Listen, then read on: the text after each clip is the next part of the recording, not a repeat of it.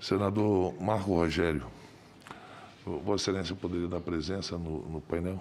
Aí já tem quórum até. Sim, eu sei. Então, as oitivas, a gente não está fazendo transferência de sigilo, pode ficar tranquilo.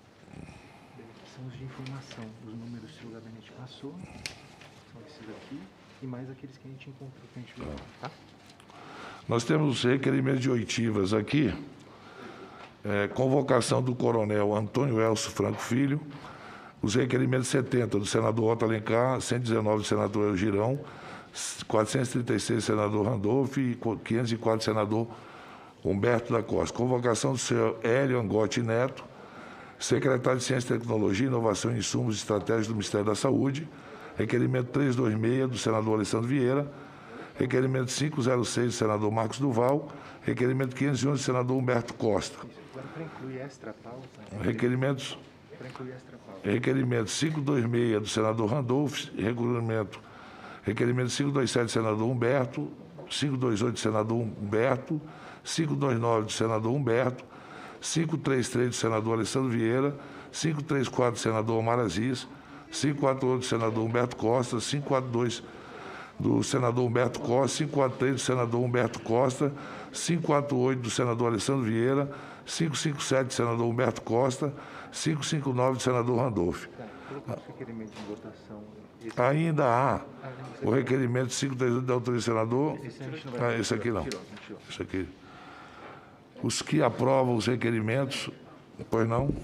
É, esses requerimentos todos estão pautados? Então, Não, é, foram incluídos Ah, não, foi- pautas, os de informação. requerimento os, de- os nós- requerimentos de informação é extra pauta. O que nós, o que nós estamos votando agora é o extra pauta. Sem problema nenhum, votaremos quinta-feira o extra pauta. O, quanto a de informações, sem problema. senhor Sem presidente. problema Mas de, nenhum. De convocação Então, sempre. Retira o. Acho que as informações. Informações não tem problema. Não, de né? informação não tem problema. É. Só em relação à questão de convocação, porque Não, aí não, tem que. Convocação, nós vamos. é, nós temos já. Porque a gente faz aquele entendimento de lado a primeiro, lado. Dia primeiro será o secretário estadual de saúde do estado do Amazonas. Isso. porque até o dia 27 nós já temos pauta. Aí, dia 2, dia 3, é, nós vamos ainda convocar essas pessoas, eu acho, ou se não foram convocadas, é, podemos fazê-lo amanhã ou na quinta. Ok? Sem problema. Então a gente está votando essas convocações e os requerimentos de informação. Tá bom. Em votação, aqueles que aprovam permaneçam como estão. Aprovado. Eu quero que quero convidar o chanceler Ernesto Araújo para que ele possa ser ouvido pela comissão.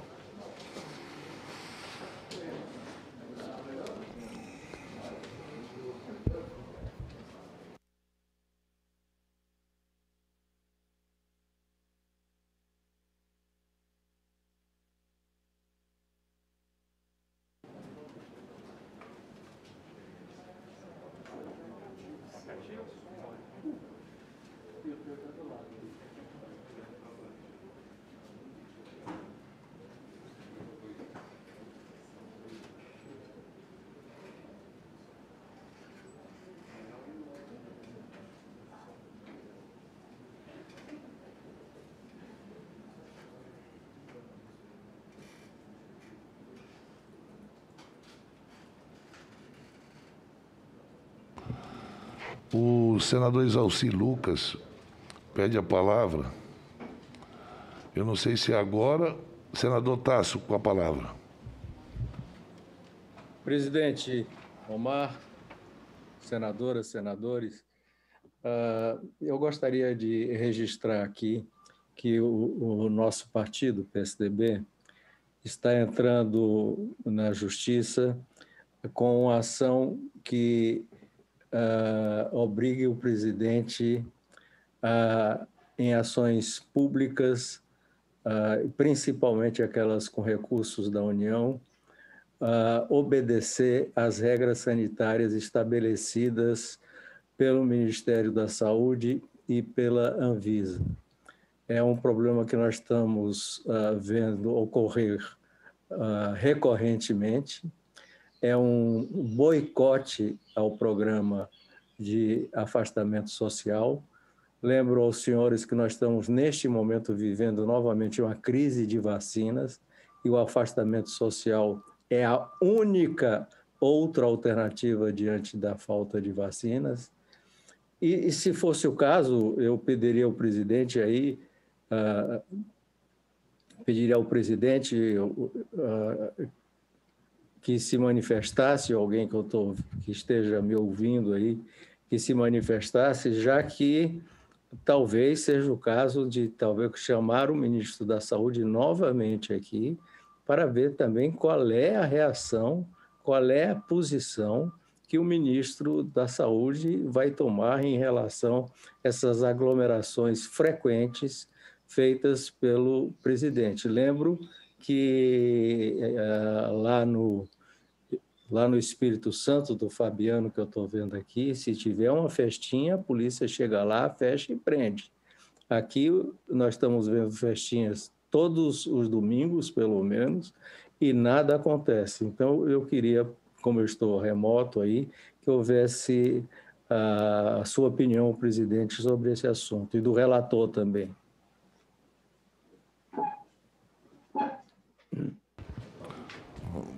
Com a palavra, o relator, o senador Tassi, fez o questionamento.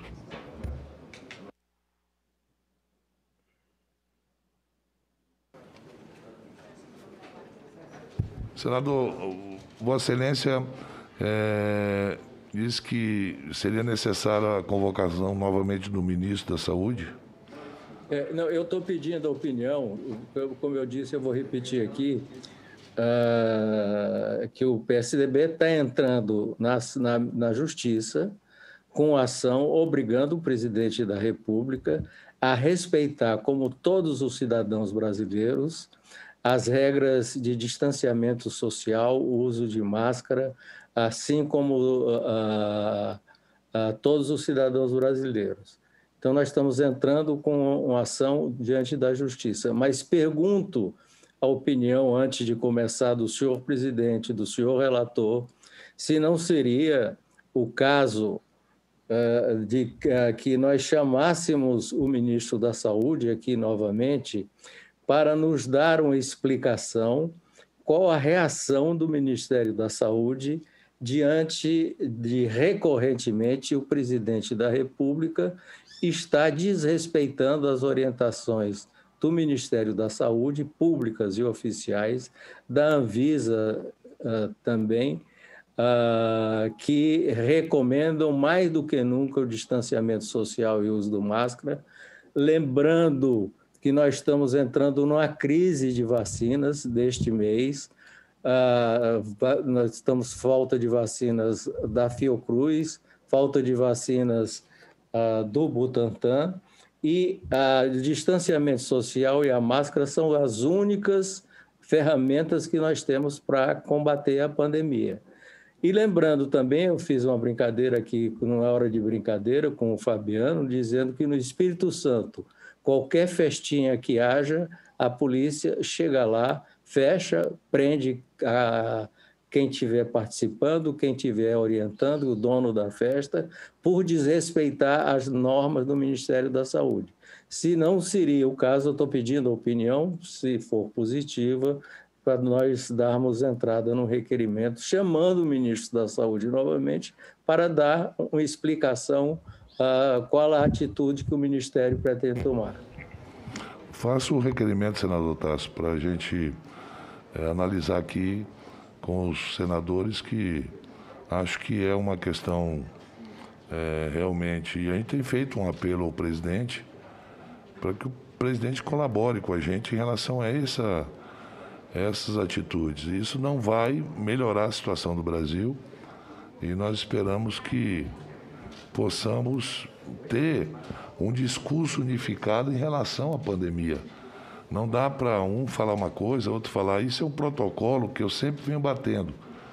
Essa CPI tem que sair com leis em relação à prescrição de remédios, tem que sair com leis em relação à, pandemia, qual será o comportamento, independente de quem seja o presidente, quem seja governador e quem seja prefeito.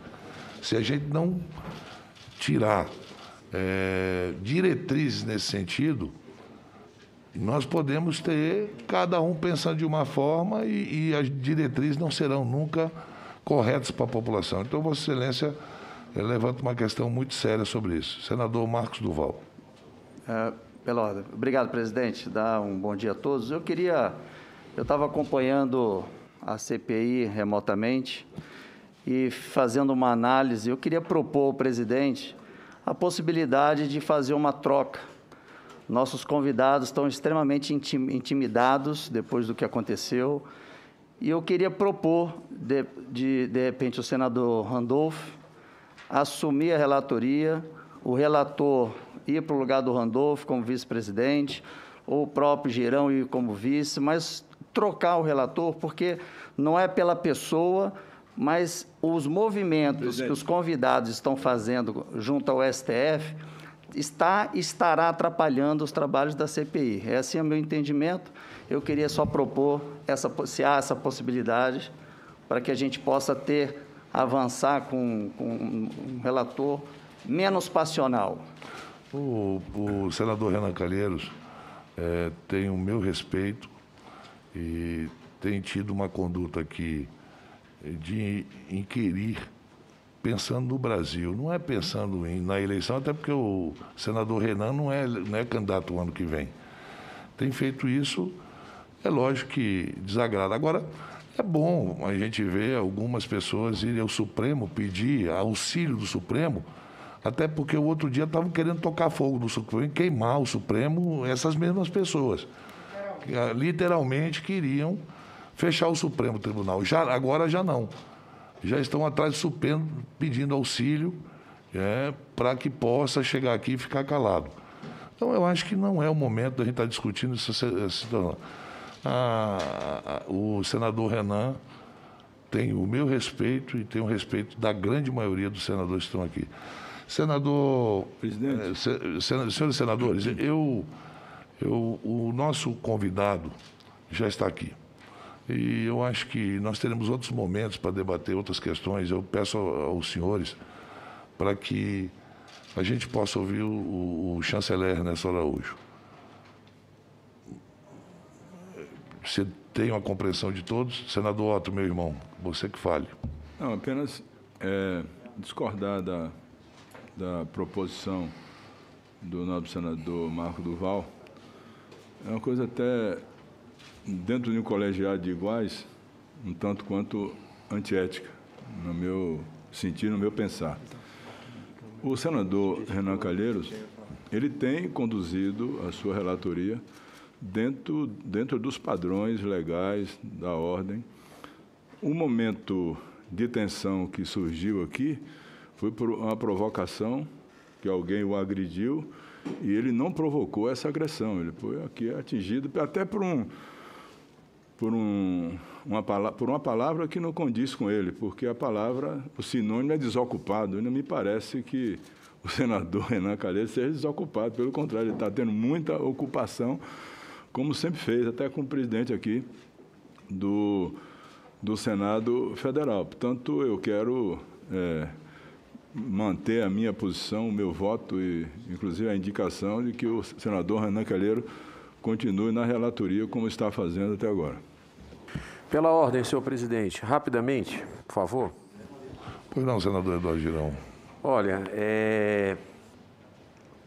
eu queria só colocar o seguinte: a população brasileira que ainda é, acompanha essa CPI que começou com uma grande expectativa em relação ao nosso povo, espera de nós uma posição equilibrada, espera de nós uma busca realmente técnica pela verdade.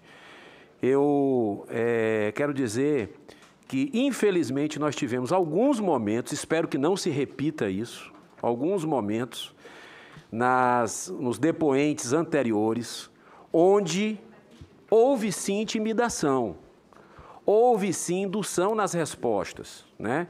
Teve colegas aqui que ficaram atentos a cada palavra dito e nós chegamos ao cúmulo de alguma coisa dito pelo depoente, o senador relator Renan Calheiros, é, depois dizer uma outra coisa que não foi colocado.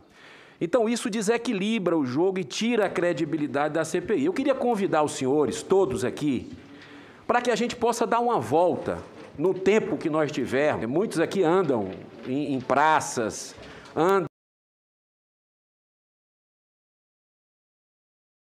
aqui de Brasília. Gosto sempre que é de conversar com as pessoas.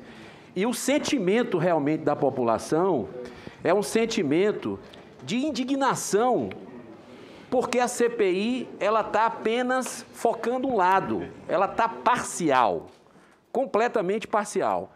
E esse equilíbrio é muito importante.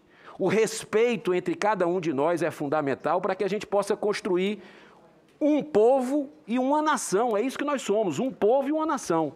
Então eu queria falar para o senhor é isso que eu espero não ver espetáculos como nós tivemos aqui na semana passada. Vai prender, não vai prender, vai prender, aquela coisa toda, porque isso é um péssimo exemplo que a gente dá aqui nos trabalhos que a gente está fazendo oh, e vai derretendo a credibilidade dessa CPI. Ok. Não, é, não adianta tentar constranger o relator, tentar diminuir o trabalho do relator, que, que esse negócio não vai pegar para a população.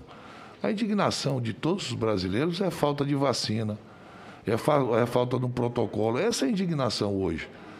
Dizer que a população está indignada porque o, o, relator foi mais duro ou menos duro, isso aí não. O que a, a população do meu estado, que sofreu muito, pede é vacina. É, eu, todo momento é vacina. Então, eu acho que nós estamos indo no caminho certo, é excesso de ambas as partes, e a gente tenta contemporizar e pedir o auxílio para que a gente possa trabalhar plenamente na CPI e ouvir todas aquelas pessoas que serão necessárias. Senhor eu presidente, vou, senhor eu, presidente, eu, eu concordo que vacina é fundamental, é, não tenho a menor é, dúvida. É, é, Agora sabe... vamos dar uma volta ali na feira dos importados, ali, na antiga feira do Paraguai, para ver o que, é que as pessoas estão achando dessa CPI. Eu faço esse convite. Senhor, senhor presidente, senhor presidente, só, só para posicionar adequadamente. É, é, é, melhor, é melhor ir no hospital. É muito melhor fazer a visita a um hospital. Para a estrela do Brasil agora. Paciência, pô. Por favor. Pois não, senador. É, é um pela ordem, só para comunicar a Vossa Excelência, é o seguinte. Acabamos de oficializar a Vossa Excelência. Presidente, é, acabamos de oficializar a Vossa Excelência alguns colegas dessa Comissão Parlamentar de Inquérito eu creio que não devam ser todos, mas alguns colegas, têm recebido é, nas suas comunicações pessoais, têm recebido no seu WhatsApp e de diversas formas, diferentes tipos de ameaças. Me parece que é claramente uma ação coordenada, presidente. Então, com base na Lei 1579, 18 de março de 1952, especificamente ipsiliteri, com o artigo 4 que estabelece o seguinte: constitui especificamente o artigo 4 dessa lei que, que estabelece o seguinte: constitui crime impedir ou tentar impedir, mediante violência, ameaça ou assuadas o regular funcionamento de comissão parlamentar de inquérito ou livre exercício das atribuições de seus membros. Pena a estabelecida no artigo 329 do Código Penal. Diante da Lei 1579, presidente, acabei de oficiar a Vossa Excelência para que encaminhe para a Polícia Federal o conjunto de ameaças que os membros da CPI têm recebido para as providências devidas nos termos da lei será encaminhada hoje mesmo, senador Randolph. É, isso daí está virando uma rotina, né? mas o papel nosso é continuar trabalhando aqui. Eu vou ouvir a, a, o senador Isalci é, e logo em seguida o chanceler irá se posicionar. É, senador Isalci. Presidente, é, só para comunicar, eu tô, estou protocolando aí na CPI eu recebi sexta-feira o relatório do Tribunal de Contas da União de um requerimento que aprovamos na comissão do Covid, solicitando uma auditoria aqui dos recursos do Distrito Federal. Foram quase 3 bilhões neste período de pandemia onde foram detectados dezenas de irregularidades, como o direcionamento das contratações, das dispensas de licitações, indício de sobrepreço, sobrepreço superfaturado nas contratações diretas, majoração de valor registrado em ata de registro de preço, ausência de estimativa de preço para contratação de serviço, ausência de documentação exigida. Então, foram várias irregularidades. Eu estou protocolando na CPI para poder realmente confirmar aquilo que está já nos documentos acostados aí, é, relacionado à operação falso negativo. Então, é só para informar a Vossa Excelência, vou protocolar hoje aí esses documentos, presidente. É, eu vou agora passar a palavra, se assim desejar, o senador, é, o senador, o chanceler Ernesto Araújo, se ele quiser se posicionar ou, ir direto às perguntas, fica à sua, à sua disposição. O senhor prefere falar antes? Está ok. Muito obrigado, presidente. Excelentíssimo senhor presidente, excelentíssimo senhor vice-presidente, excelentíssimo senhor relator, excelentíssimos senhores senadores, excelentíssimas senhoras senadoras, demais presentes. Agradeço muito a oportunidade de contribuir para os trabalhos desta comissão informando e esclarecendo sobre as ações do Ministério das Relações Exteriores para o combate à pandemia da Covid-19 durante o período em que eu comandei o Ministério. Antes de mais nada, gostaria de destacar que o Itamaraty atua e atuou como parte do governo federal, dentro da sua esfera legal de competências e em coordenação com outras pastas, nesse caso, muito especialmente, o Ministério da Saúde, e não de maneira avulsa ou autônoma. Eu gostaria de falar das ações eh, do Itamaraty durante, eh, durante a pandemia, mas, eh, se me permite, eu gostaria antes de discorrer brevemente sobre os principais objetivos e linhas de ação que orientaram a política externa brasileira durante a minha gestão, para mostrar que nada, absolutamente nada na concepção, execução dessa política, criou qualquer percalço para o cumprimento das suas incumbências durante a pandemia. Muito pelo contrário. É, houve uma falha minha aqui. É, eu tenho que fazer duas perguntas para Vossa Excelência. Pois não. Vossa Senhoria promete, sobre a palavra de honra nos termos do artigo 230 do Código de Processo Penal, dizer a verdade que souber lhe foi perguntado? Prometo. A partir desse momento, Vossa Senhoria está sob o compromisso de dizer a verdade nos artigos, nos termos do artigo 203 do Código de Processo Penal.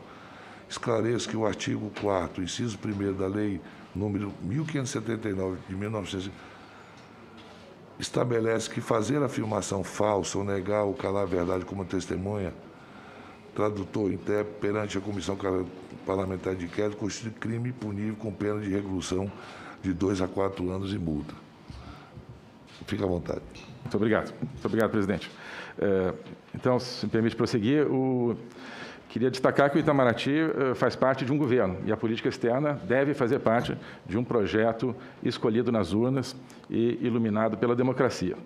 E é natural que um governo eleito com um projeto de mudanças profundas no Brasil tivesse uma política externa diferente das anteriores, que correspondiam a outros projetos políticos. Em quatro dimensões principais, o Itamaraty, na minha gestão, procurou contribuir para essas mudanças. A primeira é o comércio internacional e a inserção econômica. Nós implementamos uma política comercial compatível com o objetivo de abrir e dinamizar a economia e transformar o Brasil numa verdadeira economia de mercado, competitiva, moderna, diversificada, sem dependência do Estado, capaz de gerar empregos de qualidade para todos, com agro, indústria e serviços todos pujantes. A economia fundamentalmente estatal que tínhamos, onde até grandes empresas dependiam do Estado, onde praticamente todos os atores econômicos dependiam de conexões políticas para o seu modelo de negócios, onde os recursos da nação eram alocados seguindo uma lógica político-partidária e não uma lógica econômica, gerou estagnação, atraso e imensas oportunidades para a corrupção. Uma política comercial muito tímida reforçava esse processo. Diante disso, adotamos, na minha gestão, a política comercial mais ambiciosa e mais intensa que já tivemos montamos um conjunto dinâmico de parcerias internacionais. Concluímos as negociações de dois grandes acordos de livre comércio, com a União Europeia e o EFTA. Avançamos nas negociações com Canadá, Singapura e Coreia. Decidimos pela abertura de negociações com a Indonésia e o Vietnã. Concluímos instrumentos de várias naturezas, sempre favoráveis aos negócios, com os Estados Unidos, China, Índia, Japão, Israel, Emirados Árabes, Arábia Saudita e muitos outros. No Mercosul, tivemos, em 2019, com a presidência brasileira no segundo semestre daquele ano, aquele que foi considerado o ano mais produtivo da história do bloco, onde concluímos acordos importantes entre os sócios, para dar apenas um exemplo, o acordo de facilitação de comércio, que elimina barreiras não tarifárias entre eles. Adotamos uma nova atitude na OMC, derrubando velhos preconceitos negociadores e assumindo um papel de protagonismo no processo de reforma da organização, com iniciativas concretas como a adesão ao acordo de compras governamentais e propostas de eliminação de subsídios industriais e agrícolas que distorcem o comércio. Redobramos os esforços na promoção comercial através do próprio Itamaraty e da Apex, com reconhecido aumento da eficiência em todos os setores, entre os quais gostaria de destacar as vendas do agronegócio e dos produtos de defesa. Colocamos o Brasil a um passo de iniciar o seu processo de tornar-se membro da OCDE. Ao aderir àquela organização, o Brasil fixará normas e se sujeitará a padrões das principais sociedades democráticas e economias de mercado do mundo, tanto em áreas clássicas do intercâmbio econômico, como os investimentos e as transferências financeiras, como em áreas tão ou mais importantes, para o nosso processo de transformação, como a educação, o combate à corrupção e a sustentabilidade ambiental. A segunda dimensão é a segurança e o combate ao crime organizado na nossa região para a defesa da democracia. Identificamos que o crime é o principal obstáculo à consolidação democrática e à prosperidade na América Latina e especialmente na América do Sul debelar o crime organizado em todos os seus aspectos, narcotráfico, terrorismo, tráfico de pessoas, tráfico de metais preciosos, corrupção e lavagem de dinheiro, que serve a todos esses delitos, eis o principal requisito para a integração regional, um dos objetivos da nossa Constituição. Para enfrentar a grande ameaça do crime e defender a democracia, criamos, participamos da criação do ProSul, uma nova entidade de integração sul-americana, alicerçada na democracia. E atuamos em várias frentes bilaterais, regionais, eh, mundiais, com destaque para a OEA. Não podemos falar seriamente de democracia no continente americano, nem de crescimento econômico sustentável, enquanto não debelarmos o crime organizado. Terceira dimensão é o nosso trabalho nos organismos internacionais. Sempre insistimos na necessidade do bom funcionamento, transparência e eficiência dos organismos internacionais. Propugnamos pelo papel preponderante dos Estados-membros e não dos secretariados, de acordo com as próprias cartas constitutivas desses organismos. Partimos do princípio da possível e necessária complementariedade entre a dimensão nacional e a esfera multilateral de ação. Recusamos o automatismo multilateralista, aquilo que eu chamei o multilateralismo mágico, a crença irracional de que basta dar tratamento multilateral a um tema para que tudo se resolva. Trabalhamos para que o multi do multilateralismo seja respeitado e não substituído por um pensamento único. Se o Brasil quer ser livre e próspero, precisa promover, no plano internacional, as condições necessárias a essa liberdade e prosperidade. Condições que, por sua vez, serão benéficas a todas as nações. O Brasil não pode fugir à sua responsabilidade de colocar sua força no mundo em favor dos valores do povo brasileiro, os valores da liberdade da dignidade humana que são essencialmente aqueles consagrados na Declaração Universal dos Direitos Humanos, de 1948. Assim, nós nos dedicamos, durante a minha gestão, a defender o direito à vida, a liberdade de crença, a liberdade de opinião, a liberdade de expressão, o direito de todas as pessoas de escolher seus governantes, e aqui cito entre aspas, em eleições honestas, segundo um processo que salvaguarde a liberdade do voto, fecha aspas, conforme consta da Declaração Universal dos Direitos Humanos. Essa atuação não é um luxo, é um dever. Seguimos aqui, escrupulosamente, seguimos aqui o princípio constitucional da prevalência dos direitos humanos, bem como da cooperação entre os povos e o repúdio ao terrorismo e ao racismo. A quarta dimensão é a dos relacionamentos bilaterais. Nós abrimos novas frentes de promoção dos nossos interesses concretos com os mais diversos parceiros, União Europeia, China, Índia, Estados Unidos, Japão, Rússia, Reino Unido, Israel, Ucrânia, Líbano, Polônia, Hungria, países do Golfo, Austrália, Alemanha, Itália, Portugal, Espanha, França, países do Benelux, países escandinavos, Canadá, todos os países da América do Sul e muitos países da América Central e do Caribe. E concebemos uma nova relação com a África, baseada na busca da integração comercial, cooperação na segurança e promoção dos valores de identidade e identidades comuns. No Oriente Médio, conseguimos a elevação concomitante das nossas relações, tanto com Israel quanto com os países árabes. Naquele período, aconteceram os maiores avanços no processo de paz no Oriente Médio em décadas, com o apoio do Brasil. E aqui um pequeno detalhe, mas gostaria de citar: no dia em que foi assinado o acordo de paz entre Israel e os Emirados Árabes Unidos, eu fui contactado tanto pelo chanceler de Israel quanto pelo chanceler dos Emirados Árabes para se congratularem por aquele momento especial e reconhecerem a contribuição do Brasil para os horizontes que se abriam no Oriente Médio. Bem, eh, nessas relações bilaterais, nós não procuramos um mínimo denominador comum. Ao contrário, procuramos dinamizar e valorizar cada relação bilateral de acordo com as suas potencialidades e a partir de convergências de visão e não apenas das circunstâncias imediatas. Acreditamos que a paz e a cooperação não nascem da renúncia à identidade e aos seus próprios sentimentos, mas sim do respeito mútuo, da, autoconfiança e do orgulho de cada nação. À luz de todas essas considerações, senhor presidente, gostaria de falar do famoso binômio ideologia-pragmatismo, um binômio equivocado, ao qual, infelizmente, se reduzem praticamente todas as análises de política externa no Brasil. O pragmatismo diz respeito à busca dos melhores caminhos para chegar a um determinado objetivo. Mas o pragmatismo não pode ser um objetivo em si mesmo. Quem não sabe para onde está indo não pode escolher o melhor caminho. Eu apresentei desde o começo quais eram os objetivos da política externa brasileira dentro da implementação de um projeto de nação.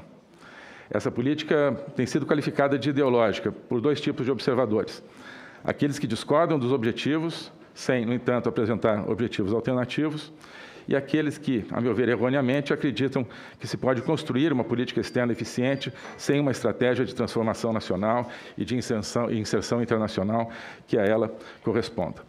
O objetivo da política externa brasileira aqui, sob orientação do presidente Jair Bolsonaro, procurei implementar, era o de contribuir para um Brasil grande, livre, consolidado como uma das grandes democracias do mundo, com uma economia de mercado mundialmente competitiva, em linha com os melhores padrões dos países desenvolvidos, na educação, no meio ambiente, na economia, com liberdade e oportunidade para todo o povo brasileiro.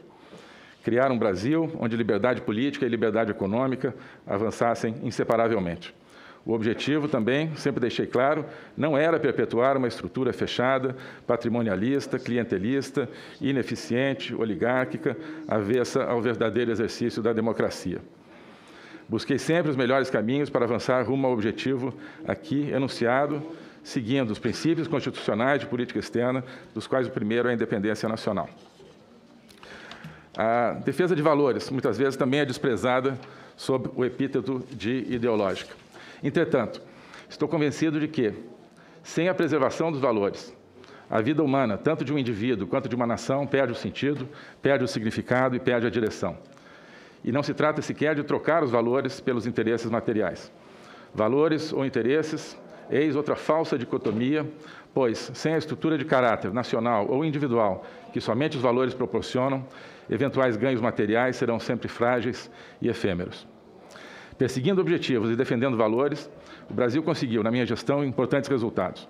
Em dois anos e três meses, assinamos 180 atos internacionais de diferentes tipos, com os mais diversos países e grupos, acordos comerciais, de cooperação técnica, tecnológicos, de investimentos, etc. A média foi mais de um acordo a cada cinco dias. Outro índice dos bons resultados encontra-se na balança comercial, onde atingimos, em 2019, o saldo de 35 bilhões de dólares e, em 2020, o saldo recorde de 50 bilhões de dólares. Diante da pandemia, especificamente, conseguimos também resultados muito significativos. O Itamaraty teve papel central desde o início na operação Regresso à Pátria Amada, que trouxe dezenas de brasileiros que se encontravam isolados em Wuhan, na China. E a partir daí, o Itamaraty executou a repatriação de mais de 38 mil brasileiros, a grande maioria em aviões ou ônibus fretados pelo governo brasileiro através do Ministério das Relações Exteriores. Muitos desses brasileiros se encontravam em situação de desvalimento no exterior e trouxemos de volta os brasileiros, tanto de países onde eles se encontravam aos milhares, quanto de países onde havia só um único brasileiro necessitado de repatriação. Ninguém ficou para trás. Foi a maior operação consular e humanitária da história do Itamaraty. No combate à Covid, propriamente dita, onde a definição das estratégias coube, coube, primordialmente ao Ministério da Saúde, o Itamaraty atuou para viabilizar as importações de doações, de equipamentos, itens de proteção pessoal e para a execução da estratégia de vacinação. Recebemos doações significativas de países como China, Estados Unidos, Japão e Alemanha. Ajudamos também, na medida das nossas possibilidades, países amigos, de diferentes maneiras. Em janeiro de 2020, logo no início do que viria a ser a pandemia, postos do Itamaraty no exterior foram instruídos a começar a prospecção de pesquisas de medicamentos e vacinas, em coordenação com o Ministério da Saúde. Manifestamos, desde junho de 2020, a intenção de aderir ao consórcio COVAX da OMS, tão logo essa iniciativa foi definida, e dela participamos ativamente desde então. Graças à qualidade das nossas relações com a Índia, fomos o primeiro país do mundo a receber vacinas exportadas por aquele país. Graças à relação madura e construtiva com a China, fomos o país do mundo que mais recebeu vacinas e insumos de vacinas fabricados naquele país. Obtivemos o desembolso de um bilhão de dólares do Banco do BRICS em favor do Brasil para o combate à pandemia. E o Brasil está participando de todos os 12 projetos escolhidos para serem financiados pelo BRICS, em concorrência pública, que se dedicam à busca de medicamentos e vacinas, entre outros aspectos. Com os Estados Unidos, estamos participando das reuniões de um grupo de autoridades de ciência e tecnologia de 14 países, coordenado pelos Estados Unidos, para compartilhar a investigação científica sobre a Covid. A qualidade das nossas relações com o Reino Unido contribuiu para a consecução de um contrato com a Oxford AstraZeneca que permite ao Brasil já nesses próximos dias, pelo que se noticia, tornar-se um dos únicos países do mundo que estão passando do status de importadores àqueles de, àquele de produtores de vacinas com transferência integral da tecnologia. Ao final da minha gestão, no Itamaraty, estavam disponíveis no Brasil aproximadamente 30 milhões de doses de vacinas contra a Covid, bem como insumos para a produção de mais cerca de 30 milhões de doses. O Brasil já era, naquele ponto, o quinto país com maior aplicação de doses de vacina no mundo em números absolutos. E, dentro do G20, era o décimo em números relativos. Portanto, das uh, cerca de 82 milhões de doses que hoje figuram no vacinômetro, como já distribuídas, e que fazem do Brasil agora o quarto país que mais vacina no mundo, cerca de 60 milhões de doses chegaram ao Brasil durante a minha gestão ou foram produzidas com insumos importados durante a minha gestão no Itamaraty. Desse modo, em suma, conduzir uma política externa voltada para o objetivo de construir um Brasil melhor e que, especificamente, contribuiu de maneira efetiva para o enfrentamento da pandemia. Muito obrigado, presidente. Vou passar a palavra ao relator, senador Renan Calheiros, com a palavra. Presidente Omar Aziz, é, vice-presidente Randolfo Rodrigues, é, senhores líderes, senhores senadores, senadora Cátia Abreu, que é presidente da Comissão de Relações Exteriores. É... Ministro, muito obrigado por sua presença nessa comissão parlamentar de inquérito. Nosso propósito, como todos sabem, é esclarecer, iluminar os compartimentos cinzentos desse enfrentamento à pandemia especialmente nas relações internacionais, é, e agilizar fundamentalmente o calendário de vacinação. É, a sua presença no Ministério das Relações Exteriores foi marcada por polêmicas e quebra de posições tradicionais da diplomacia brasileira essa quebra de paradigmas é, não passou desapercebida pelos especialistas nacionais e internacionais, nem mesmo na pandemia suas posições mudaram. O que pode, evidentemente, por isso estamos aqui, ter trazido sérias consequências para a saúde da população brasileira. É, até hoje, já morreram 436.862 é, brasileiros e suas famílias, pais, tios, irmãos, sobrinhos, é, têm o direito, sim, de saber o que aconteceu. É, desde o início da pandemia, no Brasil, ficou claro que seria necessário realizar compras internacionais de equipamentos, insumos, e medicamentos para o combate à Covid-19. O governo federal, primeira pergunta, definiu uma política internacional para lidar com as questões relativas à pandemia? Em que instrumento ela foi formalizada? Obrigado, senador. Bem, uh, o governo federal não acredito que tenha definido um documento único uh, de orientações para a atuação internacional. Uh, as orientações surgiram em diferentes momentos.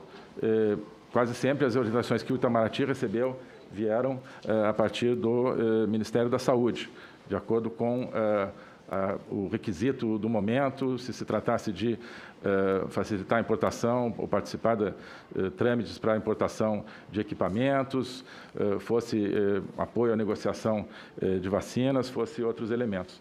Mas não tem conhecimento de um plano único, se é isso que o senhor Vossa Excelência se referiu, de, da dimensão internacional do enfrentamento da pandemia.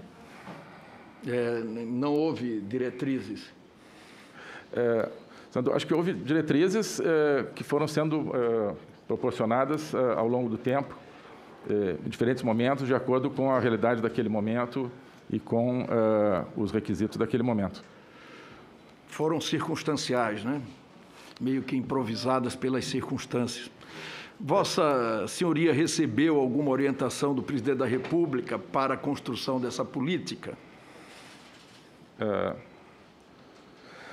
uh, Senador, não recebi diretamente, eh, eh, como eu digo, instruções do presidente de maneira geral sobre o, a implementação dessa, dessa política.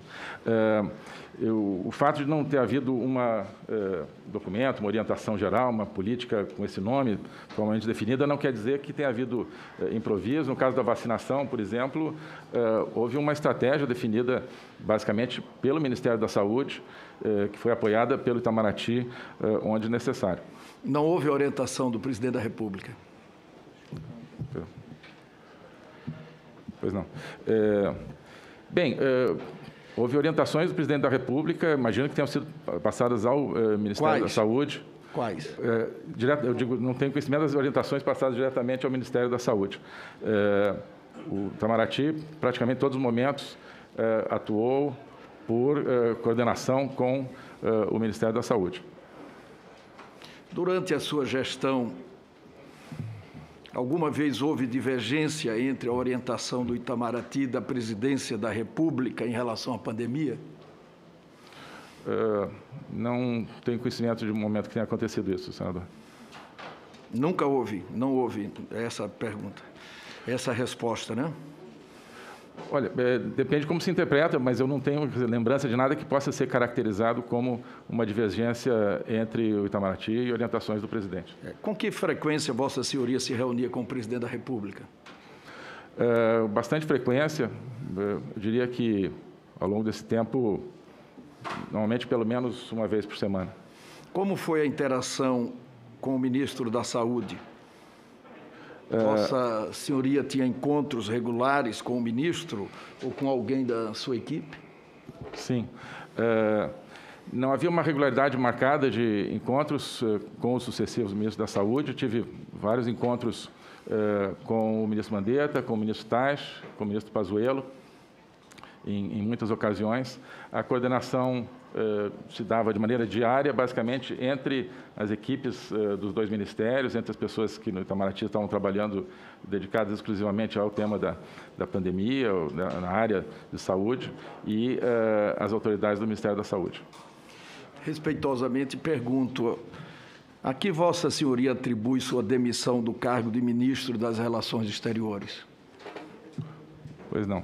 É, certamente não a questão de vacinas, como foi é, falado. É, o é, presidente me manifestou que é, haviam surgido, é, a partir de determinados fatos, dificuldades que poderiam dificultar o relacionamento, especificamente com o Senado, e, diante disso, me pediu que colocasse à disposição o cargo que eu fiz. Houve alguma estratégia de política internacional específica para a obtenção de vacinas contra a Covid durante a sua presença no Ministério das Relações Exteriores? Uh, sim, houve uma estratégia, como eu disse, definida ao que eu sei, fundamentalmente pelo Ministério da Saúde, é, uma estratégia que, mas sempre em coordenação conosco, quando necessário, em coordenação com o Itamaraty, uma estratégia que abrangeu é, as negociações com a, Oxford AstraZeneca, que abrangeu uh, negociações uh, com, enfim, a participação nossa na, no consórcio COVAX e, enfim, outras uh, iniciativas definidas a partir da avaliação do Ministério da Saúde, que é, ao meu ver, quem tem a condição de definir quais são as melhores vacinas, qual é a melhor estratégia, e o Ministério ao qual, claro, Importante lembrar, foi uh, atribuído o orçamento específico destinado à compra de vacinas, uh, aprovado pelo Congresso Nacional. O Ministério das Relações Exteriores atuou no acordo com a Oxford AstraZeneca? Uh, apenas, é, não, apenas em aspectos de apoio logístico. Nós não participamos da negociação do conteúdo do, do acordo. O que o Ministério das Relações Exteriores fez concretamente para que o Brasil obtivesse mais vacinas? Pois não, como eu digo, sempre a partir eh, de orientações de quem centralizava a estratégia de vacinação, que era o Ministério da Saúde, e, portanto, não de forma autônoma. Eh, reiterando, então, eh, desde o começo, na verdade, da pandemia, antes de ser declarada a pandemia, ainda em janeiro de, de 2000, eh, já instruímos eh, vários postos no exterior e já então, a pedido do Ministério da Saúde, para que eh, prospectassem pesquisas que estivessem surgindo sobre medicamentos e vacinas. Então, houve, houve um trabalho conjunto com o Ministério da Saúde? Sim, sempre um trabalho conjunto com o Ministério da Saúde. É, o Ministério das Relações Exteriores manteve contato com nações amigas e parceiros comerciais para que se aproximassem de acordo para aquisições de vacina? Uh, sim, quando necessário, sim. Com quais países? Sim, em diferentes momentos uh, tivemos tratativas basicamente com a Índia e a China e também com o Reino Unido em apoio ao processo de confecção do acordo com a Oxford AstraZeneca. Quais países têm cooperado mais com o Brasil nesse sentido? Pois não. Se, se me permite, senador, em relação à, à pergunta anterior, favor, só para complementar, é, também com os Estados Unidos da América nós é, entramos em contato assim que se surgiu a é, perspectiva de uma talvez é, liberação de exportações de vacinas é, por parte dos Estados Unidos, o excedente que eles criaram também, estabelecemos esse, esse contato. É, então, a pergunta seguinte é sobre a... É, quais países têm cooperado mais com o Brasil nesse sentido? E qual o espaço da China nesse contexto? Perfeito, perfeito. É, sim, eu destacaria justamente a, a China e a Índia é, é como os países que mais têm é, cooperado, com os quais temos nos relacionado mais nesse, nesse contexto. a Índia, através da exportação de vacinas prontas, o Brasil foi o primeiro país que recebeu vacinas exportadas pela Índia. Eh, recebemos dois lotes, depois havia perspectiva de mais lotes que foram interrompidos quando a Índia interrompeu todas as suas exportações eh, de, de vacinas. Continuamos tentando, até o final da minha gestão, tentamos que fosse reaberto esse, esse processo. Mas, de toda forma, recebemos quantidade significativa. Qual o contexto que a China é, enfrenta nesse contexto? Qual é a correlação de, com relação a vacinas? Ministro? Pois não, pois não.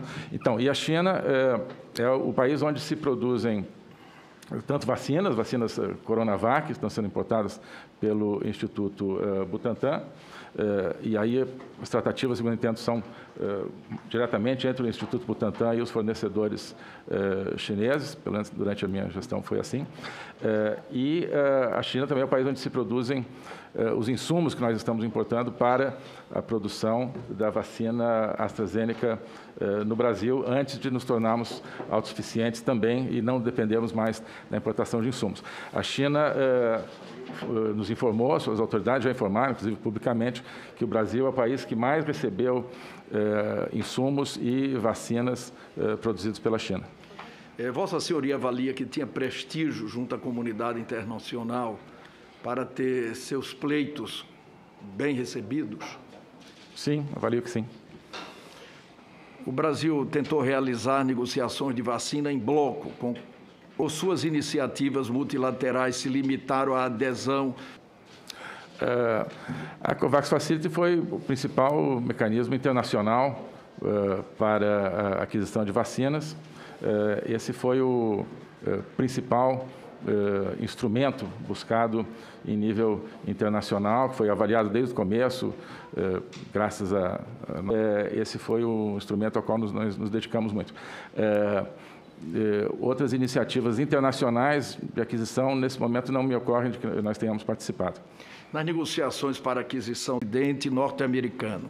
Diante disso, questionamos de que maneira essa nova política externa impactou as negociações para a aquisição de imunizantes contra a Covid-19 pelo Brasil. Pois não. Muito obrigado, senador. O aspecto da nossa política externa corresponde à realidade do que foi eh, implementado. Então, eh, não houve um alinhamento com outro país, houve uma aproximação com os Estados Unidos a partir de um distanciamento que tinha havido anteriormente, mas seja com os Estados Unidos, seja com qualquer país, o Brasil só entrou e só eh, embarcou em iniciativas que fossem do interesse brasileiro e que correspondessem aos nossos objetivos de eh, política externa. Jamais entramos em qualquer iniciativa apenas porque fosse uma iniciativa, nesse exemplo, de interesse americano. E também eh, não foi uma questão de, de ser feita em detrimento do sistema multilateral. Como eu procurei explicar, nós não temos nada contra contra o sistema multilateral, queremos que ele funcione como ele eh, se supõe que seja, é, um sistema onde países membros se reúnem e, com a ajuda de secretariados, é, negociam e estabelecem formas de é, cooperação, e não fóruns onde surgem muitas vezes se querem implementar nos países membros, e também não uh, jamais promovi uh, nenhum atrito com antes, seja durante uh, a pandemia, de modo que os resultados que nós obtivemos durante a pandemia e em outros, em outros aspectos, eles decorrem de uma política externa que foi implementada de acordo com nossos objetivos, mas que não era uma política de dias com os Estados Unidos, nem uma política isso na nossa participação na e excelente conversa com o novo secretário de Estado, Anthony Blinken, com o qual falamos de objetivos, que, continuação de objetivos que já perseguíamos antes, por exemplo, eh, promoção da democracia na América Latina e combate ao crime organizado, uma grande prioridade sobre a qual já, já falei. Eh, então, já estávamos eh, em processo de eh, reestruturar, eh, a partir dos nossos interesses e de interesses comuns, essa relação. Eu vou inverter a pergunta. Então, a proximidade com o ex-presidente dos Estados Unidos resultou em algum benefício para o combate à pandemia? Uh, acredito que sim, uh, acredito que sim, senador. Uh, nós, bem, recebemos uma doação significativa, por exemplo, de mil respiradores dos Estados Unidos, ainda em junho, um momento onde havia falta de respiradores no Brasil e em todo o mundo. houve esse convite para que o Brasil integrasse, junto com um grupo de apenas 14 países, países com maior tecnolo nível tecnológico do mundo, esse grupo ao qual me referi na intervenção inicial, coordenado pelos Estados Unidos, de eh, autoridades de pesquisa para compartilhar pesquisas eh, sobre a Covid. Eh, isso realmente é um grupo seleto, tem aqui a lista até, acho que não há nenhum outro país em desenvolvimento, se não me engano, talvez um ou dois, além do Brasil, acho que nenhum outro país latino-americano. São exemplos que, que me ocorrem. No caso das vacinas, especificamente, eh, os Estados Unidos adotou uma posição, desde o começo, de proibição total de exportação de vacinas para qualquer país. Então, claro que isso eh, não foi dirigido ao Brasil, isso se colocou como uma, eh, como uma barreira, digamos, claro, para, para a cooperação de qualquer país com os Estados Unidos nas vacinas. Mas acho que sim, houve elementos concretos nos quais a nossa boa relação com os Estados Unidos no governo Trump nos ajudaram. É, então, objetivando com relação à vacina, nada foi obtido em razão dessa relação. É, sim, é, é verdade, porque, como eu disse, os Estados Unidos é, proibiram completamente qualquer exportação de vacinas. Em 2017, é, o senhor escreveu o artigo Trump e Ocidente, no qual defende o presidente norte-americano como alguém capaz de recuperar um passado simbólico, histórico e cultural das nações ocidentais, tendo como eixos o nacionalismo e o anseio por Deus, o Deus que age na história. É, nos pouco mais de dois anos em que Vossa Senhoria foi ministro das Relações Exteriores, reuniu-se pelo menos seis vezes com o secretário de Estado norte-americano, Mike Pompeo. Uhum. É, o único encontro no território brasileiro durante a pandemia foi em Boa Vista, Roraima, em 21 de setembro de 2020, uhum. Em que pouco se discutiu sobre a pandemia, mesmo que Vossa Excelência soubesse que o Brasil já tinha 140 mil mortos por Covid. Pergunto, Naquele dia, não teria sido o caso de aproveitar as boas relações com o governo dos Estados Unidos para pedir apoio ao secretário Pompeu é, com relação à venda de vacinas de pelo menos uma das fabricantes daquele país para o Brasil? Pois não. Obrigado, senador. Bem, é, se não me engano, o encontro foi em setembro de 2020, quando ainda não havia é, vacinas já totalmente desenvolvidas e, e aprovadas, nem por parte dos Estados Unidos, acredito, e nem por outros países.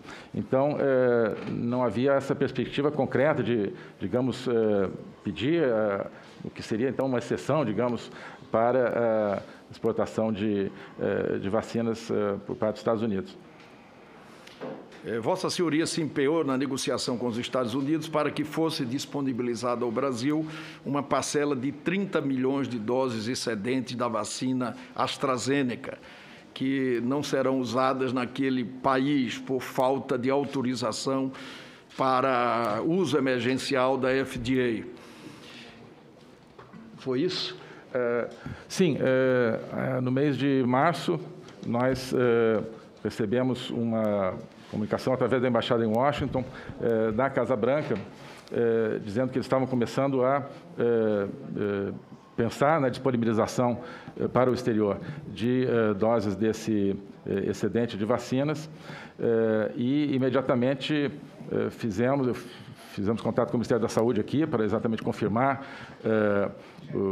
qual vacina eh, queríamos pedir eh, e eh, comunicamos imediatamente aos Estados Unidos pelos canais que a própria Casa Branca recomendou, canais discretos, porque era algo que eles não queriam que aparecesse muito em público, com a perspectiva de que o Brasil fosse contemplado esperando-se com alguma prioridade nesse, nesse processo. Então, foi partiu inclusive de uma iniciativa americana, essa, embora, claro, estávamos nossa embaixada lá conversando todos os dias com o, o, governo americano sobre esse tema, mas especificamente foi uma abertura feita pelos Estados Unidos que imediatamente nós procuramos aproveitar.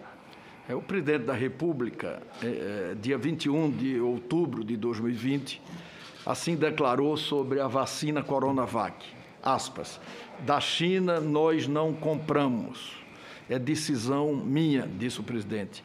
Continua ele.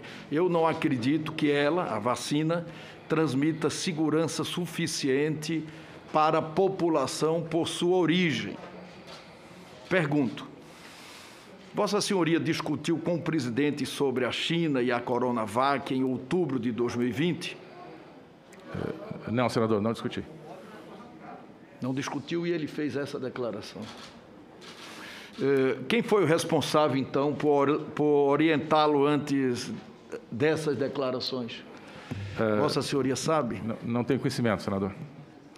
O senhor não discutiu e nem tem conhecimento de quem discutiu com ele para embasar essas declarações, não é isso? Exato. É, de quem partiu a iniciativa de, naquele momento, desdenhar da Coronavac e buscar outras alternativas? Foi do presidente da República, foi sua? Foi de terceiros? É, minha certamente não foi, interpretando que houve uma iniciativa nesse sentido, é, não, não tomei nem é, advoguei por nenhuma iniciativa nesse sentido. Não tenho conhecimento de é, outras pessoas. Nem sabe o fundamento dessa decisão que embasou a declaração do presidente? Não, não conheço. É, como Vossa Senhoria avalia o impacto das suas ações e declarações anti-chinesas em relação à atual carência de insumos para a produção de Coronavac? É, senador, se me permite, é, eu não entendo nenhuma declaração que eu tenha feito, que eu tenha feito em nenhum momento como é, anti-chinesa. É, houve determinados momentos em que, como se sabe, por notas oficiais, o Itamaraty, eu, por minha decisão, nos queixamos de comportamentos da Embaixada da China ou do embaixador da China em Brasília mas não houve nenhuma declaração que se possa qualificar como anti-chinesa. Portanto, enfim, não, não há nenhum impacto de algo que não, não existiu. Então, é, qual o seu grau de responsabilidade pela situação atual? Ou não tem responsabilidade? Ou quem teria responsabilidade? Perfeito. É, bem, é, a situação atual, se refere após a minha saída do, do cargo? Não, não, não. não da, ah. A situação da Coronavac.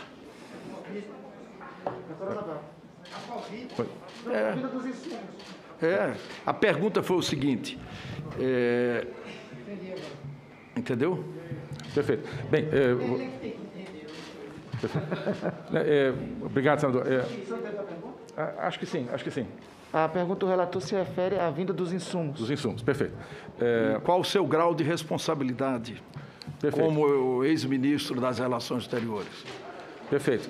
É, minha responsabilidade como ministro, é, entendo que nenhuma, nada que eu tenha feito é, pode ser caracterizado levado a qualquer percalço no recebimento é, de insumos. O Itamaraty acompanhou todo o processo de, é, burocrático de eh, liberação das exportações de insumos de vacinas eh, na China, especificamente insumos para eh, as vacinas AstraZeneca. e isso basicamente no mês de janeiro e jamais foi identificada nenhuma correlação entre o atraso que houve e qualquer uh, atuação da minha parte ou qualquer elemento político, digamos assim, oriundo do governo brasileiro. Vossa Senhoria pode nos informar presidente. quantas vezes e quando o embaixador brasileiro na China atuou para intermediar o fornecimento de vacinas ou insumos? Por favor, presidente.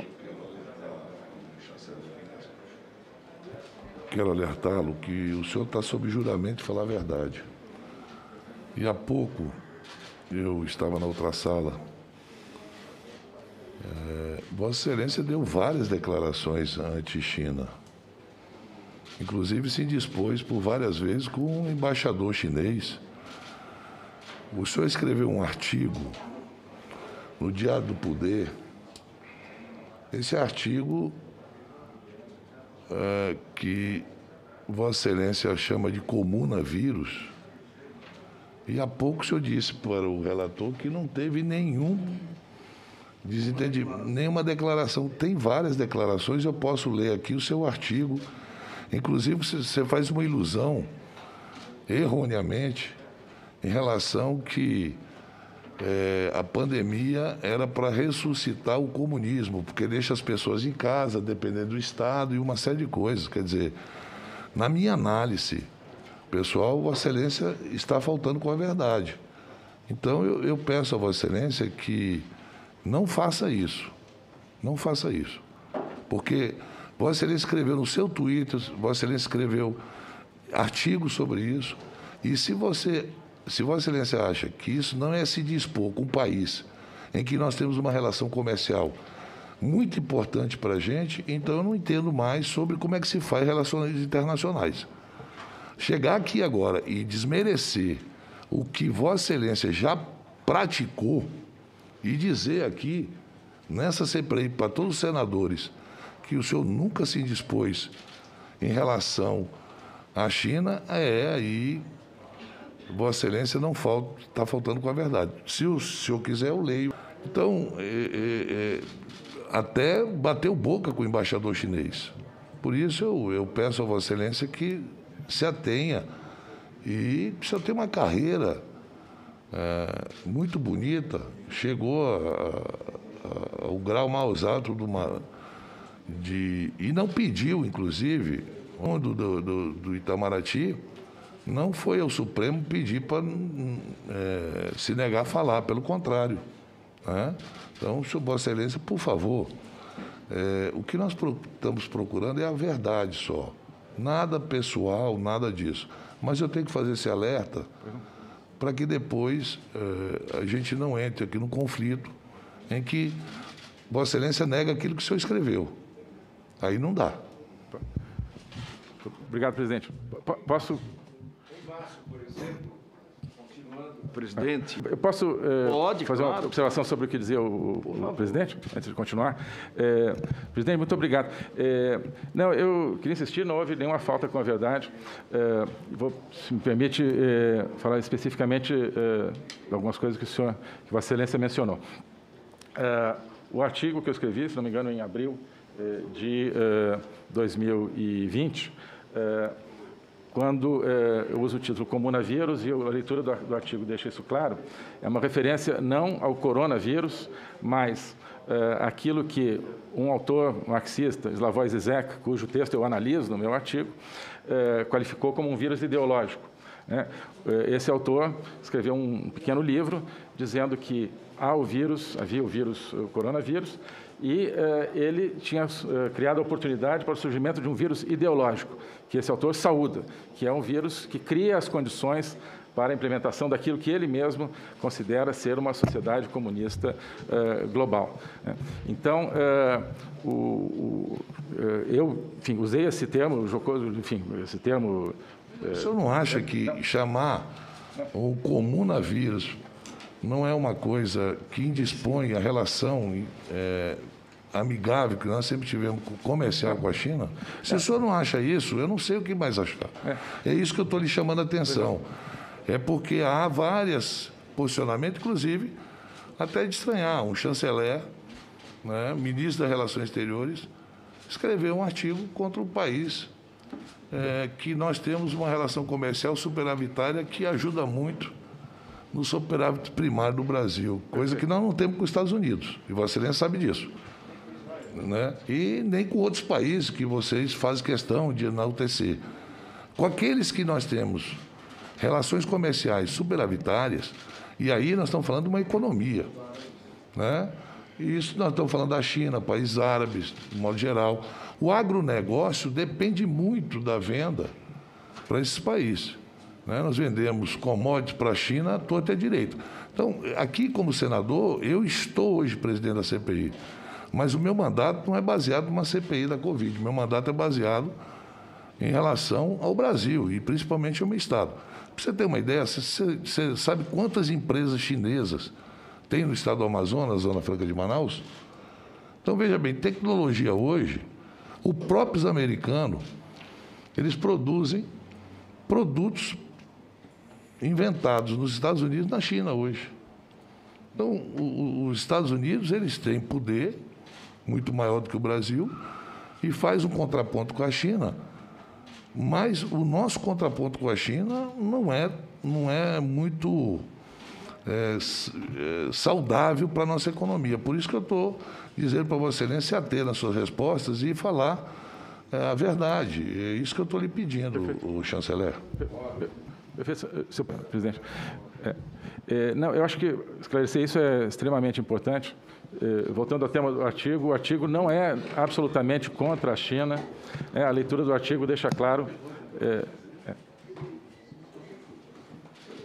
a leitura do artigo deixa isso claro.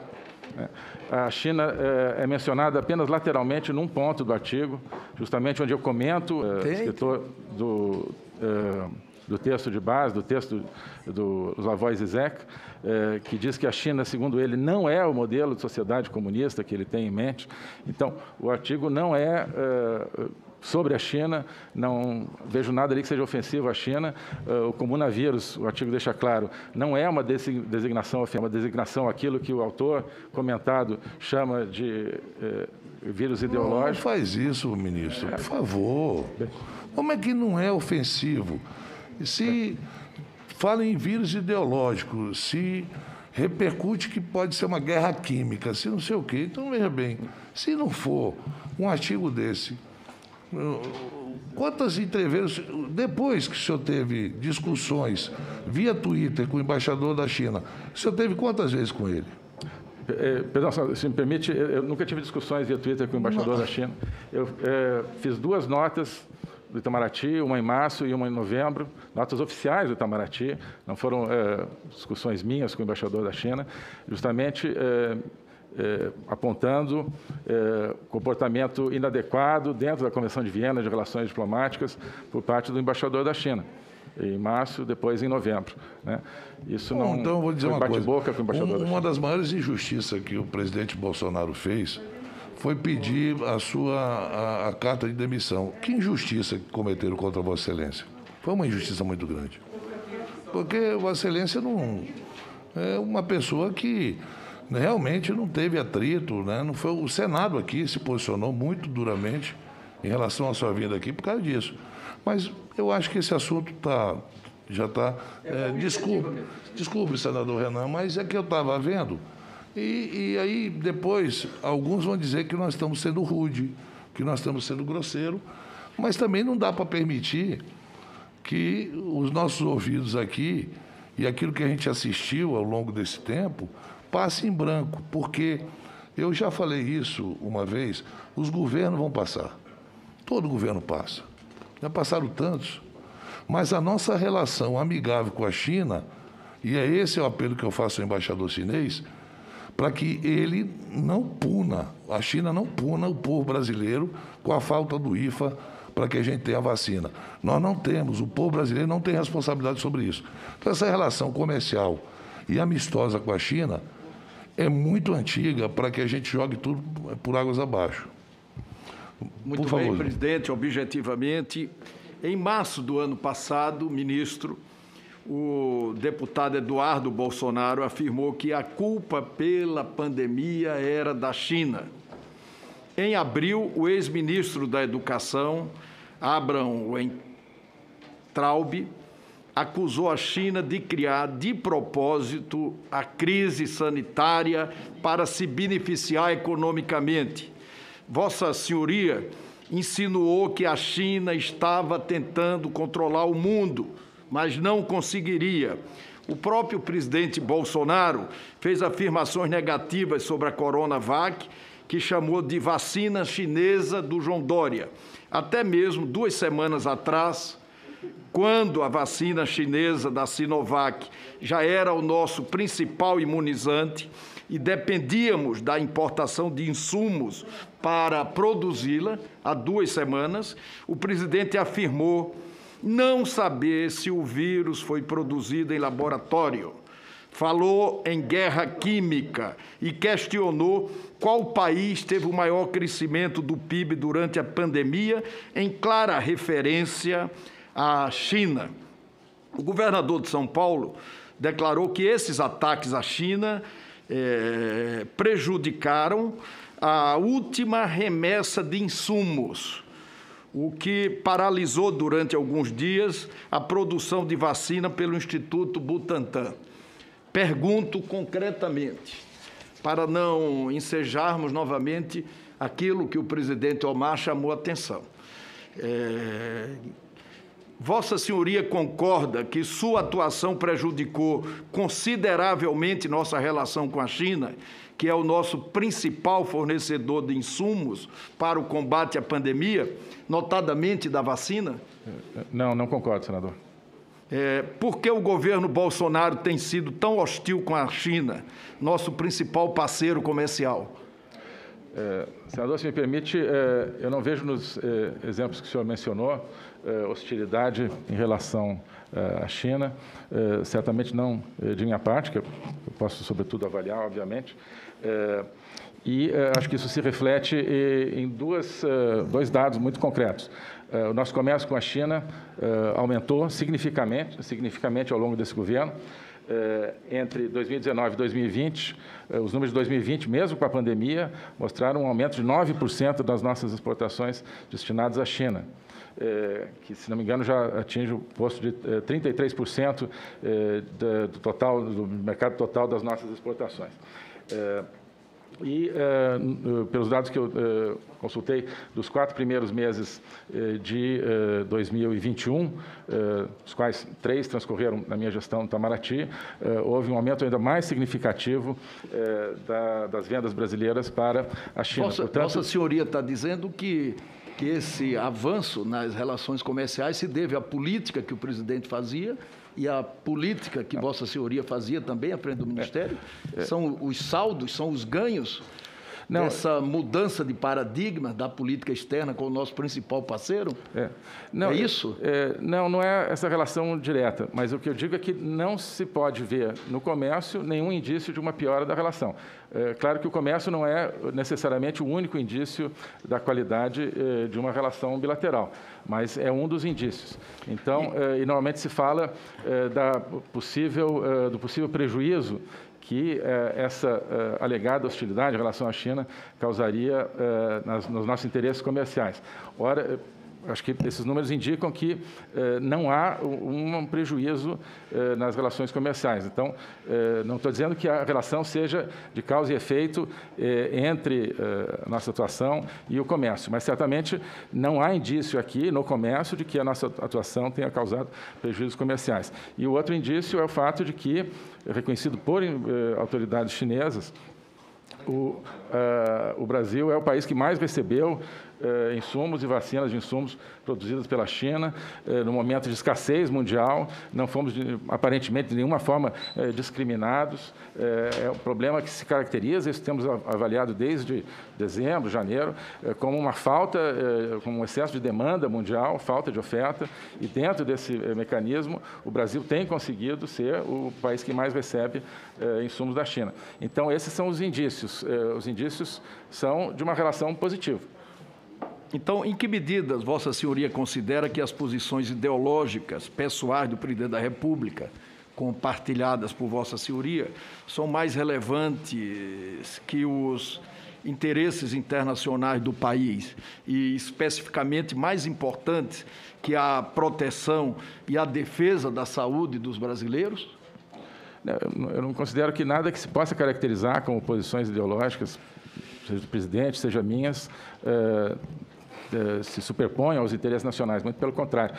No caso, posso garantir que todas as posições que eu assumi se caracterizem como se caracterizarem, sempre tiveram em conta, antes de tudo, esse norte dos interesses nacionais. Então, por que Vossa Senhoria preferiu sair em defesa do filho do presidente da República, em vez de preservar a boa relação com a China, neste episódio? É.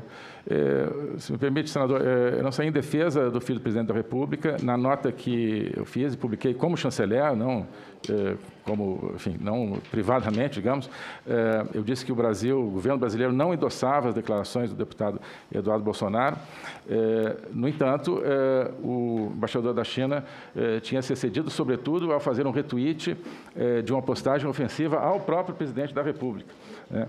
Isso é importante que se lembre. O embaixador da China fez um retweet eh, de um tweet que dizia, eh, abre aspas, a família Bolsonaro é o veneno do Brasil, fecha aspas. É, isso foi extremamente ofensivo, isso obviamente é totalmente fora é, das atribuições de um diplomata, de acordo com a prática diplomática, com a Convenção de Viena, e eu procurei chamar a atenção é, para isso, nessa ocasião, em março. Então, dissemos que é inaceitável um embaixador ofender o presidente da República. É, não endossávamos as declarações do, Eduardo, é, do deputado Eduardo Bolsonaro. É, lembrava, se não me engano, que existe liberdade de expressão no Brasil é, e que não cabe ao governo federal cortar a liberdade de expressão, seja de um parlamentar, seja de qualquer pessoa. É, e enfatizava que o objetivo era preservar as ótimas relações com a China. Né? Isso está no texto que foi publicado, agora não sei exatamente a data, em, em março. É, mais objetivamente, a troca de telegramas diplomáticos revelada pela Folha de São Paulo entre Vossa Excelência e o embaixador brasileiro na Índia, Elias Luna Santos, deixa claro que, em defesa da economia e contra o isolamento social, Vossa Senhoria deu apoio à busca de remédios supostamente milagrosos, como a cloroquina, na matéria da Patrícia Campos Melo. Em março de 2020, o diplomata Elias Santos mediou, a seu pedido, tratativas para importação da cloroquina, Assim, resumindo as intenções, aspas, esta proposta garantiria continuidade da produção em ambos os países e ajudaria a manter os fluxos de comércio bilateral no setor farmacêutico neste momento de crise, o que pode ser benéfico para Brasil e Índia, agora e no futuro. É, Vossa Senhoria confirma a autenticidade dessa troca de telegramas e o teor das mensagens? Perfeito, senador. Sim, houve essa troca de mensagens. Naquele momento. É, Sim, eu, nós temos outras perguntas, eu é. já considero respondida anterior. É, quais foram os testes bem-sucedidos em hospitais brasileiros? Sim, é, isso tem a ver também com a pergunta anterior, se me permite, senador. É, naquele momento, março, é, havia uma expectativa de que houvesse eficácia no uso da cloroquina eh, para o tratamento da Covid, não só no Brasil, havia eh, notícias sobre isso de vários lugares do mundo.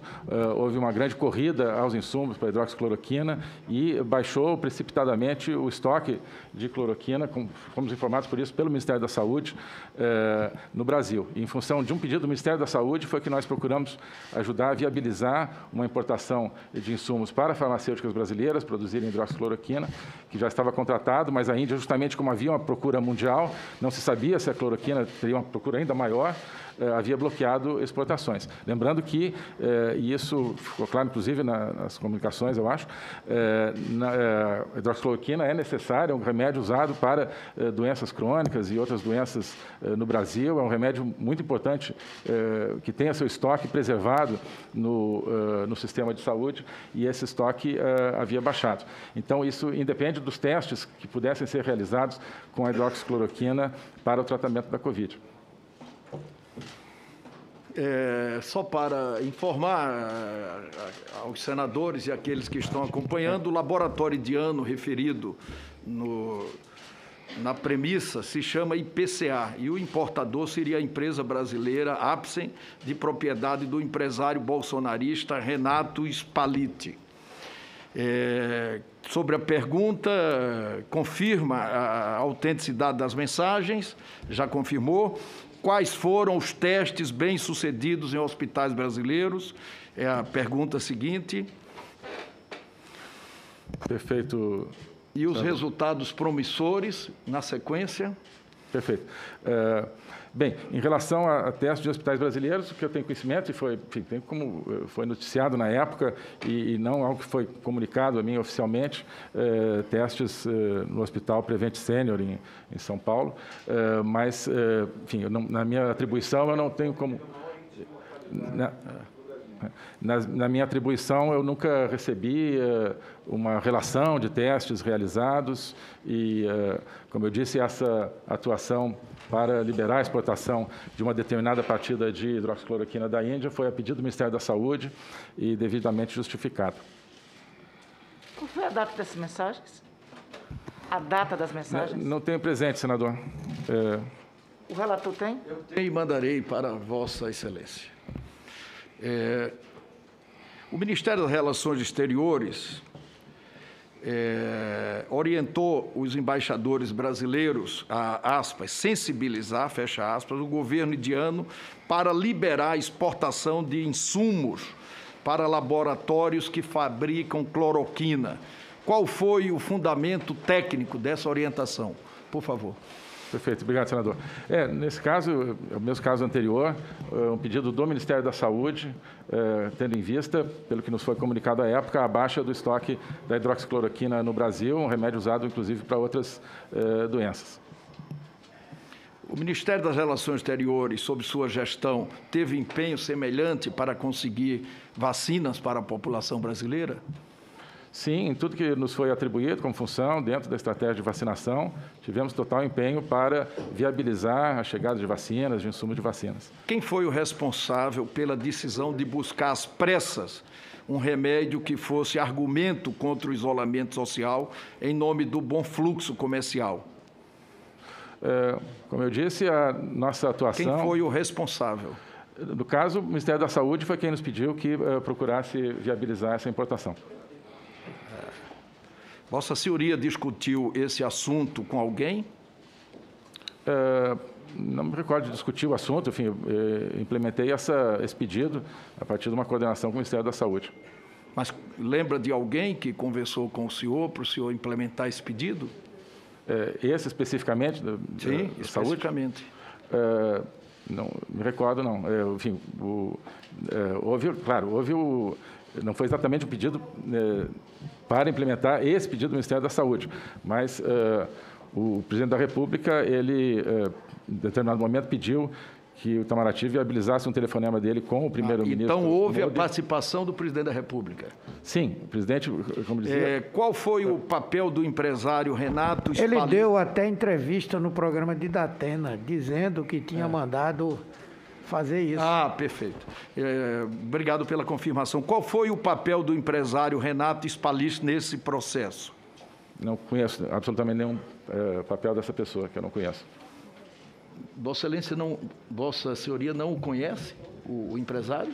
É, não, me parece que conheço o empresário, mas certamente não houve, não conheço nenhum papel desse empresário nesse nesse processo. Mas o conhece, já esteve com ele? Não, não tenho lembrança de ter estado com ele.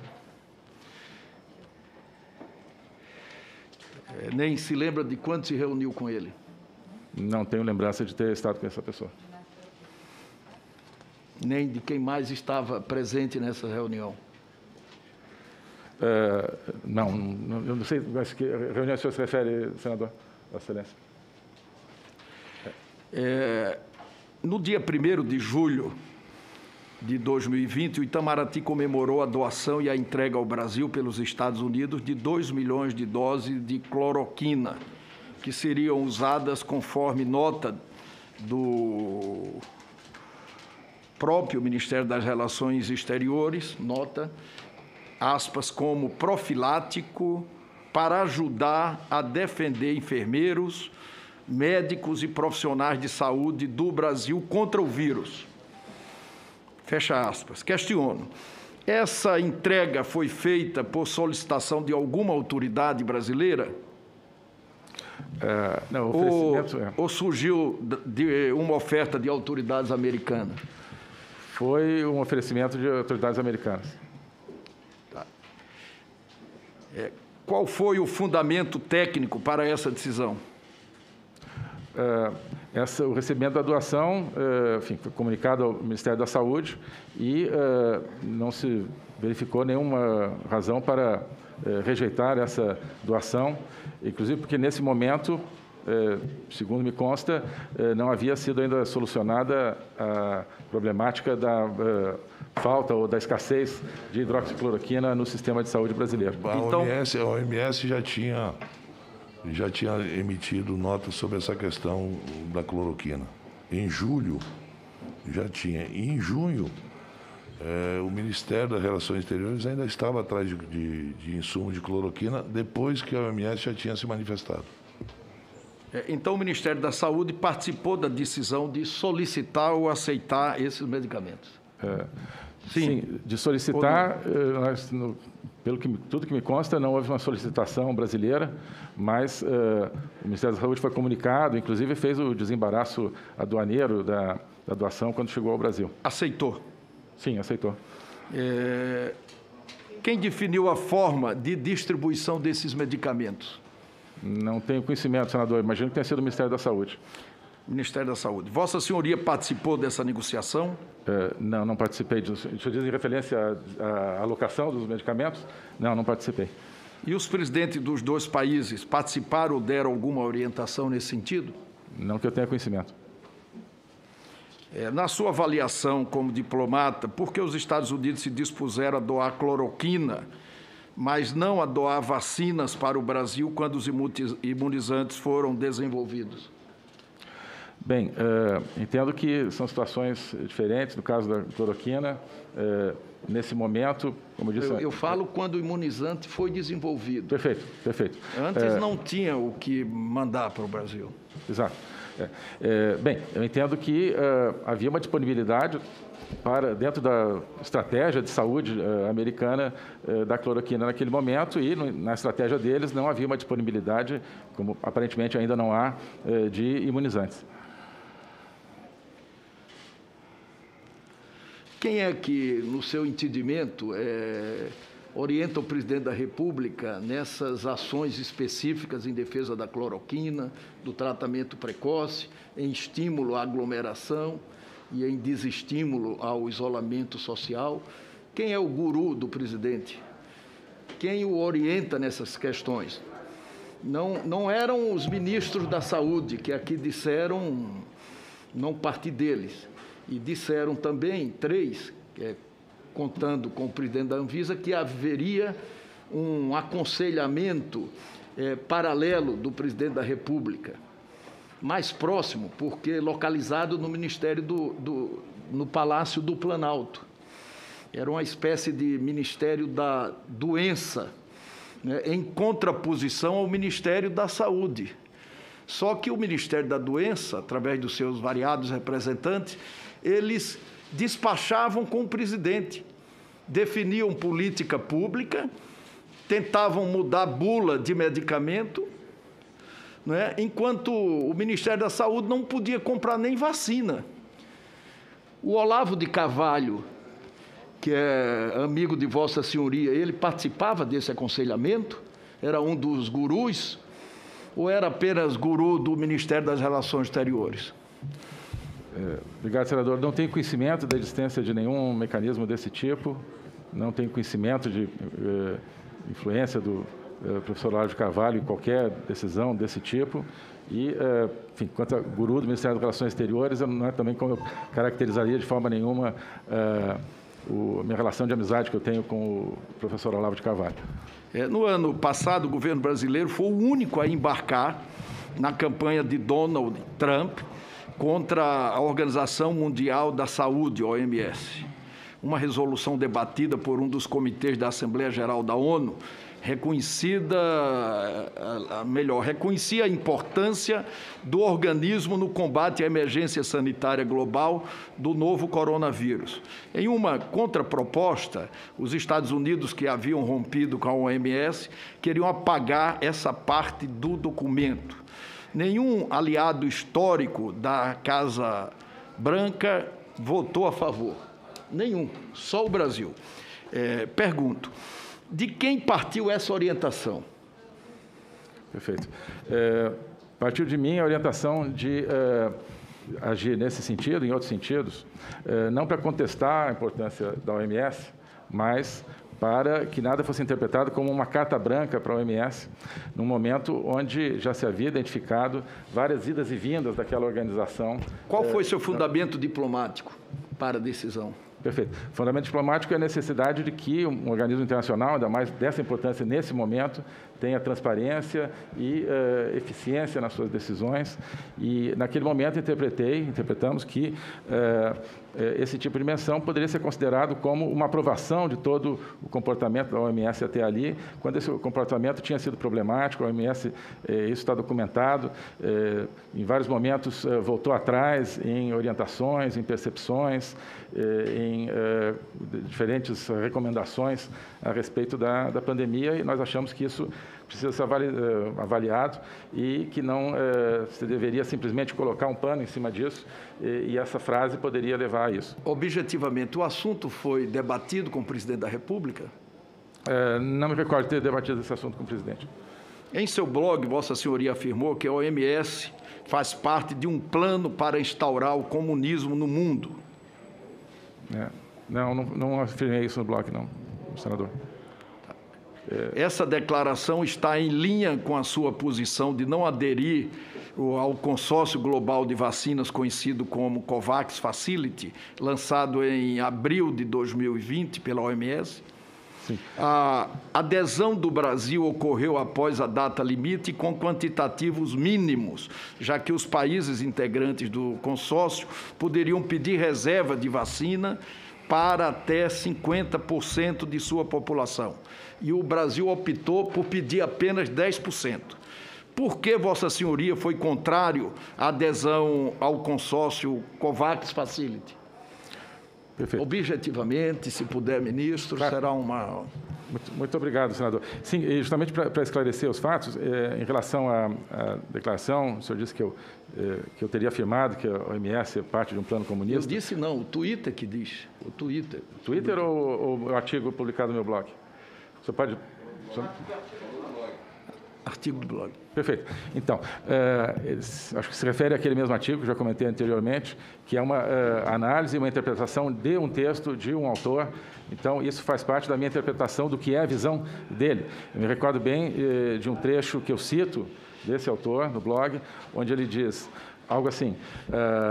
Querem saber como será. Sem pretender interrompê-la, a pergunta é bem, é bem objetiva.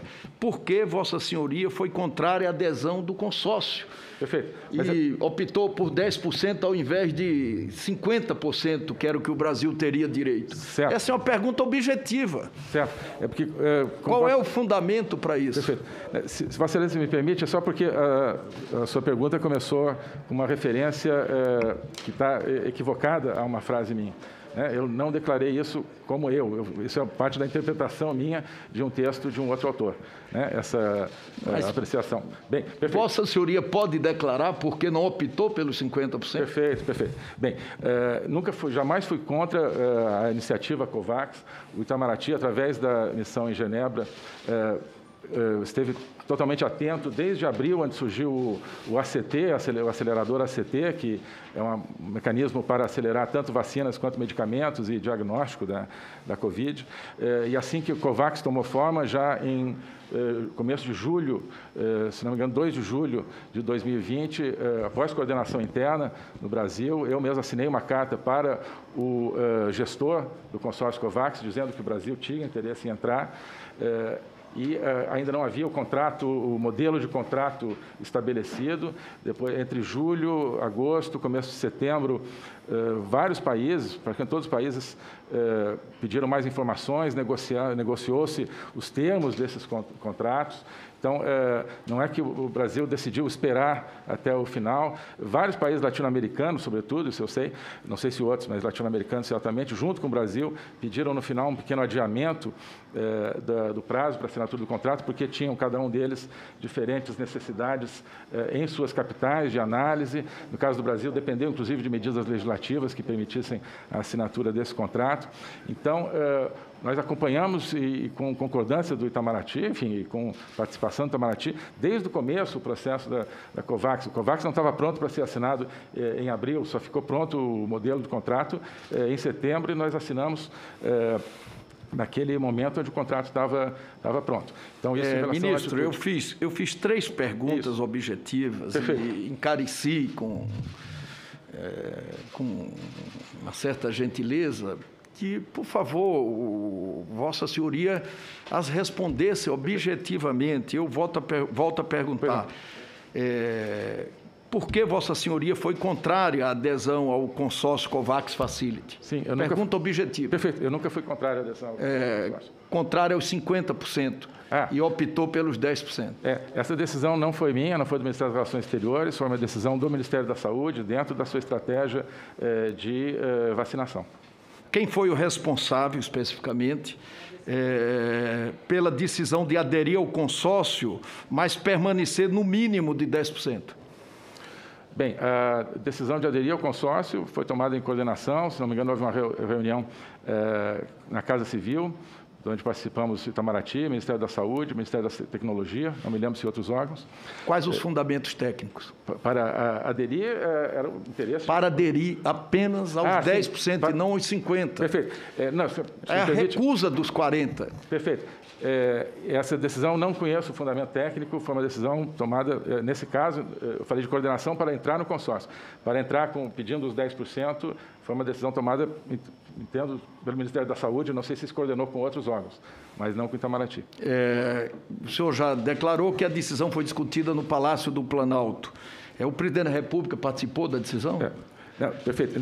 Em relação a essa decisão, na casa, essa reunião na Casa Civil, foi uma reunião, se não me engano, em junho, para avaliar inicialmente a conveniência de o Brasil entrar, sem falar da quantidade eh, que nós eh, pediríamos. Acho que nesse momento nem estava definido ainda quais, quais seriam essas modalidades. Eh, essa ah, reunião não teve a participação do presidente já da República. Já estavam, já estavam. O Itamaraty informou a esta comissão que foi o Ministério da Saúde que definiu o quantitativo mínimo de 10%. Isso. Vossa Senhoria poderia nos informar como se deu a formalização dessa decisão e como ela foi encaminhada ao Itamaraty? Uh, não tenho isso agora exatamente presente, uh, senador. Não sei Mas não sabe informar, ou foi de boca, ou telefonema, ou teve uma formalização qualquer? Não, não saberia informar Uma nesse mensagem, momento. uma carta, um ofício? Não saberia informar nesse momento, senador. Senador Renan, é, o, o chanceler Ernesto, no dia 20 de dezembro de 2020, ele disse que quem é, cloro, quem é contra a cloroquina age politicamente. Isso é uma declaração sua para outros embaixadores. E por isso é que o Brasil, com esse pensamento que a cloroquina salvasse, é que nós perdemos tempo e não compramos a vacina. Acho que está mais claro, ele está colocando isso aqui claramente para a gente, que ele não tinha, o Ministério da Saúde é, não falou em 50% de adesão, por isso que nós tivemos só 10%, se tivermos. Sim. É, muito obrigado, presidente.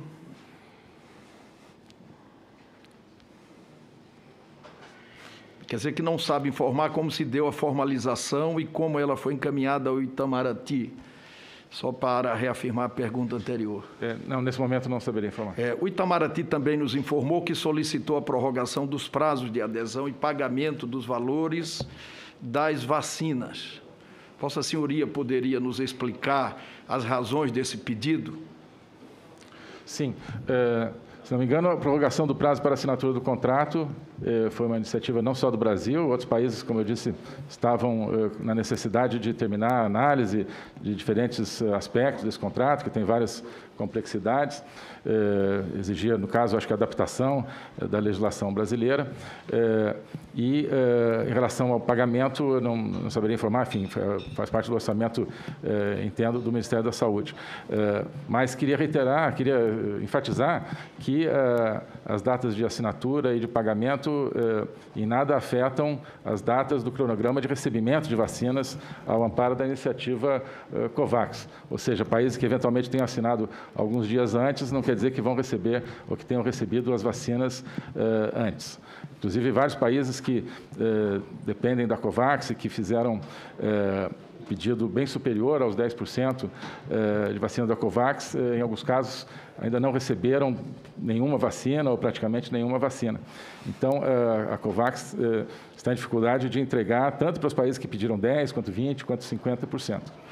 O senhor o senhor não considera que o pedido de prorrogação do prazo de adesão é, e pagamento dos valores da vacina é, poderiam é, ou poderiam não dificultaram a, o acesso a vacinas perante a Covax? Não, de forma nenhuma.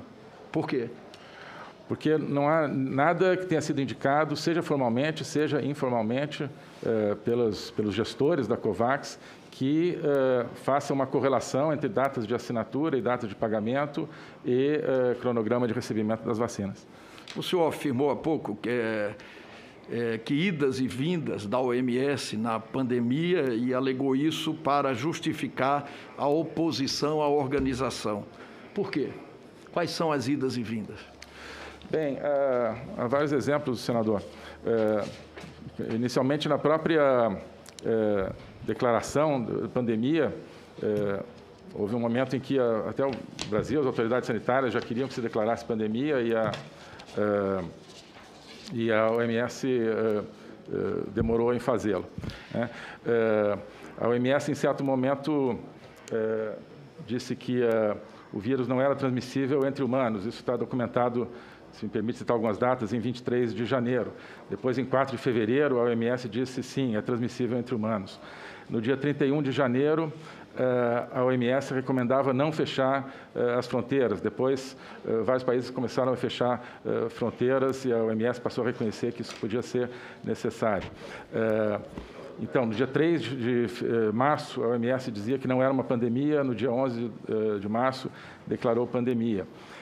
No dia 13 de março, a OMS eh, recomendava o isolamento social, sem fazer nenhuma eh, referência a possíveis eh, consequências de natureza socioeconômica. No dia 30 de março, o diretor-geral da OMS fez uma declaração dizendo que para países em desenvolvimento teria que se relativizar essa questão do isolamento social. No dia 31 de março, noticiou-se que a OMS disse que eh, tinha dúvida se o vírus eh, se transmitia pelo ar. Depois, no dia 28 do 4, confirmou que sim, que o vírus se transmitia pelo ar. Eh, no dia 27 de fevereiro, o OMS indicava que não havia transmissão do vírus por superfícies. Depois, em 18 de maio, veio a confirmar essa, essa possibilidade de transmissão por superfícies. Então, na própria questão da hidroxicloroquina, as notícias que surgiram aqui em 25 de maio, a OMS recomendava suspensão de testes com hidroxicloroquina, mas no dia 5 de junho ela se retratava parcialmente disso é, em relação a problemas que tinham sido identificados com um dos estudos de base, que era o estudo da, da Lancet. Então, são alguns exemplos, desculpe ter tido que anotar aqui, mas, enfim, eh, não tinha todas essas datas de cabeça, eh, exemplos das idas e vindas da OMS. É, em meados de janeiro de 2021, carregamento de milhares de litros de ingrediente farmacêutico ativo, IFA, é fundamental para a fabricação dos imunizantes, tanto pelo Butantan como pela Fiocruz, passou vários dias parado no aeroporto de Pequim. O ex-ministro Pazuello afirmou que a China tem colocado barreiras, entre aspas. Não tem dado, continua Pazuello, não tem dado celeridade. E que há, continua Pazuello, movimentos fortes no nível diplomático para encontrar onde está essa resistência e resolver o problema. Fecha aspas. É, Vossa Senhoria é, confirma essas afirmações do ministro Pazuello? É, de um modo geral, sim. Não sei se a, a terminologia exatamente, é, porque quando se fala em resistência, pode parecer que haja uma é, má vontade de alguma maneira. Isso nós nunca identificamos nas autoridades uh, chinesas. A nossa embaixada em Pequim uh, permaneceu o mês de janeiro diariamente em contato várias vezes com várias é, autoridades. Especificamente, Sim. Vossa Senhoria atuou para solucionar esse impasse? Sim, atuei. Que medidas foram tomadas? Sim, uh, além da instrução permanente da embaixada em Pequim para que atuasse nisso, no dia 15 de janeiro eu dirigi uma carta ao chanceler chinês, o ministro Wang Yi, uh, pedindo seus bons ofícios para a liberação desse, uh, desse carregamento. E uh, alguns dias depois, o ministro me respondeu dizendo que faria todo o possível, e isso, pouco depois, veio a liberação do carregamento. É, é, o, o, embaixador ele, ele, ele fica aqui em Brasília? Não, o embaixador do Brasil é em Pequim. Não, não, aqui da China. Sim, a embaixador da China em Brasília. O senhor mandou uma carta para ele? Não, mandei uma carta para o ministro das Relações Exteriores da China. Mas o senhor não conversou com o embaixador chinês aqui sobre é, isso? Não, não conversei com o embaixador chinês sobre isso. Aqui do lado, o senhor não teve... Sim, é, o... Podia ter conversado com ele e pedido ajuda a ele, não, não fez isso. O senhor preferiu mandar uma carta que demoraria alguns dias e a gente necessitando do IFA, né? Ela atravessar a rua, o senhor conversaria ou ele atravessaria a rua e conversaria com Vossa Excelência para tratar de um assunto tão importante. Perfeito. Pois é, sabe por que, o senhor não conversou com ele? Por causa das declarações que o senhor deu. Por isso, aí vem a vaidade, aí vem uma série de coisas que atrapalhou muito o ministro. É essa a grande angústia nossa. Do lado, o senhor poderia ter chamado o embaixador, que é uma coisa normal. Um chanceler chamar um embaixador de qualquer país para ir tomar um café, um chá, ou qualquer coisa. Né? E isso não aconteceu. O senhor teve que mandar uma carta. Coisa que ele fala e se comunica diariamente. Então, o senhor me perdoe, mas eu acho que houve, por sua parte, é, não uma vontade de resolver esse problema. O senhor disse, olha, eu vou fazer aqui meu papel.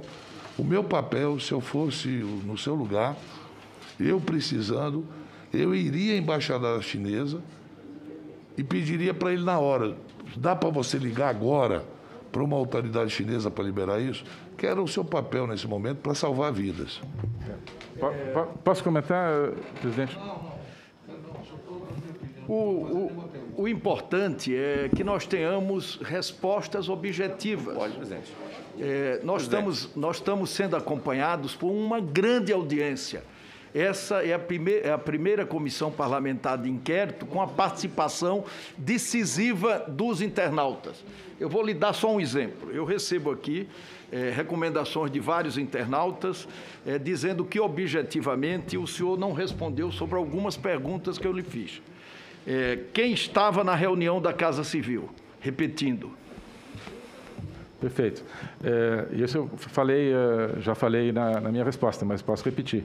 Quem é, estava? Quem me recordo foi, é, enfim, os ministros, chefe da Casa, chefe da Casa Civil, eu, é, ministro da Saúde e não me lembro se era o ministro ou o representante do Ministério da Ciência e Tecnologia. O não presidente não estava, pessoas. nem ninguém representando o presidente além desses ministros. É, o presidente certamente não, não me lembro de algumas outras pessoas, funcionários da, da presidência. Não. E quem, outra pergunta que eu fiz, que os internautas lembram que eu não obtive a resposta, infelizmente, quem no Ministério da Saúde deu a ordem sobre os 10% e é. não sobre os 50%? É, não sei quem deu a ordem, entendo que qualquer é, decisão do Ministério da Saúde, responsabilidade do, do Ministro da Saúde, é, e como eu disse, não me lembro como isso foi, nos foi comunicado é, é nessa ocasião. É, sobre patentes e as dificuldades diplomáticas com a Índia, se nós pudermos ser objetivos, nós vamos avançar nesse depoimento. É, vários senadores, a exemplo dos internautas, também querem fazer perguntas. É, esse é um processo que está caminhando muito rapidamente em propagação dos nossos trabalhos na sociedade brasileira.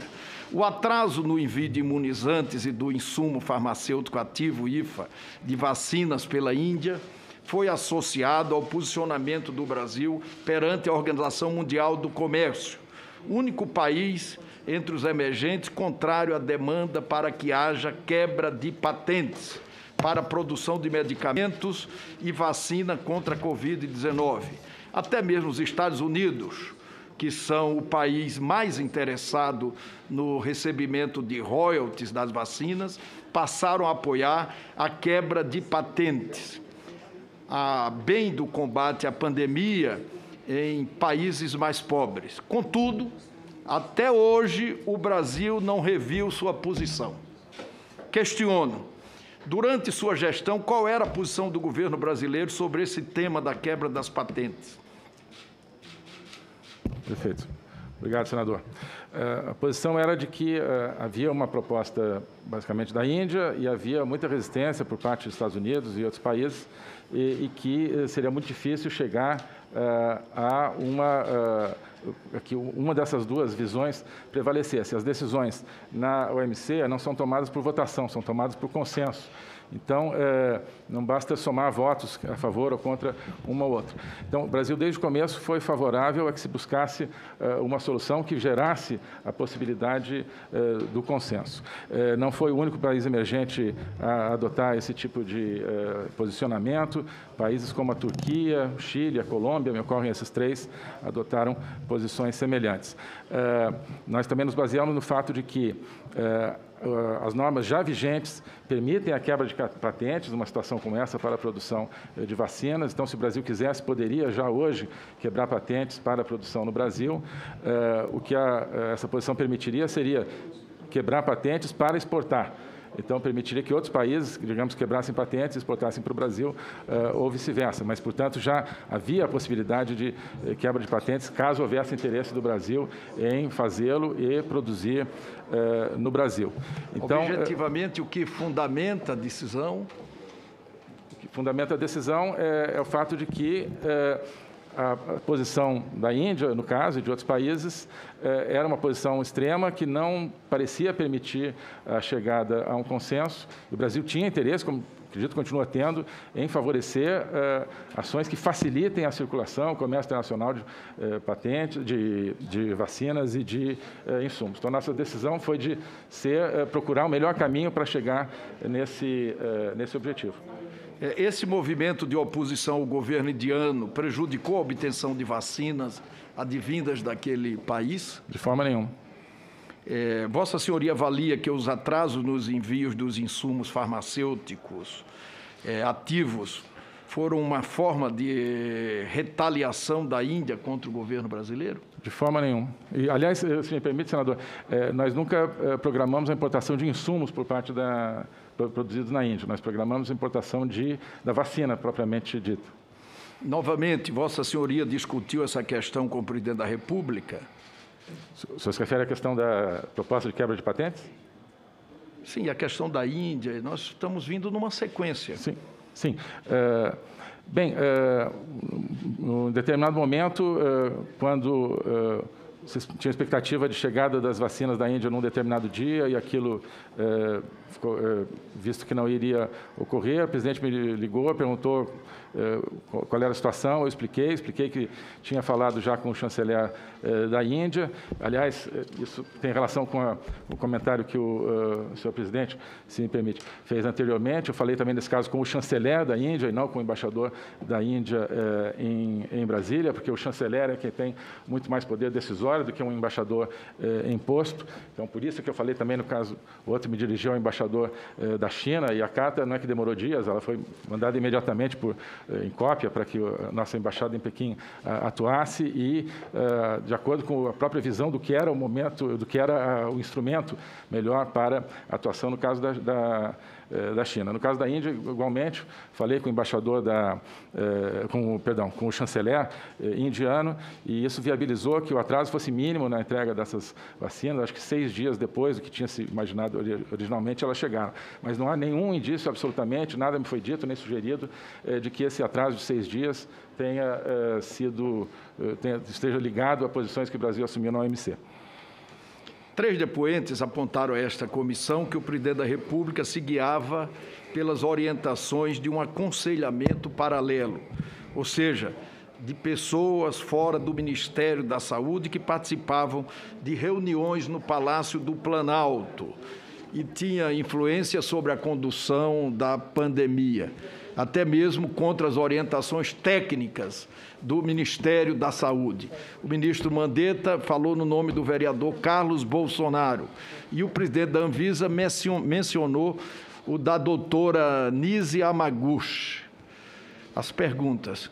Vossa Senhoria confirma a existência desse aconselhamento paralelo? É, não, não confirmo, senador. Vossa Senhoria saberia identificar outras pessoas que aconselhavam o presidente da República em questões relacionadas à pandemia?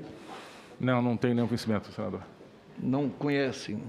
É, em questão de política internacional relacionada à pandemia, também havia pessoas de fora do Ministério das Relações Exteriores que aconselhavam o presidente? Não tenho nenhum conhecimento, senador. Havia um aconselhamento paralelo internacional? Não, não havia um aconselhamento paralelo internacional eh, de ninguém, certamente, que não tenha atribuição eh, para fazê-lo. Claro que o presidente tem assessores na área internacional com os quais se aconselha sobre temas da realidade internacional. Qual Mas... era o papel de Eduardo Bolsonaro, ex-presidente da Comissão de Relações Exteriores e Defesa Nacional da Câmara dos Deputados? De Felipe Martins, assessor internacional da presidência, na condução da política internacional brasileira relativa à pandemia?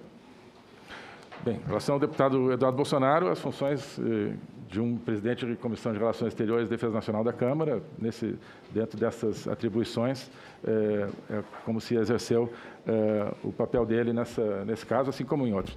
E é, o, é, Felipe Martins, assessor internacional é, do presidente, também dentro das suas atribuições, enfim, aconselhando, entendo o presidente, mas não sei de que maneira, enfim, na, na condução da, das relações internacionais. Qual era a sua relação com essas pessoas? É, conheço bem o deputado Eduardo Bolsonaro, Felipe Martins, é, tenho excelentes relações é, com ambos. No caso, conversava muito frequentemente com o Felipe Martins, o que é absolutamente natural, extremamente útil na execução de uma política externa entre uh, o chanceler e o assessor internacional uh, do presidente. Nós já tivemos, inclusive, momentos no passado em que havia uh, divergências e rivalidades entre chanceleres e assessores internacionais que prejudicaram política externa em outros, em outros governos. Então, tinha um relacionamento extremamente fluido com Felipe Martins nessa qualidade de assessor internacional. Vossa Senhoria presenciou Eduardo e Felipe opinarem sobre compra de vacinas, adesão à COVAC Facility, orientações da OMS, OMS sobre o papel da China na pandemia? Uh, não, não me recordo de. Uh, não se recorda? Não, não me recordo. É, é, possível que em alguma reunião, sobretudo Felipe Martins, tenha uh, dado opiniões nesse sentido, de acordo com as suas atribuições. Não, não me lembro exatamente em que, em que momento, mas seria. Claro, o senhor pode nos ajudar? Qual o teor dessas opiniões? É, como eu digo, eh, senador, não me lembro de todos os momentos em que foi eh, que surgiu em alguma reunião com o presidente eh, temas relacionados à, à pandemia. Então, não, não teria como dizer aqui o teor de coisas que foram ditas em diferentes momentos, por diferentes pessoas, dentro das suas atribuições. Nas conversas que Vossa Senhoria presenciou no Planalto, ouviu de alguém importante do governo, ou mesmo aliado, que não era do governo, mas participava das reuniões, a tese de imunização de rebanho, a erradicação da doença pelo contágio e não pela vacina? É, não me recordo de ter ouvido isso em reuniões do Planalto, senador. E nunca ouviu falar da tese da imunização de rebanho? Já, já ouvi falar dessa tese. É, qual é a impressão que o senhor tem dela? Enfim, é, ouvi essa tese, é, me parece originalmente por parte do ex-ministro e deputado Osmar Terra, que é, médico e mencionava, e creio que continua mencionando essa tese, e não, não tem condições científicas de avaliar a sua validade. É, Vossa Senhoria chefiou uma delegação brasileira a Israel entre os dias 6 e 10 de março de 2021, ao custo de meio milhão de reais, com a justificativa de ampliar a cooperação no desenvolvimento de tecnologias, terapias e vacinas para a prevenção e tratamento da Covid-19. A principal notícia que nos chegou dessa viagem foram os maus exemplos de não uso de máscara e de exposição das pessoas a risco. Esse vexame por si só já atrapalha a imagem do Brasil e causa ainda mais estranheza pelo pretenso objetivo da viagem, que seria o combate à Covid-19. Sobre mais esse episódio, pergunto: quem definiu o rol? Quem o rol, a relação dos convidados que participariam da missão? Quantos foram? Perfeito. O, uh, a missão nasceu uh, de um telefonema entre o presidente Jair Bolsonaro e o primeiro-ministro de Israel, Benjamin Netanyahu, uh, onde o primeiro-ministro falou com muito entusiasmo de dois medicamentos com potencial de cura da Covid que estavam sendo desenvolvidos por dois diferentes institutos em Israel. E, a partir disso, o presidente pediu que eu liderasse essa missão e, enfim, pediu a, a composição dessa missão. E quantas assim, pessoas participaram pessoas? e qual o papel de cada uma delas? Perfeito. Enfim, eu, eu enfim, presidi, portanto, eu enfim, chefiei a, a missão. É, pelo Itamaraty participou o secretário é, encarregado das relações com o Oriente Médio, portanto, com Israel. É, uh, embaixador Kenneth Nóbrega, uh, participou também um oficial de gabinete meu, o chanceler sempre viaja com um oficial de gabinete, uh, o deputado Eduardo Bolsonaro, deputado Hélio Lopes, o secretário de Ciência, Tecnologia e Inovação do Ministério da Saúde, Dr. Hélio Angotti, o secretário de eh, Pesquisa do Ministério de Ciência, Tecnologia e Inovações, Dr. Marcelo Morales, é, o, uh, senhor uh, Max Guilherme, que é assessor do uh, presidente da República. Uh, posso consultar a lista completa, não sei se agora me ocorre. creio que essa é a, é a delegação. Sim, ah, sim, o doutor Felipe Martins, assessor internacional da Presidência da República, e o senhor Fábio Weingarten, então secretário de Comunicações. Qual a relevância desse medicamento que o senhor entende como objetivo da viagem, uhum. em comparação com as 81 vacinas que, segundo a OMS, já estão em fase de testes clínicos? Sim. Uh, bem, os dois medicamentos eh, que originalmente motivaram a, a formação uh, da viagem são medicamentos que estão tiveram suas fases, fases de teste iniciais muito promissoras e a questão do tratamento da Covid tem sido considerada pelas autoridades sanitárias de todo mundo tão importante quanto as vacinas desde o começo da, da pandemia. Então, eh, o governo brasileiro, nesse caso, através dessa missão, procurou se antecipar eh, na eh, formação de cooperações que permitam, idealmente, claro, se tudo der certo no futuro próximo, termos acesso a medicamentos também para o tratamento. Vossa Senhoria tinha interesse específico na política de vacinação contra a Covid estabelecida em Israel, país que tem um dos processos de imunização mais adiantados do planeta, Sim, inclusive tivemos uma reunião com eh, autoridades eh, do Ministério da Saúde de Israel, lá durante a nossa viagem, além das reuniões com os institutos de pesquisa, eh, onde descreveram o processo de vacinação e vários elementos da vacinação. É... O portal G1 noticiou em 15 de março de 2021 que um relatório do governo dos Estados Unidos, produzido na gestão Donald Trump, afirma que o país persuadiu o Brasil a não comprar a Sputnik V, vacina contra a Covid-19 desenvolvida na Rússia. É, Vossa Senhoria confirma ter havido algum tipo de interferência dos Estados Unidos da América no processo de negociação do Brasil para aquisição da vacina Sputnik V? Não tenho conhecimento de nenhuma interferência desse sentido. O ex-secretário Fábio Van Gart entregou a esta comissão parlamentar de inquérito um documento da Pfizer atestando uma oferta de vacina em 12 de setembro, que ficou sem resposta e atrasou o início da vacinação. Uma cópia dessa carta foi enviada ao embaixador do Brasil nos Estados Unidos. Pergunto: o embaixador informou a Vossa Senhoria sobre esse documento? Sim, o embaixador fez um telegrama Quando? informando sobre esse documento. Quando? É, a data é uma data semelhante a 12 de setembro, agora não sei se é 12, talvez 14 de setembro. Que providências foram é, tomadas pelo Ministério das Relações Exteriores?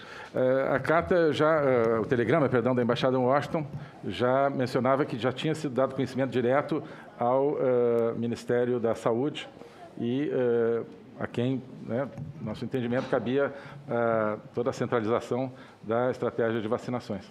Foram produzidos pelo Ministério das Relações Exteriores estudos, pareceres ou outros documentos relativos à oferta da Pfizer? É, não, isso nunca no, nos foi demandado e Itamaraty nessa área sempre agiu, como eu disse, a partir de coordenação com o Ministério da Saúde. A que Vossa Senhoria atribui a falta ou o grande atraso na resposta do Brasil ao contato da Pfizer para a venda de vacinas? Não, não tenho conhecimento do que possa ter motivado. Mas como? O senhor ministro das, era ministro das Relações Exteriores.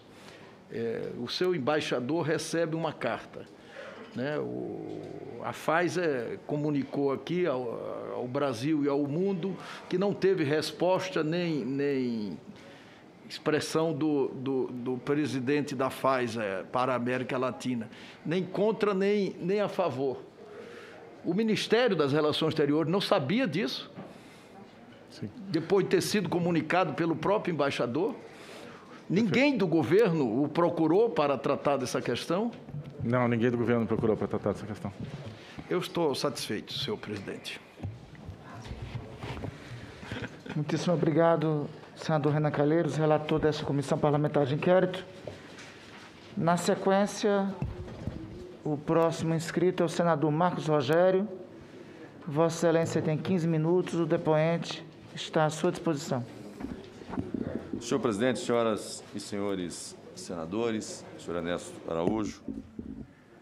É, senhor presidente, é, percebe-se muito claramente que o objeto dessa CPI vem se transformando a cada dia em CPI da cloroquina, em CPI da carta da Pfizer, CPI do gabinete paralelo, em resumo, CPI da cortina de fumaça. Em governos anteriores, estaríamos em uma CPI para investigar o pagamento de propina, desvios de recursos. Diante de tantos contratos bilionários que o governo federal fez, especialmente durante esse tempo de pandemia, não há uma insinuação, um indício sequer de corrupção. Na falta disso, a CPI discute se um medicamento é ou não eficaz, como se até hoje houvesse consenso científico no mundo acerca de remédio com eficácia para tratamento da Covid-19. O que fariam os médicos do Brasil e de todo o mundo se tivessem que esperar remédios com bula indicando eficácia contra a Covid para atender os milhões de pacientes que chegavam todos os dias aos hospitais com sintomas graves, muitos deles com risco iminente de morte. Agora, uma vez que os testes forem comprovando os que são e os que não são eficazes, evidentemente que os médicos saberão com maior segurança quais deles receitar. Interessante que a Pfizer sugeria que sua vacina pudesse ter problemas, efeitos colaterais, mesmo depois de ter sido testada e aprovada nos Estados Unidos. Por isso, não assumia os riscos. Impõe em contrato responsabilidade total ao Brasil ou a quem compra. E o discurso aqui é no sentido de que o governo brasileiro devesse comprá-la já naquela época e sem qualquer aprovação da Anvisa. A própria Pfizer reconheceu aqui que não havia condição legal para se fechar contrato antes da mudança da lei aprovada no Senado. Mas volto. Agora aqui, quando o assunto é o uso de medicamento, a tese é totalmente contrária. É preciso ter segurança absoluta. Com relação à vacina, não. Pode contratar, independente disso. Mas com relação a medicamento, tem que ter. Essa dicotomia não é razoável. Em governos anteriores, estaríamos assistindo a operações da Polícia Federal com bilhões de reais escondidos em apartamentos ou depositados em contas no exterior. Na falta disso, a CPI discute quem recebeu uma carta.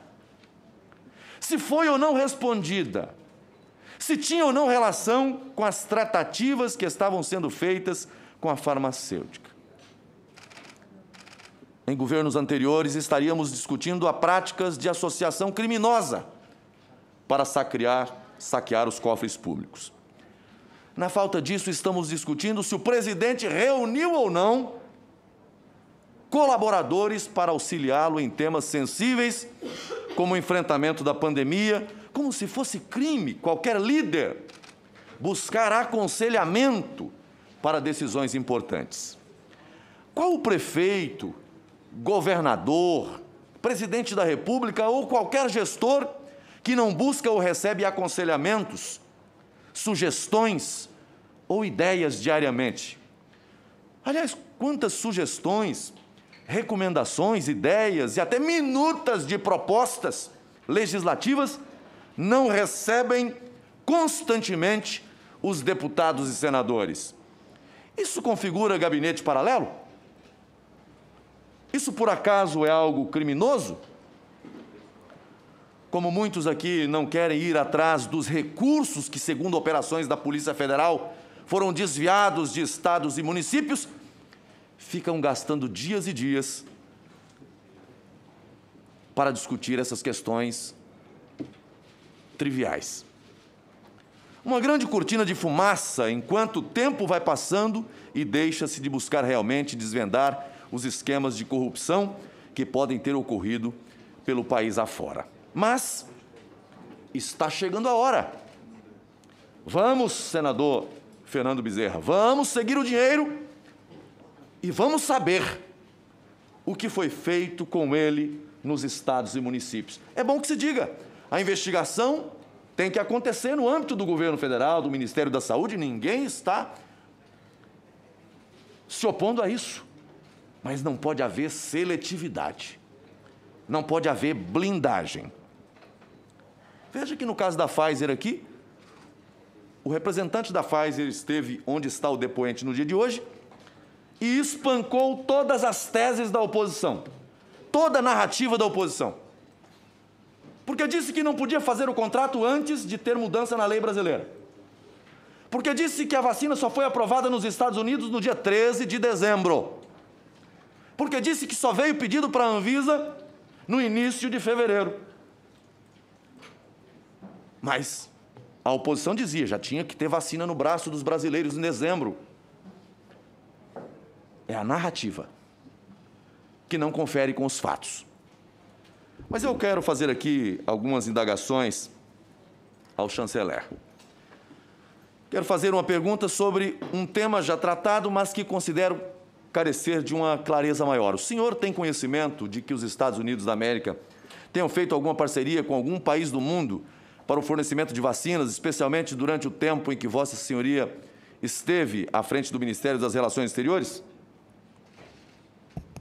É, é, obrigado, senador. Não, não tenho conhecimento.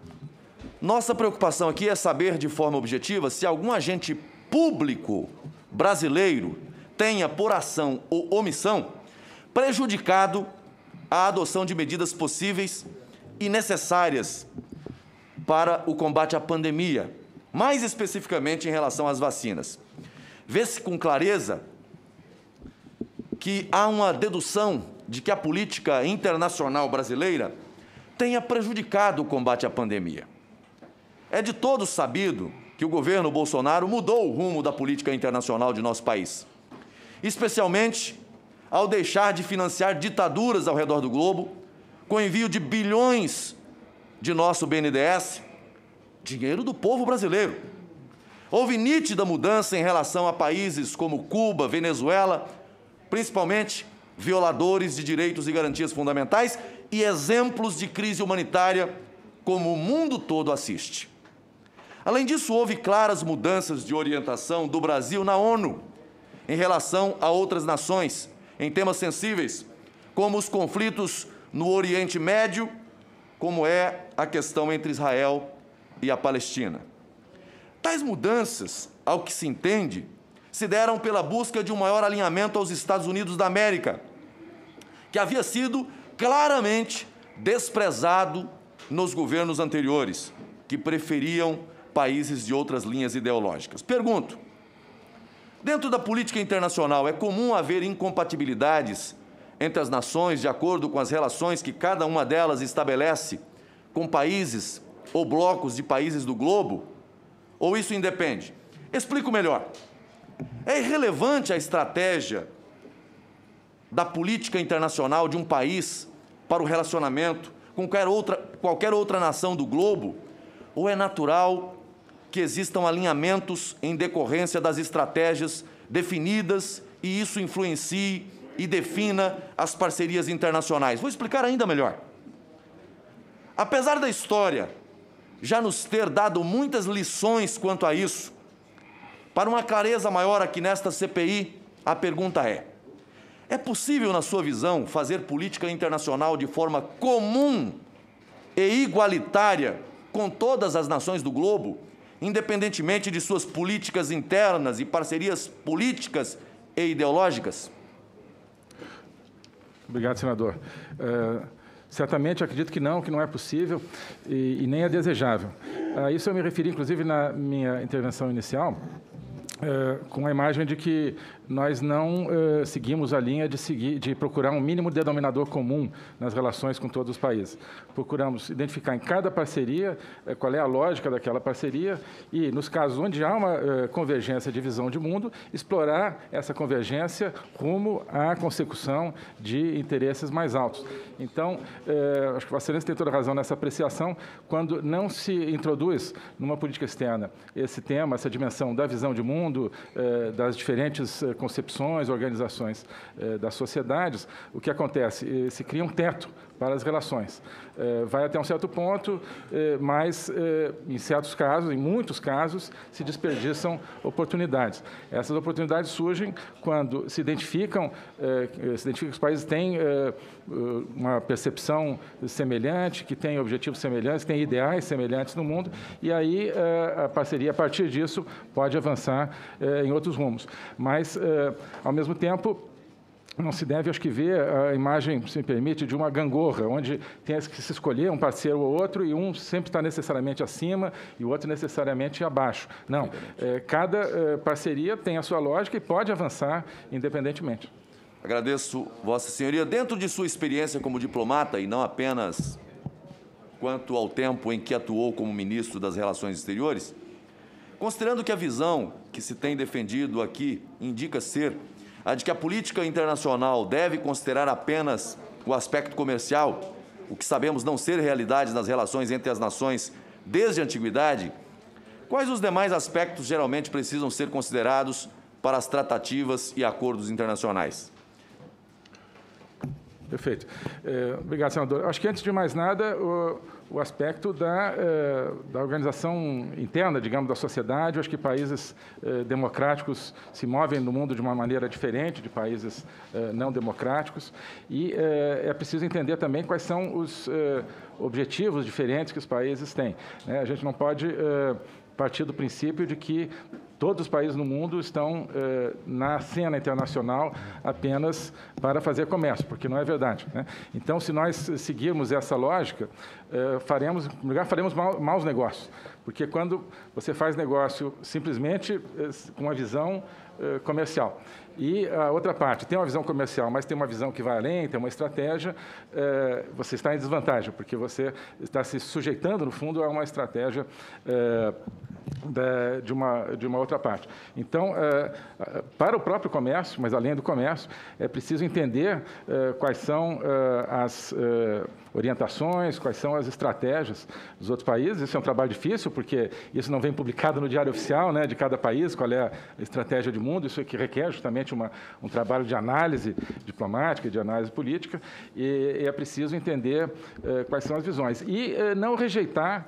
essa, eh, digamos, comunidade de visões e essas afinidades eletivas, digamos assim, que normalmente democracias têm com outras democracias.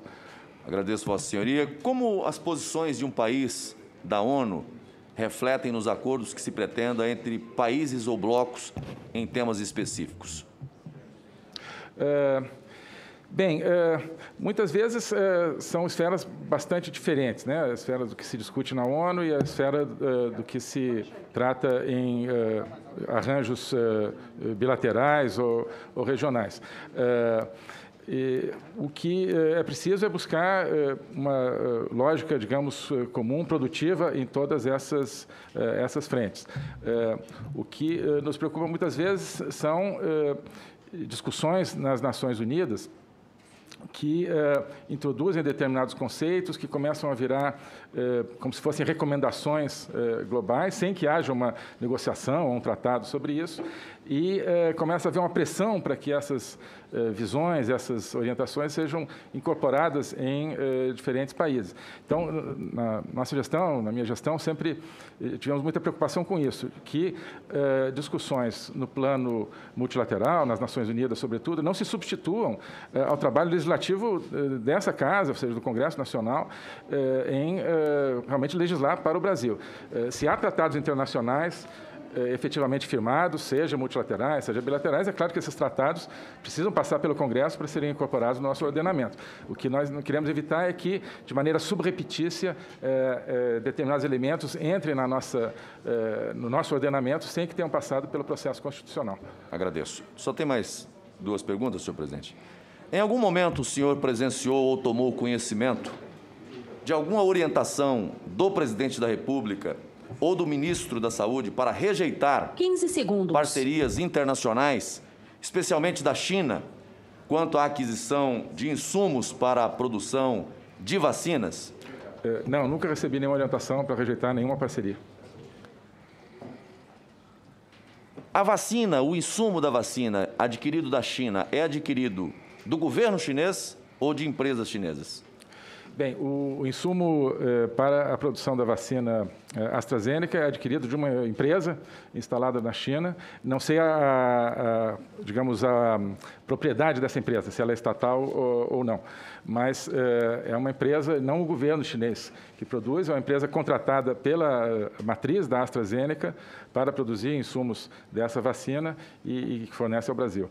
em relação aos insumos da, da Coronavac, eh, como geralmente são tratados, como eu disse, entre o Butantan e as contrapartes chinesas, eu não saberia dizer exatamente eh, de, quem é a, de quem é a propriedade, digamos, da, das fábricas que produzem isso na China. E eu concluo, senhor presidente, com a última consideração.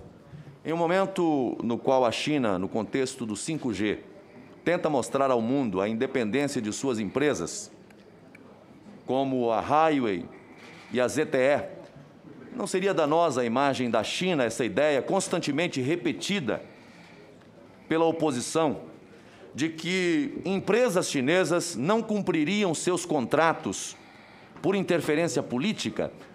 Faço essa ponderação porque seria o mesmo que insinuar que a China deixaria brasileiros morrerem sem insumos ou vacinas porque alguém criticou algum ponto de seu regime político estariam acusando a China de agir dessa maneira?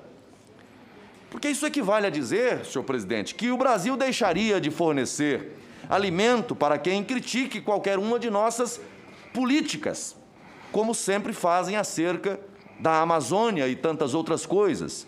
Então, eu faço essas ponderações e indago Vossa Excelência: é justo, é adequado atribuir à China essa condição? De que estariam boicotando o Brasil na entrega desses insumos por suas empresas em razão de uma fala ou outra sobre as posições daquele país? É, sim, obrigado, senador. É, certamente esse é um ponto muito importante, porque é, essas alegações de que haveria uma negativa por parte do governo chinês de permitir o fornecimento de vacinas e insumos por razões políticas, pressupõe algo que eu acredito que, do, do qual eu acredito que o governo chinês não é capaz de eh, negar vacinas que podem salvar vidas por causa de uma interferência política. Né? Então, acho que elas pressupõem uma imagem realmente ruim da China, com a qual eu não, não concordo. E realmente não temos indício nenhum de que tenha havido essa interferência política em relação ao Brasil nos atrasos que se registraram. Né? Então, eu, realmente, eu acho que há aí um problema, não sei, claro, não cabe a nós analisar, mas de, de imagem eh, da, da China, eh, no sentido de é, digamos, eu acho que a China não tem nenhum interesse em uh, propalar a imagem de que eles, uh, de que o governo chinês, né, o governo chinês não tem interesse em propagar a imagem de que administrariam algo tão importante como uma vacina que pode salvar vidas, de acordo com considerações políticas. E a questão da dependência entre companhias chinesas e companhias e, e o, Estado chinês, isso é algo que, independentemente da questão, mas acho que tem, é, é, algo transversal que se discute inclusive na, na OMC. É, a China, claro, tem uma estrutura econômica muito diferente da estrutura dos países uh, ocidentais, dos países membros da OCDE, por exemplo, uh, na qual o conceito de empresa estatal ou de empresa privada é bastante diferente na prática. Então, dado o peso imenso da China no comércio internacional, isso é algo que se discute na OMC. Uh, como tratar e como garantir que a atuação de empresas que muitas vezes não são estatais, mas que respondem a um governo, a um governo é, não só da China, né, em geral, é, como fazer para que isso não afete, isso não distorça o comércio. Agradeço, Vossa Senhoria. Muito obrigado, presidente. Obrigado, senador Marco Rogério. Senadora, senadora Cátia Abreu, representando hoje a bancada feminina. Senador Humberto Costa, logo em seguida. Obrigada, senhor presidente. É, 15 minutos, é isso? Eu gostaria de lhe cumprimentar o seu trabalho, brilhantismo, equilíbrio é, nesta CPI, mais duro quando é necessário e quando percebe que, às vezes, as respostas estão desviando do seu curso normal. É um direito que o presidente, qualquer membro dessa CPI, tem. Quero cumprimentar o nosso relator, Renan Calheiros, que faz as perguntas muito precisas e incisivas para que nós obtenhamos resposta, o nosso vice-presidente Randolph. Agradecer a bancada feminina que me, é, me deixa, no dia de hoje, participar desta importante audiência, em nome de Simone Tebet. E gostaria, senhor presidente, ousar particularmente a cumprimentar aqui o meu sobrinho Luiz Flávio, que está há 68 dias na UTI é, e ontem à noite ele despertou depois de todo esse período em coma e eu quero saudá-lo e ele está assistindo. Ele não fala, mas ele está assistindo a nossa CPI e eu quero dizer a ele que tem muita gente na torcida e que eu espero muito que ele possa sobreviver, diferente de outros que infelizmente não puderam. Senhor presidente, é, eu vou direto aos fatos. Primeiramente, para esclarecer a nossa audiência na TV Senado, que é muito concorrida, que nós estamos aqui nessa CPI com alguns objetivos diversos. Existe o objetivo e o foco da CPI para identificar qual foi a causa, quais foram, quem foram os responsáveis pela morte de 500 mil pessoas, praticamente. E claro que a CPI também permite a busca de desvio de recurso, de corrupção, aquilo que cada um aqui entender é, ser mais importante. E eu creio que para a maioria da CPI, dos membros da CPI, o que tem valido mais para cada um deles, na sua maioria, é encontrar os responsáveis e responder ao Brasil e às famílias dos mortos quem foram os responsáveis do governo que permitiram que essa calamidade pudesse acontecer.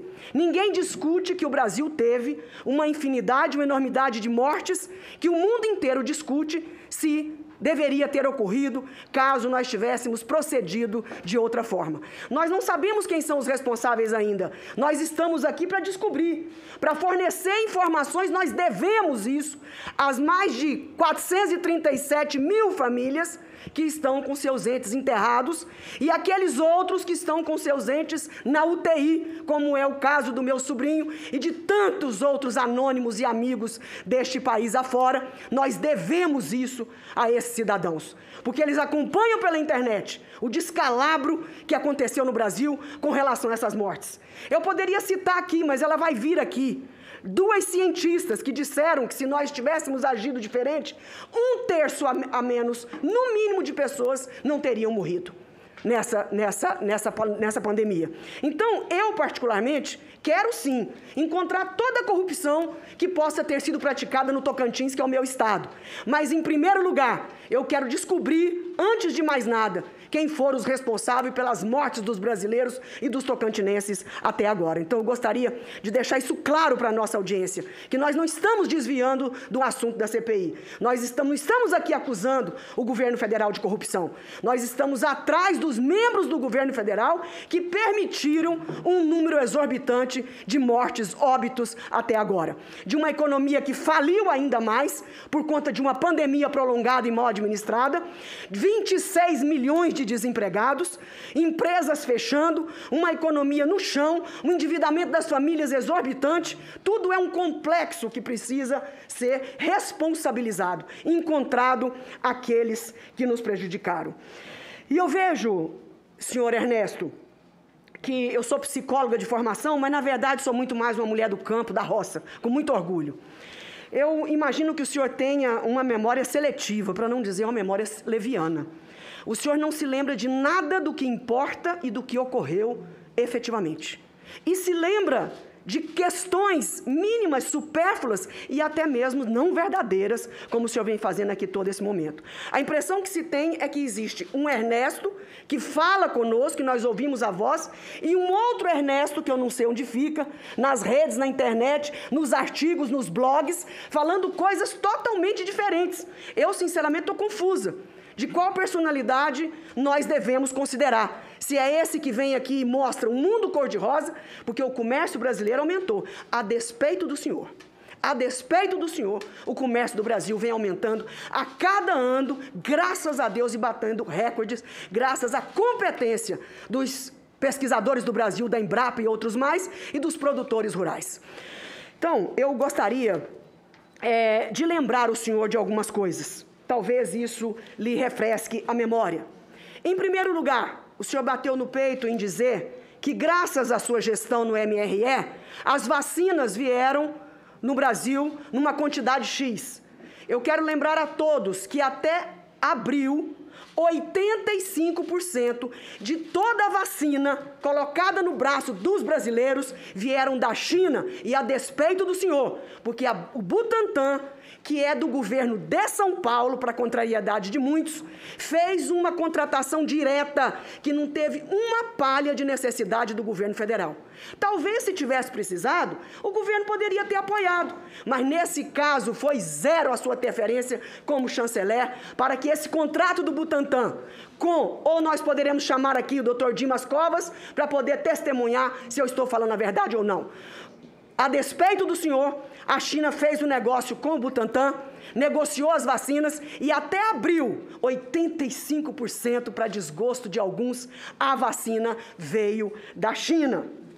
Quero dizer a, ao senhor que um reparo é importante que deve ser feito, também lembrando aos meus colegas que o BRICS e todo o financiamento do Banco dos BRICS também, a despeito do senhor, nós estamos conseguindo, graças ao Marcos Troirro, que era do Ministério da Economia e que foi presidir o BRICS numa, num rodízio entre os países do BRICS. E ele, como um bom brasileiro, está trabalhando duro para acumular um tanto de recursos para o Brasil.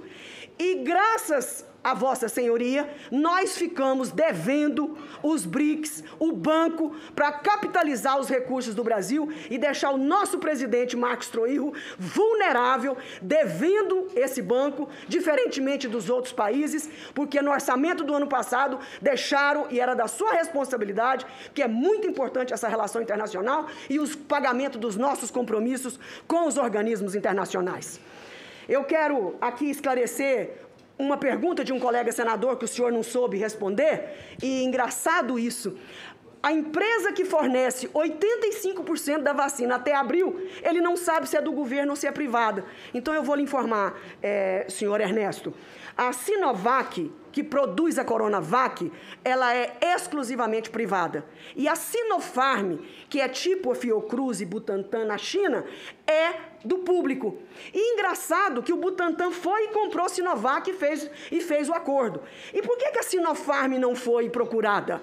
A Sinopharm, senador Renan, presidente Omar, já está autorizada no Brasil como a moderna. E ninguém vê ninguém falando em comprar dessas duas vacinas. Eu acho curioso. Inclusive, eu propus que as, as empresas de vacina de aftosa poderiam fazer uma interlocução direta numa missão da China ao Brasil, para que pudesse a Sinopharm produzir essa vacina que já está autorizada pela Anvisa, segundo o presidente da Anvisa me informou ainda ontem, para produzir e nós transformarmos o Brasil num hub produtor de vacina. O que mais me deixa curiosa, eu não gostaria de morrer sem ter essa resposta.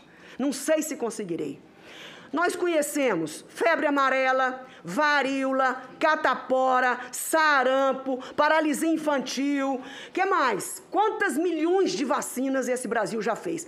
Por que a implicância com a vacina da Covid? Eu não consigo compreender. Se fosse uma novidade, não, gente, vamos ter paciência. Ninguém nunca viu vacina. É a primeira vez. O Brasil não é um craque na distribuição de vacinas e aplicação de vacinas. É tudo novo. Não. Não é o caso. O senhor deve ter tomado um monte dessas vacinas, assim como eu, assim como todos que estão aqui. Por que esse preconceito com vacina? Por que a insistência num medicamento que no início muitos gostariam que fosse ótimo? Quem não queria que esse medicamento fosse maravilhoso? Mas ao contrário, infelizmente, esse medicamento, ele foi condenado. Condenado no sentido de não ser útil.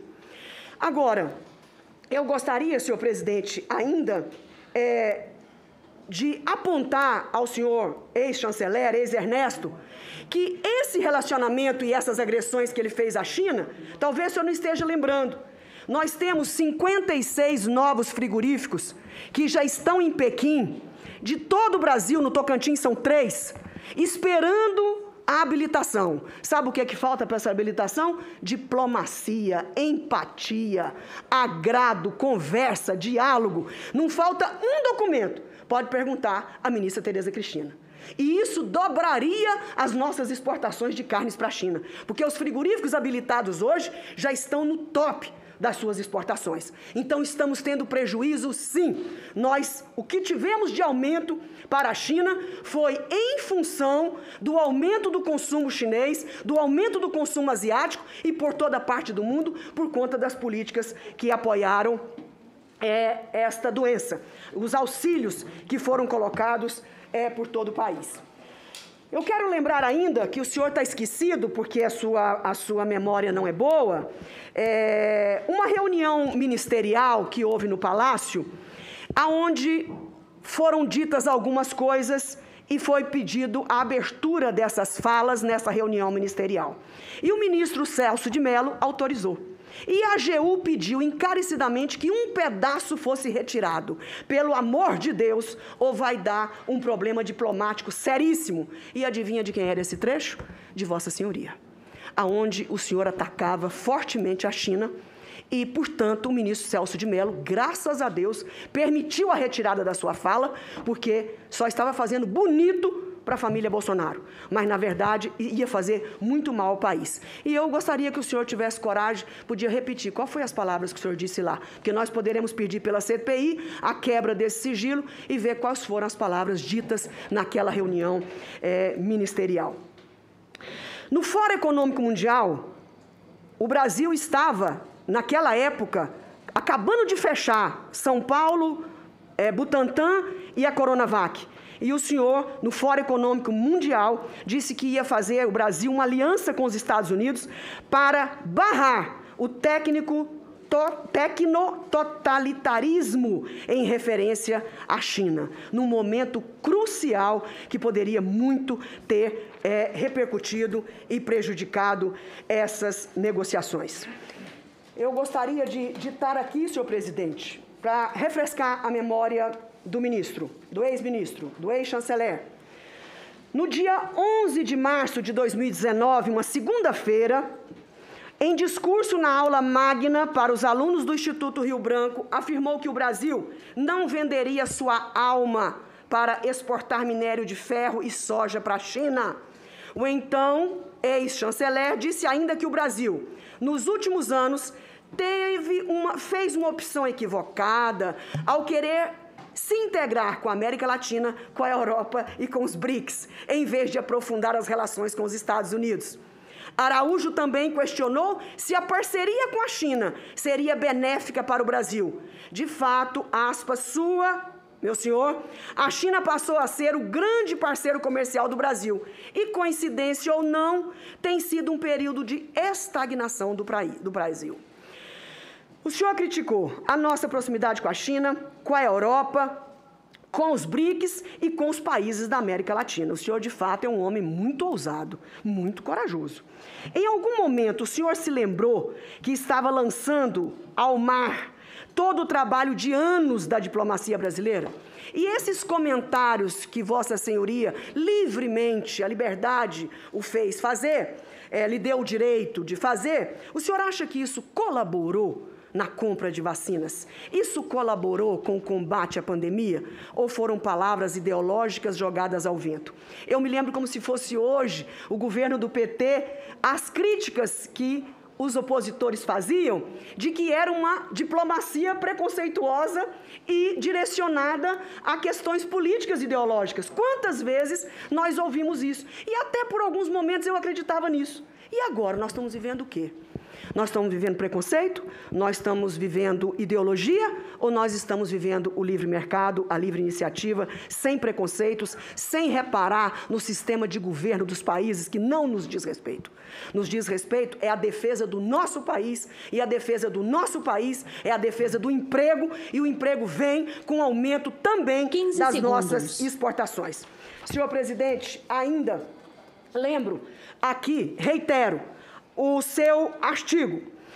É, chegou o comunavírus, é o título do artigo.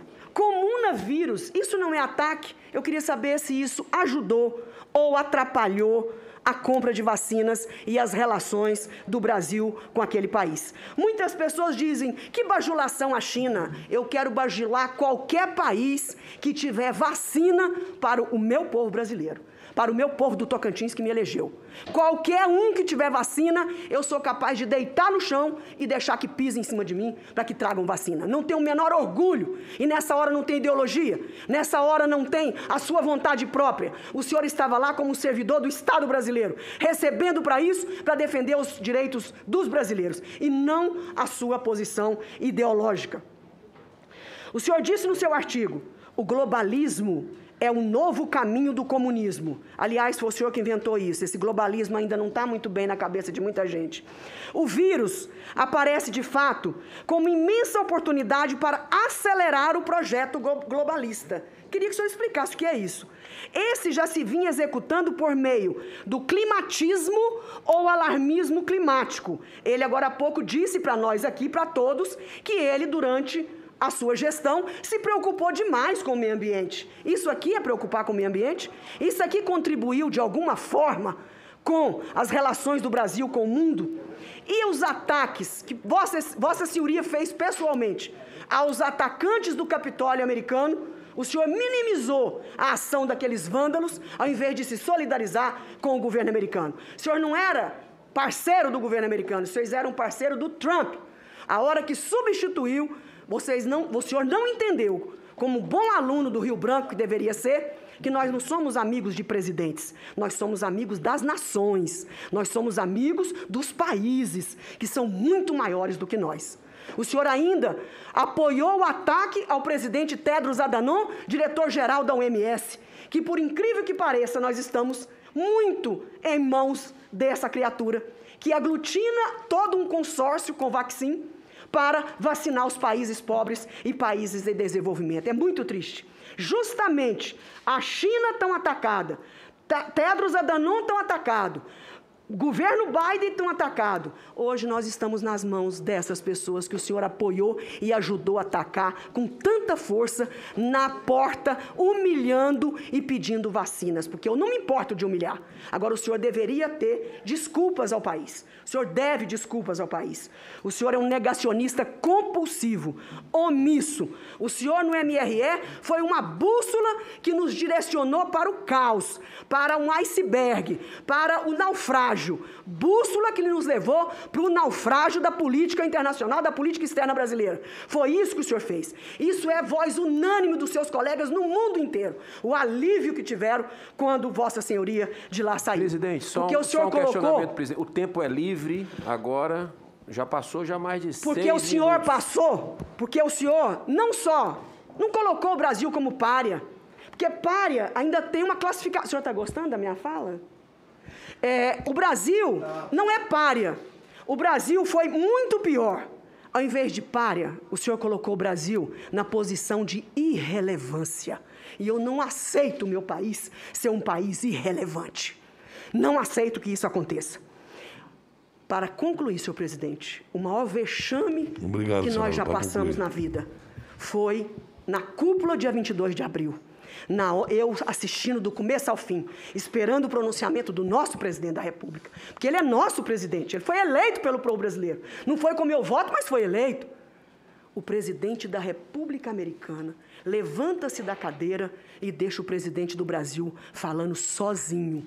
Aquela mensagem, se o senhor não conseguiu ler, ela disse para o mundo: Eu não tenho nada para ouvir do Brasil. Não tem justificativa para aquela levantada de cadeira, a não ser a insignificância com que o senhor trabalhou para colocar o Brasil nessa posição. E peço, senhor presidente, toda a correspondência entre o MRE e os ministérios afins de vacina Ministério da Economia, Ministério da Ciência e Tecnologia, Ministério da Saúde e Casa Civil, eu gostaria de pedir, se for possível, a essa comissão, que todas as correspondências tramitadas pelo, pelo sistema interno entre ministérios, especificamente sobre vacina, que essa comissão possa ter acesso. E também desses ministros para o presidente da República, porque com essas comunicações em aberto, senhor presidente, nós vamos poder identificar qual foi o ministro que mais mal influenciou o presidente, qual foi o ministro que melhor orientou o presidente. E nós queremos toda a comunicação do MRE para as embaixadas no mundo, especialmente os embaixadores aonde tem os laboratórios de vacina. Nós queremos todos os ofícios, todas as mensagens relacionados à pandemia, à vacina, à cloroquina, à hidroxicloroquina, ao que tiver. Nós queremos encontrar, não é isso? Quem são os responsáveis pela desgraça brasileira, da mortandade que ocorreu? Nessas correspondências, senhor presidente, eu tenho a convicção de que nós vamos encontrar. Quem paralisou decisões? Quem fechou os olhos do presidente Bolsonaro? Nós vamos encontrar com certeza. Muito obrigado. Obrigado, Presidente, senador. Senador presidente, Humberto só para comunicar à CPI que estamos colocando a termo as requisições da senadora Cátia Abreu para deliberação. Eu espero o quanto antes dessa comissão parlamentar de inquérito. Ah, Será pautado para votar na, na reunião de, de quinta-feira. É, senador Humberto Costa, por 15 minutos, por favor, vamos respeitar os 15 Mais minutos. logo no meu? Mais logo no meu? Não, depois da, do interrogatório do presidente Renan e da fala da senadora Cátia Abreu, fica muito difícil a gente poder falar, encontrar o que perguntar, mas eu vou fazer um esforço aqui. Senhor presidente, senhoras senadoras, senhores senadores, senhor ministro, eu quero começar perguntando uma das poucas coisas que não perguntaram diz respeito ao Brasil em relação à Rússia. O governo Trump alega, por intermédio do relatório do Departamento de Saúde e Serviços Humanos dos Estados Unidos de 2020, que, sob a gestão de Trump, conseguiu impedir que o governo federal do Brasil comprasse a maligna SIC, a vacina Sputnik V. É verdade, os Estados Unidos pressionaram o Brasil para não comprar a Sputnik. É verdade que o Brasil accedeu a essas pressões. Obrigado, senador. Eu jamais recebi nenhuma pressão desse sentido, nenhum contato nesse sentido de qualquer autoridade americana e não tenho conhecimento de nenhuma outra autoridade brasileira que tenha recebido esse tipo de pressão. Pois bem, então o Departamento de Saúde norte-americano publicou uma, uma notícia falsa. Ou então, como nesse governo, quem é da área não exerce o seu papel, tem que outro fazer, pode ser que o Weingarten tenha rejeitado essa, essa vacina vinda lá da, da Rússia. Bom, mas, senhor presidente, eu me lembro há pouco tempo o ministro Queiroga, lá na OMS, fazendo um verdadeiro pedido de misericórdia, pedindo vacinas. Só que o Brasil, quando poderia ter adquirido, tem uma certa, uma certa controvérsia aí se podíamos comprar 50% ou se podíamos comprar 30%. Mas comprando para 30% ou para 50% é muita coisa. Para 30% seriam 140 milhões de doses. E o Brasil adquiriu só 47 milhões de doses que não recebeu até agora. A revista Época diz que Vossa Excelência, Vossa Senhoria, era contra que teria sido a representante do Brasil em Genebra, Maria Nazaré Farane Azevedo, que poderá vir aqui para dizer se é verdade ou não, que teria convencido Vossa Senhoria de última hora de aderir ao COVAX Facility, mesmo assim com atraso, mesmo assim não participou da primeira reunião que houve ainda no mês de abril, mesmo assim sem garantir o interesse do Brasil. É fato que a doutora Maria Nazaré foi que convenceu o senhor? Não, não é fato. A decisão de que não seriam os 210 milhões de doses, mas que seriam 47 milhões de doses. O senhor confirma que não foi sua, foi do Ministério da Saúde, né? Não foi minha. O ministro Pazuello amanhã vai ter que explicar muita coisa. E essa aí não está nos processos ainda não, né? A outra questão, eu não teria muito o que dizer depois do que falou a senadora Cátia Abreu em termos do que, é, do que prejudicou a relação Brasil e China, a postura do nosso ministério. Mas tem um fato. Eu fui ministro da Saúde, fiz muitas viagens internacionais e existe uma liturgia, um protocolo, um conjunto de regras que os países adotam entre si nesse relacionamento. Um deles é a não interferência, ou então fazê-lo de maneira formal, se tiver configurada alguma situação que justifique. O que é que aconteceu aqui no Brasil? O senhor Eduardo Bolsonaro fez um comentário desairoso à China, inclusive sem ter a dimensão do cargo que ocupava, porque era presidente de Relações Exteriores da Câmara dos Deputados. O, o embaixador chinês respondeu. Vossa Senhoria assumiu as dores do deputado Eduardo Bolsonaro e, articulado com o presidente da República, fez gestões junto ao chanceler da China, ao ministro de Relações Exteriores, para trocar o embaixador da China no Brasil. Pode existir ofensa diplomática maior do que essa? Ministro, me responda, por favor. Pode. Uma grande ofensa diplomática foi cometida pelo embaixador da China ao retuitar uma postagem que dizia a Porque família Bolsonaro é o veneno do, do Brasil.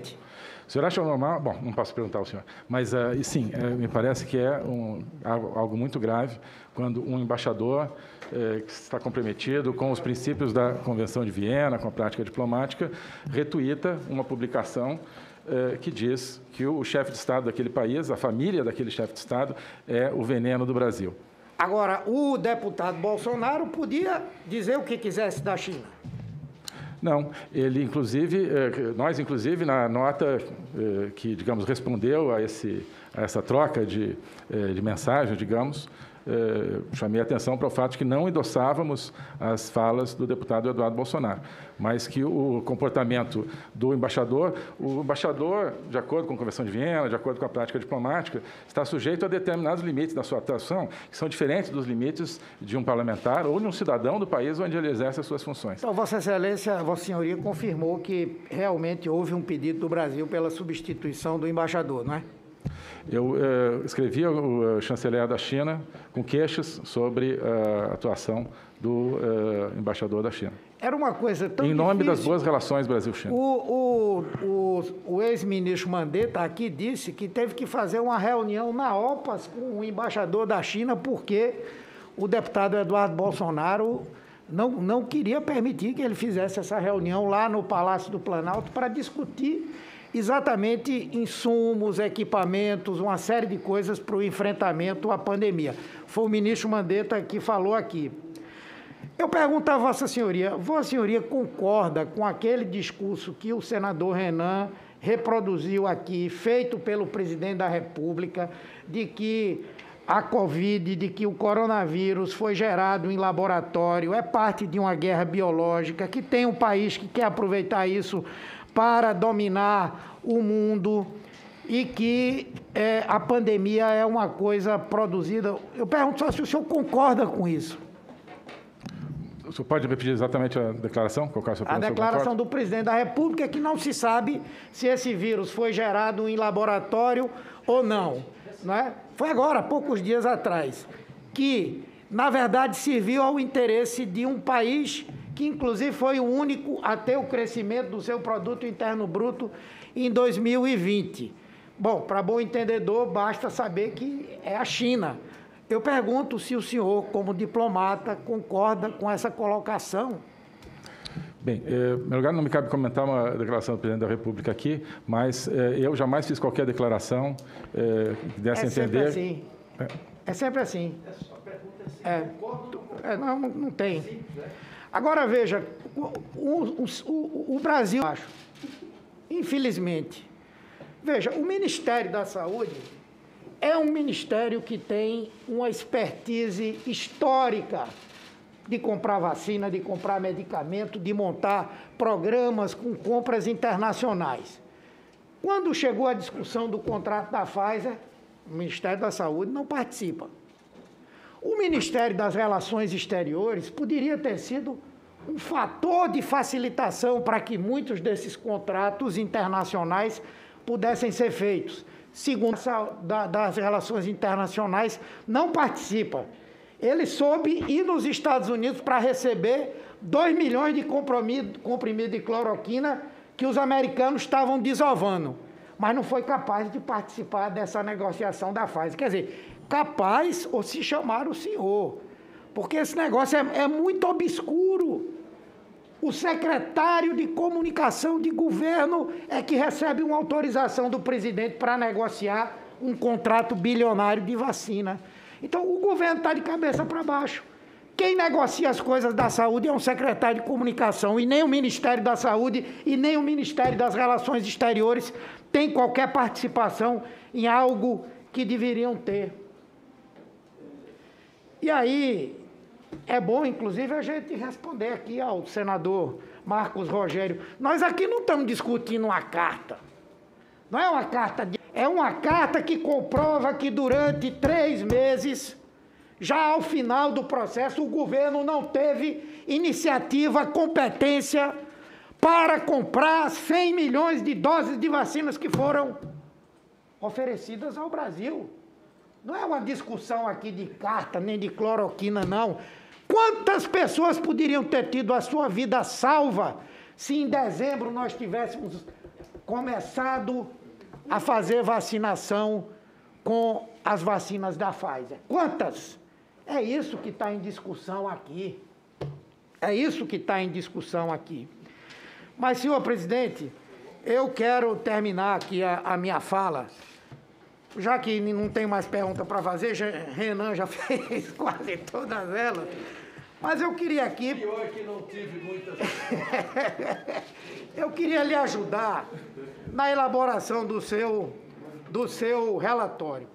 Fazer uma interpretação aqui do que aconteceu. Primeiro, o grande responsável por tudo se chama Pazuello. Está aqui amanhã. Ninguém fez nada nesse governo. Foi o Pazuello, foi o ministro da Saúde, foi o ministro da Saúde. Amanhã ele vai ter que responder. Na verdade, vai ser difícil a gente olhar para o doutor Pazuello ali e não enxergar o presidente Jair Bolsonaro sentado. Porque tudo que ele fez, ele fez questão de dizer, um manda, o outro obedece. Então, se não comprou 30% ou 50% do COVAX Facility, Bolsonaro. Se criou problema na relação com a China, Bolsonaro. É isso. É isso que nós vamos ter que escrever no nosso, no nosso relatório. Não é?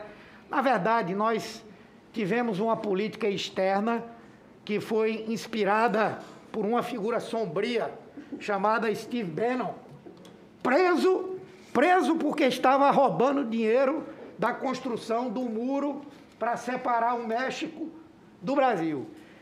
Steve Bannon, juntamente com o grande astrólogo, o doutor Carvalho, né, inspiraram. Bota sobre o primeiro nome, Olavo.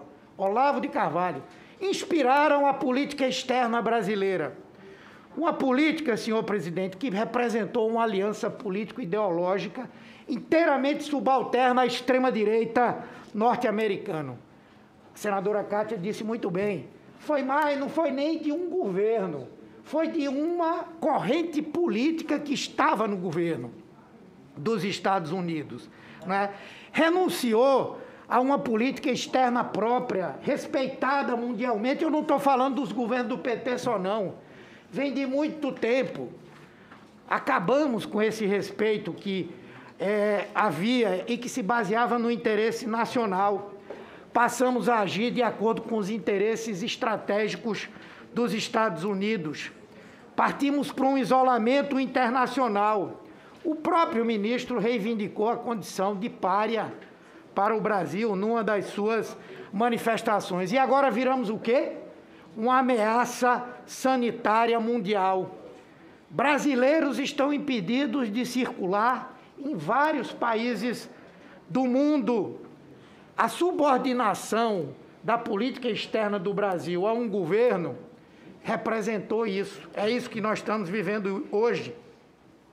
Um isolamento a partir de concepções pré-iluministas que foram adotadas, né? E que acham que difundir valores universais como direitos humanos, democracia, meio ambiente representam uma ameaça ao nosso ocidente cristão.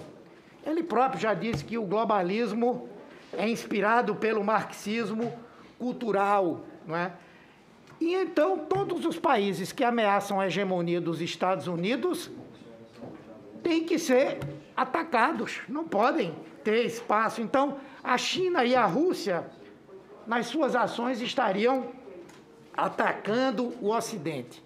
E aí eu vou dizer, a política externa brasileira durante esse governo Bolsonaro e a pandemia foi o braço internacional da tese da imunidade de rebanho. O desinteresse em conseguir vacina, o desinteresse em conseguir os insumos, o desinteresse em ajudar a que o isolamento social acontecesse é um braço dessa política, senhor presidente. Sabotaram o tempo inteiro a relação do Brasil com a China.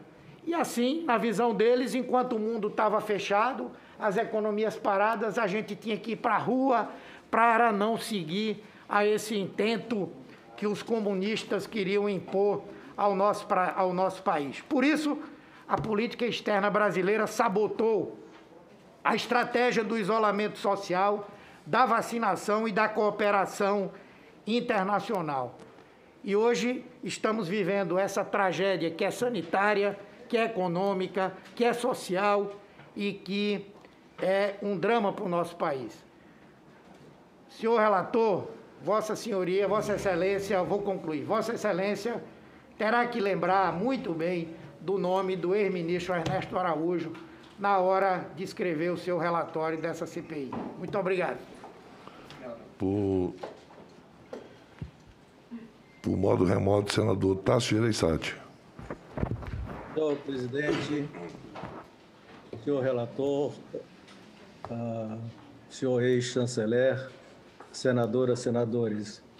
Uh, eu, no início, apenas queria fazer aqui uma observação sobre o que disse o senador Humberto Costa, salientando que eu concordo com tudo que ele disse, apenas uma observação, que eu acho que torna mais grave ainda essa diplomacia uh, do ex-chanceler e do governo Bolsonaro.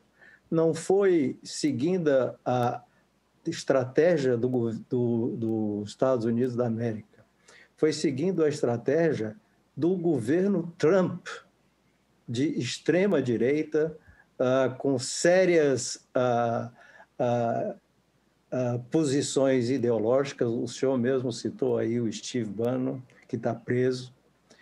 E com isso criou animosidade hoje com o governo atual, governo Biden, lembrando que o Brasil, se não me engano, se me falha a memória, da América Latina foi o último país a reconhecer a vitória do governo Biden, quase que uma também é, quase que uma ofensa ao à democracia americana e ao atual presidente Biden, que evidentemente não tem também toda essa simpatia pelo Brasil, pelo governo Bolsonaro.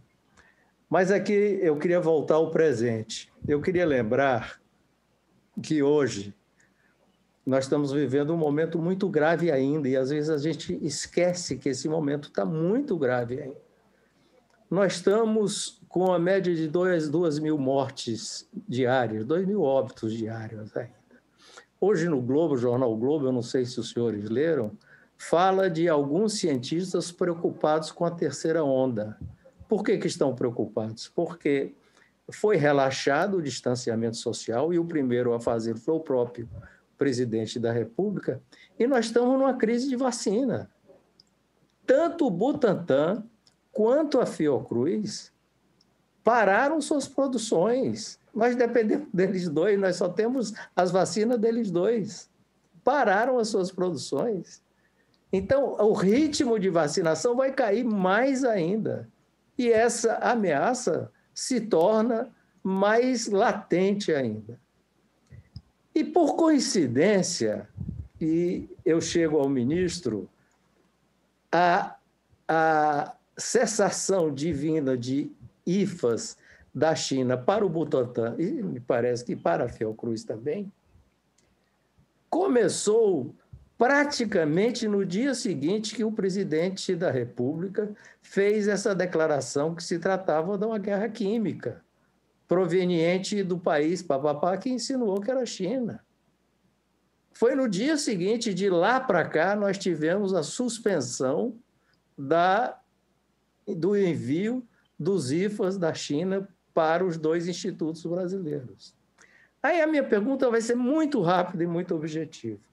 Todos esses, esses fatos aqui levantados pela senadora Kátia, pelo senador Renan, pelo senador Humberto, tudo isso em conjunto, nesta época em que nós estamos precisando ah, desesperadamente da China, e vamos precisar do, do, governo Biden agora também, que vai ser outra alternativa que nós vamos ter.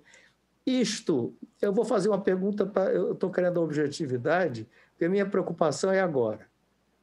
Isto, como se fosse uma prova de múltipla escolha, isso é uma boa diplomacia?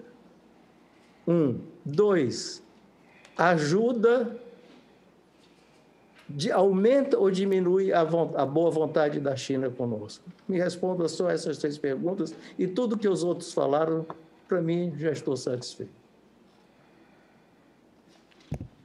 Obrigado, senador. É, bem, o senhor perguntou se isso é uma boa diplomacia, mas, é, infelizmente, Vossa Excelência fez uma descrição que me parece incorreta da nossa diplomacia, da nossa atuação.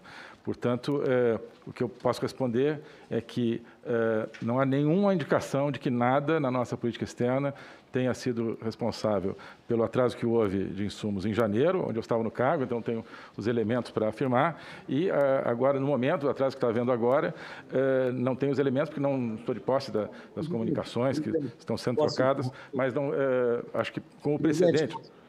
Só, só para esclarecer, não. Senador Tarso, por gentileza. Estou perguntando se esse conjunto de incidentes protagonizados por Vossa Senhoria, por Vossa Senhoria pelo presidente da República, e mais as críticas ao, ao MS, que uh, foi, foi, enfim, já foi descrita por aí, é uma boa diplomacia com a China. Não a, a geral, especificamente esse conjunto de incidentes provocados por pelos filhos do presidente Bolsonaro, pelo presidente Bolsonaro e por Vossa Senhoria. Se isso é uma boa diplomacia com a China. Obrigado, eh, senador. Eh, ainda temos esse problema de que eh, esses fatos foram descritos, peço vênia, de maneira incorreta por Vossa Excelência. Mas então o que eu vou dizer é que a minha diplomacia, tenho certeza, foi uma boa diplomacia.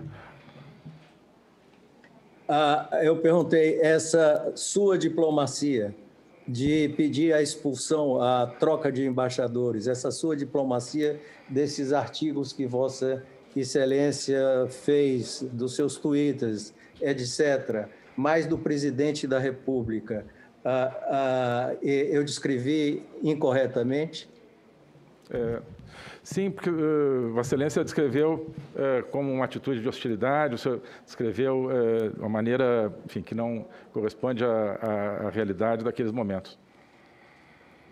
Tá bom, sim, então eu não sei mais o que é a realidade. Obrigado.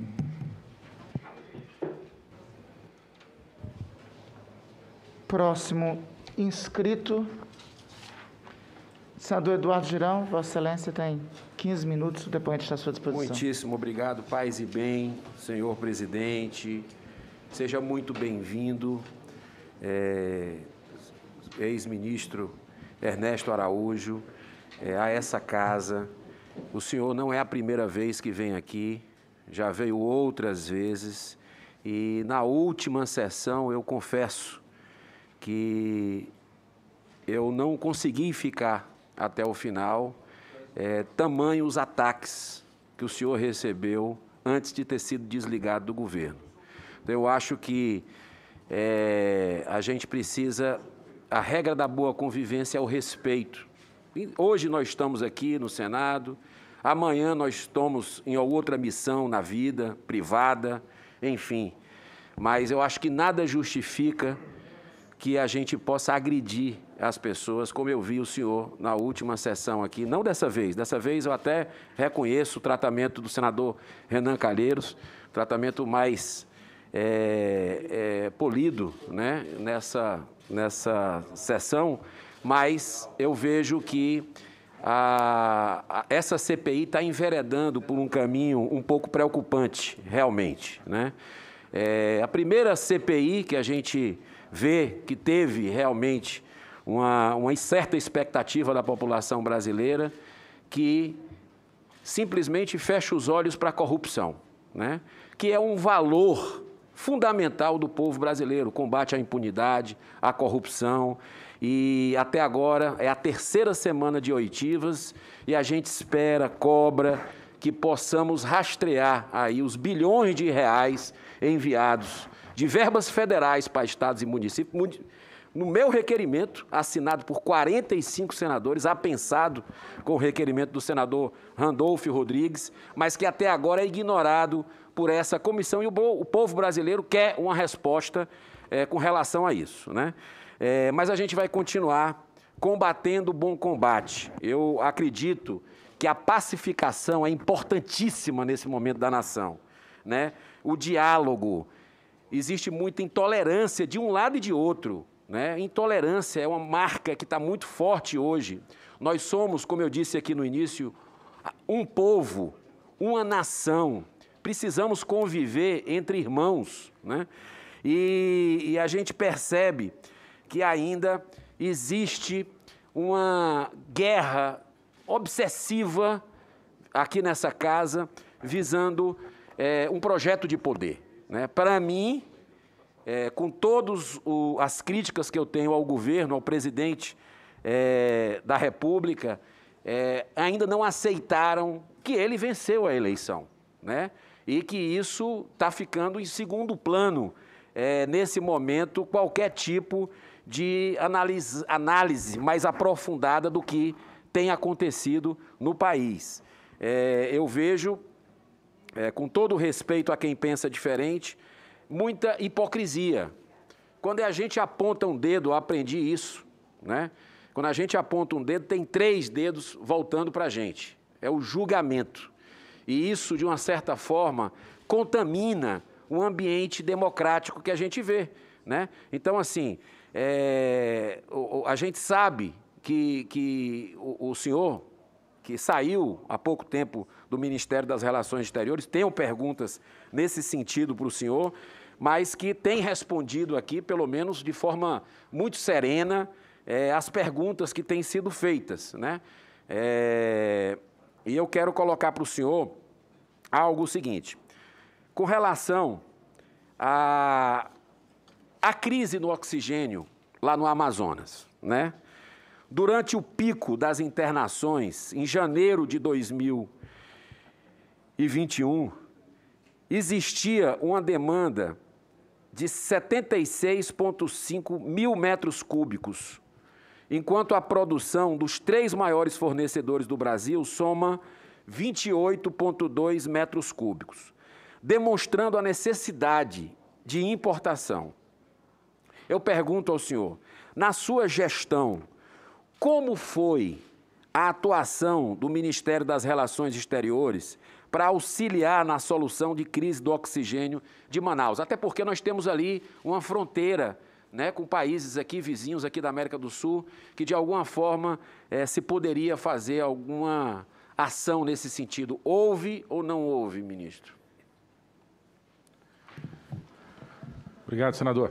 Bem, eh, nesse, como praticamente todos os casos da pandemia, eh, o Itamaraty eh, age quando o Estado, quando orientado, no caso pelo Ministério da Saúde, já que não teríamos como avaliar as necessidades eventuais de demanda para Manaus ou para outras, outros destinos. Né?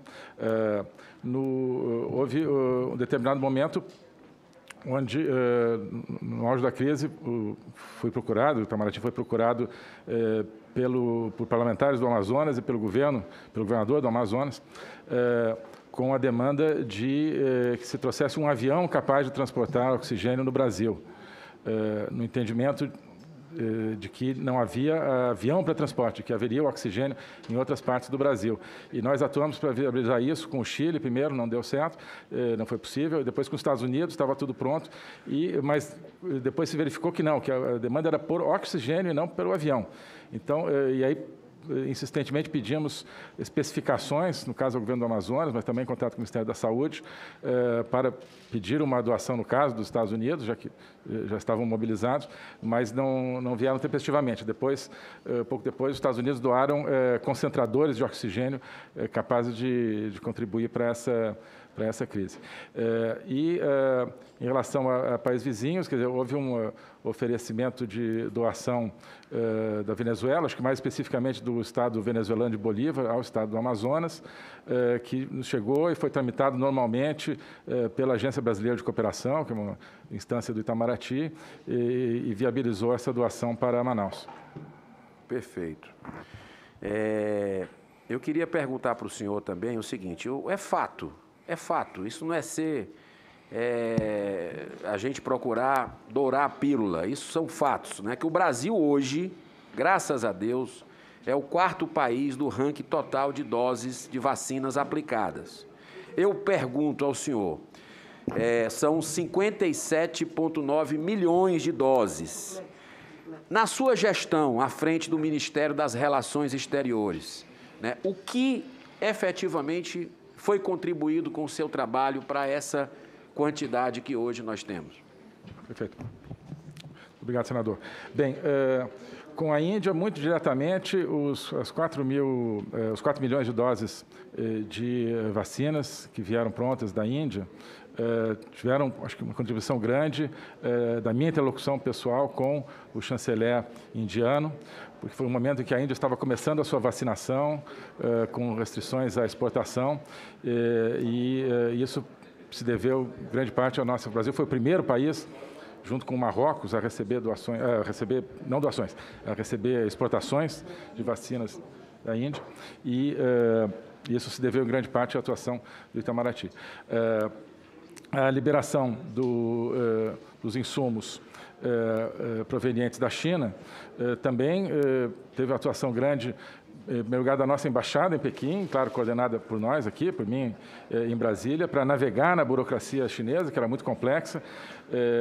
E que eh, permitiu identificar eh, sempre o que era preciso fazer, os passos eh, burocráticos para liberar tanto eh, os carregamentos, o primeiro carregamento chegou em janeiro, quanto os eh, posteriores. A embaixada atua diretamente. E, pessoalmente, eh, me dirigi, no caso por carta, porque era o melhor meio, ao chanceler chinês, e acho que essa carta terá contribuído para a liberação desses insumos. No total, acho que os insumos para a AstraZeneca, que foram liberados pela China eh, durante a minha gestão, correspondem a mais ou menos uns 33 milhões de doses. Ministro, o senhor falou aí, é, respondendo às perguntas do senador Renan Calheiros, com relação à postura, algumas vezes, digamos, dúbia, eu não sei se é essa palavra que a gente pode colocar, é, da OMS, Organização Mundial da Saúde. Eu lembro bem aqui, foi uma das perguntas que eu fiz ao ex-ministro Mandetta, é, que o Brasil tinha, logo no início de janeiro de 2020, emitido um, um comunicado para a OMS perguntando se era pandemia que a gente estava vivendo, e a OMS respondeu com atraso, cerca de um mês depois, dizendo que não era pandemia, né? E aí, inclusive, foi uma pergunta que eu fiz ao ministro Mandetta, que ele não me respondeu a contento, por que, que ele não cancelou o carnaval, né? Já que quando a OMS depois reconheceu o erro e disse que era pandemia, dava tempo ter cancelado o carnaval no Brasil naquele momento. É, a OMS, por essas e outras atitudes, por exemplo, no momento que se salva vidas, que se busca salvar vidas, ela colocou como atividade essencial essencial, logo no início da pandemia, o aborto, né? Então, assim, é, é algo que me, me passa a impressão de que virou uma casa política, realmente, é, a Organização Mundial de Saúde. Eu queria lhe perguntar em que ponto isso, de alguma forma, pode ter deixado o governo brasileiro reticente com é, essas posições dúbias de dizer que não era pandemia, depois atrasa diz que é pandemia, e toda essa confusão ideológica que existe é, dentro da OMS. Muito obrigado, senador. Sim, certamente é, essas dubiedades, idas e vindas da OMS afetaram a nossa percepção sobre a eficiência da organização no momento mais importante da vida dessa organização, talvez, que é o gerenciamento da pandemia.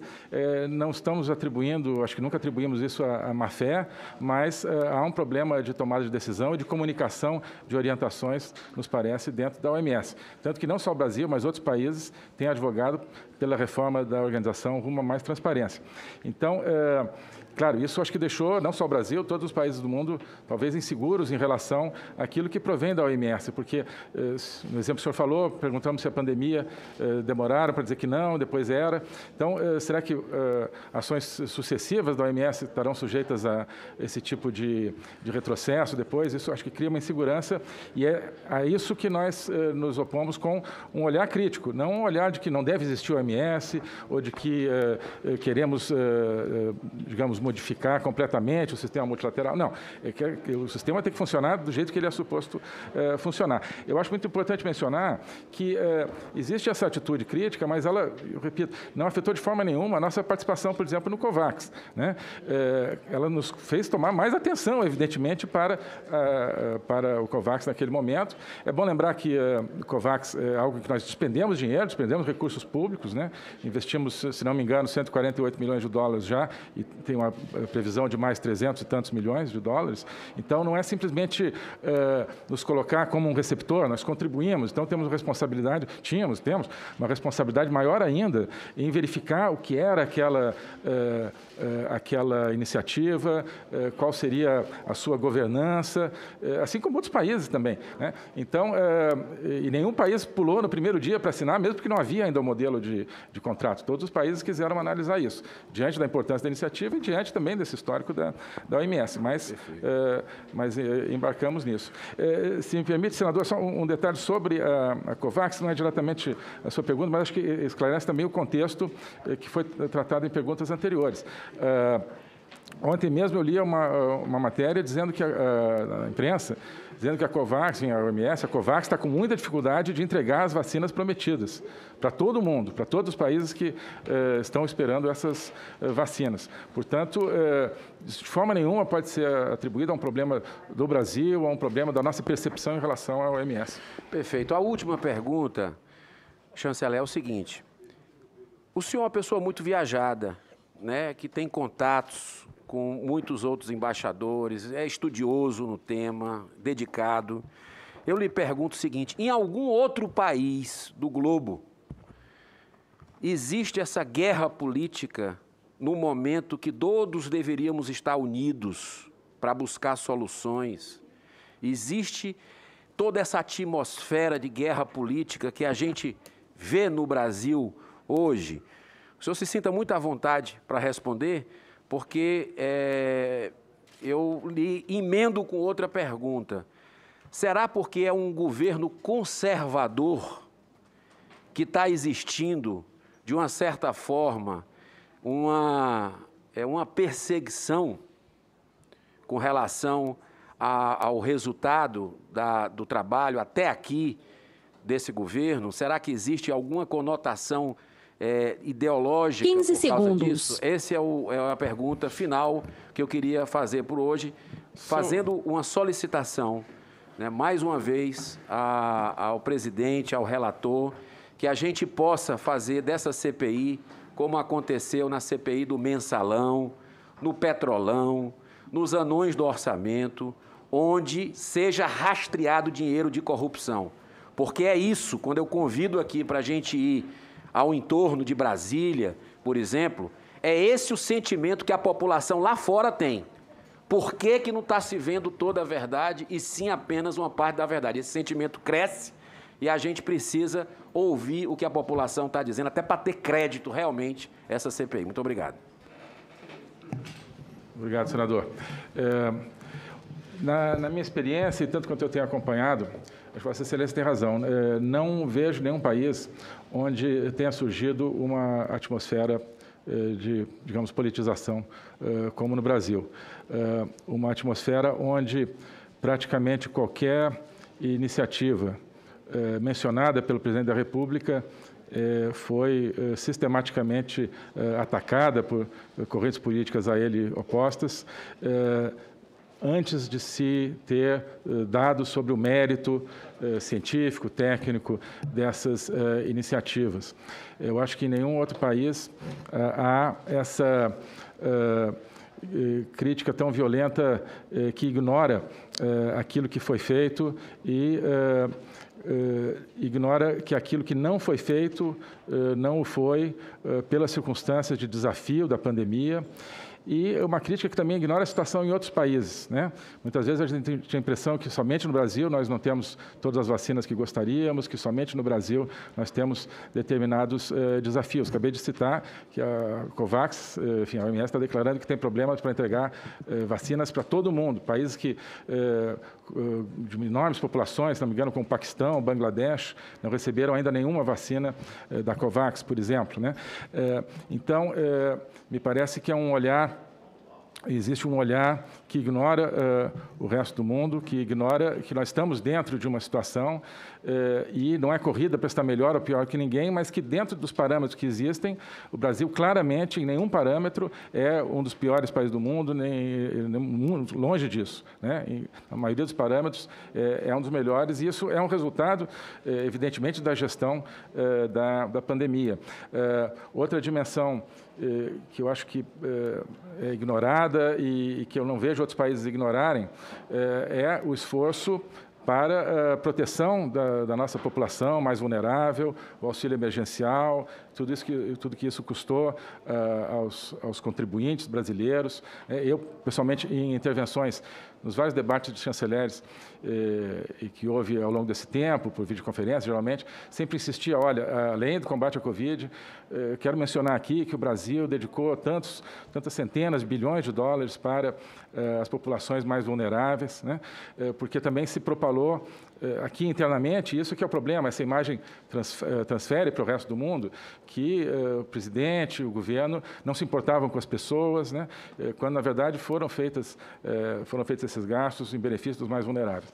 Quando foram feitos os gastos né, de aparelhamento dos, dos estados e do sistema de saúde, de modo que Claro, não, há, há, países em que há discussão muito, uh, muito intensa. Hoje, na, na, França, em vários países europeus, os próprios Estados Unidos houve muita, muita discussão, mas e eu acho que tem uma correlação, sim, eu acho que com a, a proposta política do, do, do, do, presidente, eu acho que a tendência é que né, uma proposta conservadora, ela acho que se sabe da popularidade dessa, dessa proposta, da força política que ela tem, é, e, infelizmente, na minha avaliação, pelo que eu tenho visto, é, houve essa é, tentativa de, digamos, desmerecer tudo que era feito por esse governo em função de dados da pandemia. Essa é a minha resposta. Obrigado.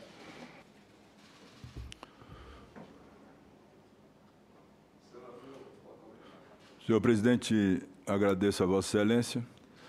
Começo, senhor presidente, achando que há uma contaminação muito grande com a falta da verdade, inclusive com a fala do senador Eduardo Girão.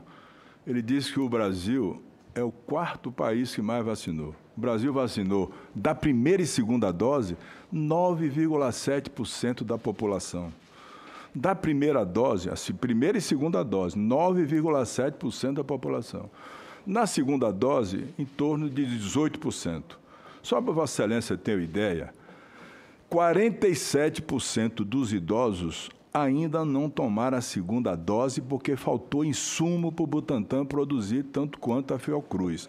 Então, essa é uma coisa que virou um sistema quase que crônico, que me lembra muito bem um artigo feito por meu patrício, Rui Barbosa. Quem quiser pegar, leia A Mentira. Aliás, Rui Barbosa dizia o seguinte: depois de apontar tantos defeitos para um torto, dizia-se assim, ainda por cima mente, porque isso aqui nós temos que colocar, porque não é possível que se ache que a política da saúde no Brasil foi feita de forma correta, que nós temos vacina sobrando, que não tem, só 10, não chegou a 10% da primeira e da segunda dose. O, o ministro é, Ernesto Araújo, ele disse que o Brasil foi o primeiro país do, a participar da, da reunião pra, do consórcio COVAX Facility. Em abril foi a primeira reunião. Não tinha um representante do Brasil, nem da diplomacia do Brasil, naquela reunião. A outra reunião foi em maio, liderada pela Espanha, pela França, pelos países árabes. Não tinha um representante do Brasil. Só tomou iniciativa em junho. Então o ministro faltou com a verdade. Ele não falou aquilo que realmente aconteceu. Ministro, no mês, na, em abril, na primeira reunião do consórcio, não tinha um representante da diplomacia brasileira, nem em abril nem em maio. O, o, o Ministério das Relações Exteriores se manifestou em junho. Então, é completamente descabida a, a colocação que Vossa Senhoria fez. Segundo lugar, chegou o ponto, por vacina, do Congresso Nacional se manifestar. O presidente do Senado Federal, Rodrigo Pacheco, apelando com a senadora Kátia para que os Estados Unidos socorressem o Brasil. O presidente Rodrigo Pacheco fez uma carta à vice-presidente americana Kamala Harris para pedir vacina e não foi atendido. Não é possível que nós estamos já no mês de maio, vacinou da primeira e da segunda dose nem 10% e o Brasil é o país que mais vacina. O Brasil tem, o país tem uma capacidade de rede básica instalada em todos os estados, para vacinar até 2, 2 milhões de pessoas por dia, mas falta vacina. Está faltando vacina, isso é óbvio. Quem diz ao contrário não está falando a verdade, ou melhor, está brigando com a verdade. Essa é a grande realidade. Portanto, é, eu queria perguntar ao ministro se ele realmente concordava ou concorda ainda com mais de 15 declarações do presidente da República dizendo que não ia comprar vacina. Está aqui no meu celular. Se quiser, eu boto ao vivo o presidente Bolsonaro dizendo agosto, setembro, outubro, novembro que, novembro, que não ia comprar vacina. Chegou ao ponto de dizer que alguém que tomasse vacina ia virar jacaré lá em Porto Seguro. Eu sou o presidente e eu mando. Vossa Senhoria era muito alinhado com, com a política do presidente. E na área de saúde, eu queria perguntar se naquele tempo que o presidente falava isso, Vossa Excelência concordava que virar jacaré, que não ia comprar vacina, que a vacina, no, no, enquanto ele fosse presidente, não ia comprar? O senhor tomou alguma decisão nesse sentido? Já que o senhor defende a vacinação como estava fazendo agora aqui?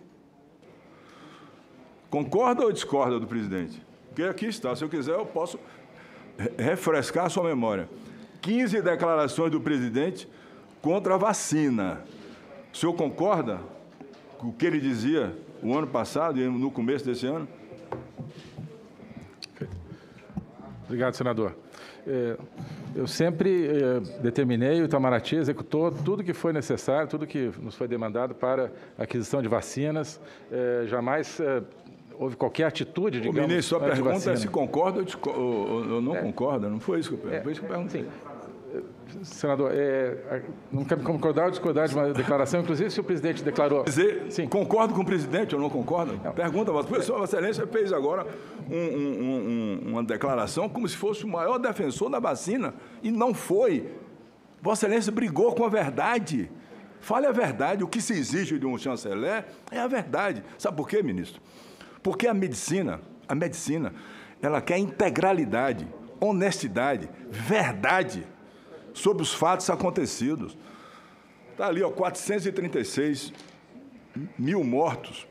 Ministro, desses 436 mil mortos, 302 mil tinha mais de 60 anos e perderam a aposentadoria.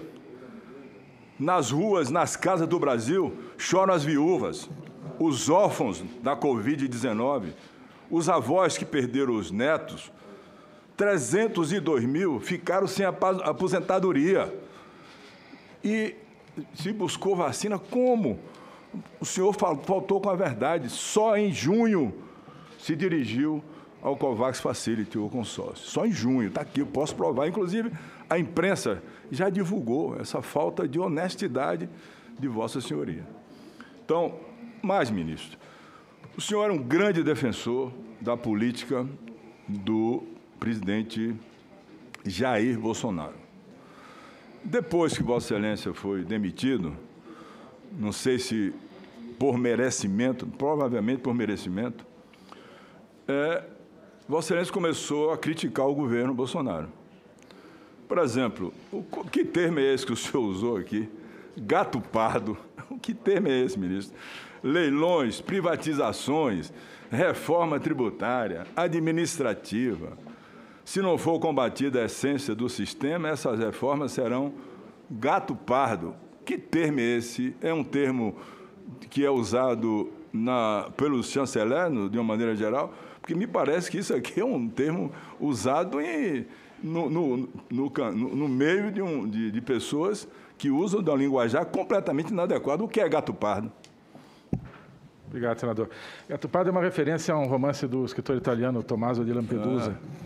Ah. Né? Ah. É, que tem uma Mas... frase famosa no romance que diz que é preciso que tudo, tudo mude para que tudo continue como está. Mas o que o senhor está dizendo aqui é diferente. O gato pardo é articulação política inadequada que queria mudar o Brasil e só a pressão popular pode mudar o Brasil. Então, é isso aqui que está escrito. Segundo, vou perguntar a Vossa Senhoria também, que defende tanto o governo. O Congresso em Focos. Ernesto Araújo diz que o governo Bolsonaro é sem alma e sem ideal. O senhor disse isso, está aqui escrito é, no dia 1 de maio de 2021. O senhor. Hein? É, o, senhor, o senhor é daquele tipo, sou isso ou aquilo conforme, dois pontos? No governo defendo, fora do governo critico e bato? É isso que eu quero perguntar a Vossa Senhoria. Olhe bem, o senhor é do tipo, sou isso ou aquilo conforme, dois pontos? Porque no governo era só elogio. Saiu do governo, perdeu o cargo, está aqui. O senhor bate forte no governo Bolsonaro, mas forte.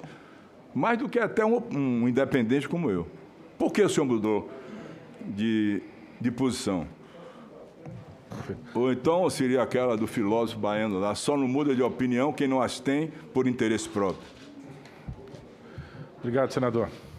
Enquanto estive no governo, sempre acreditei eh, no governo com, uh, como um projeto, como um novo projeto de país, como um novo projeto de nação, com transformações uh, profundas. Uh, procurei falar disso na minha introdução. É, e é, não tem propriamente uma crítica ao governo como um todo, mas tem uma crítica ao fato de que. Mas isso aqui é verdade, o senhor disse isso, né? É, é, o senhor não pode negar. Disse ou não disse? É, que o, Brasil, que o governo foi perdendo a alma e o ideal no perdendo sentido a alma, de que. Então o governo desalmado. O impulso, é não, não é isso não. O impulso de transformação é, do governo me parece que se desgastou, é, sobretudo ao, ao, longo do último ano. Eu acreditava muito nesse impulso, continuo acreditando que é um governo que tem a capacidade de fazer, de implementar transformações eh, no Brasil profundas. Então, o que eu quis me referir é de que esse impulso transformador eh, se desgastou. Depois que saiu do governo, começou a bater o governo, inclusive aqui numa matéria também, que o senhor diz textualmente, é, o governo mingou, o governo mingou.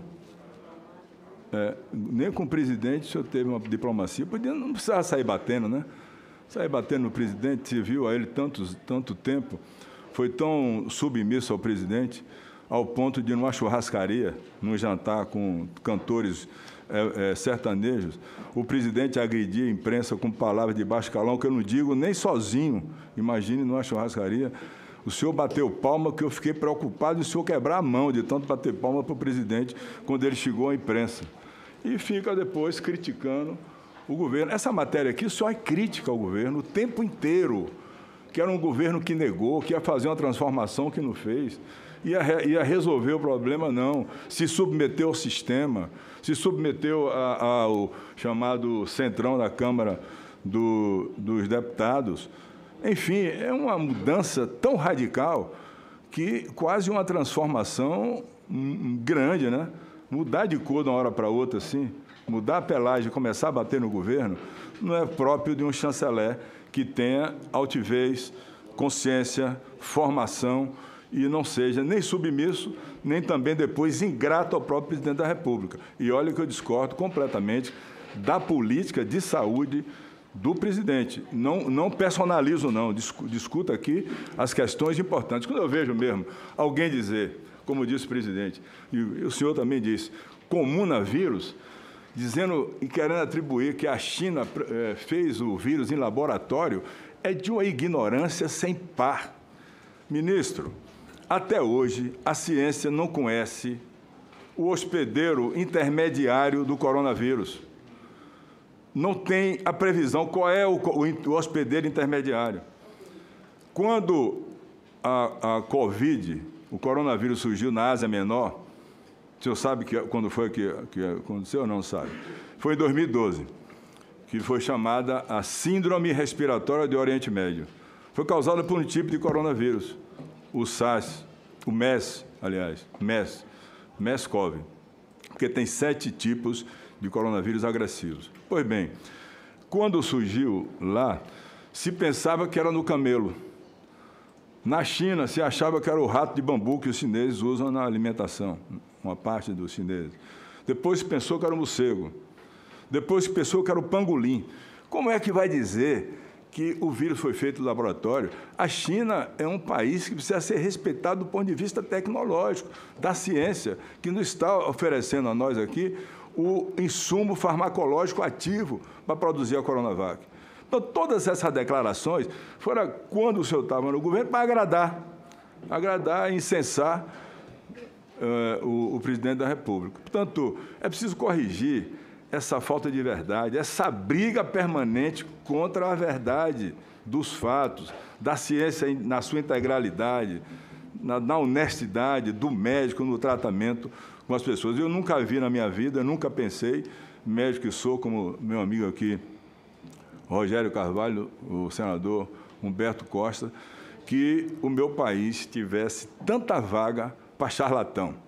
Medicando medicamento que não tem eficácia nenhuma para a doença, tipo hidroxicloroquina e outros também, que são levados à população o risco de ter problemas muito graves, inclusive complicações até para levar os pacientes ao óbito. Portanto, senhor presidente, agradeço a Vossa Excelência e não esperava essa transformação tão grande do, do ex-chanceler Ernesto Araújo. Muito obrigado. Senhor, senhor presidente.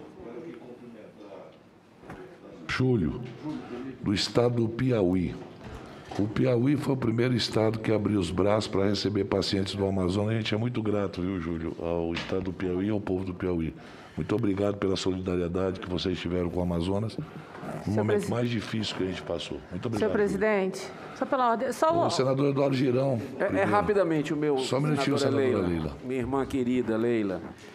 É, só para fazer aqui um contraponto ao senador Otto Alencar, que disse que eu faltei com a verdade na pergunta que eu fiz ao senador, ao, é, ao nosso ex-ministro é, Ernesto Araújo, né?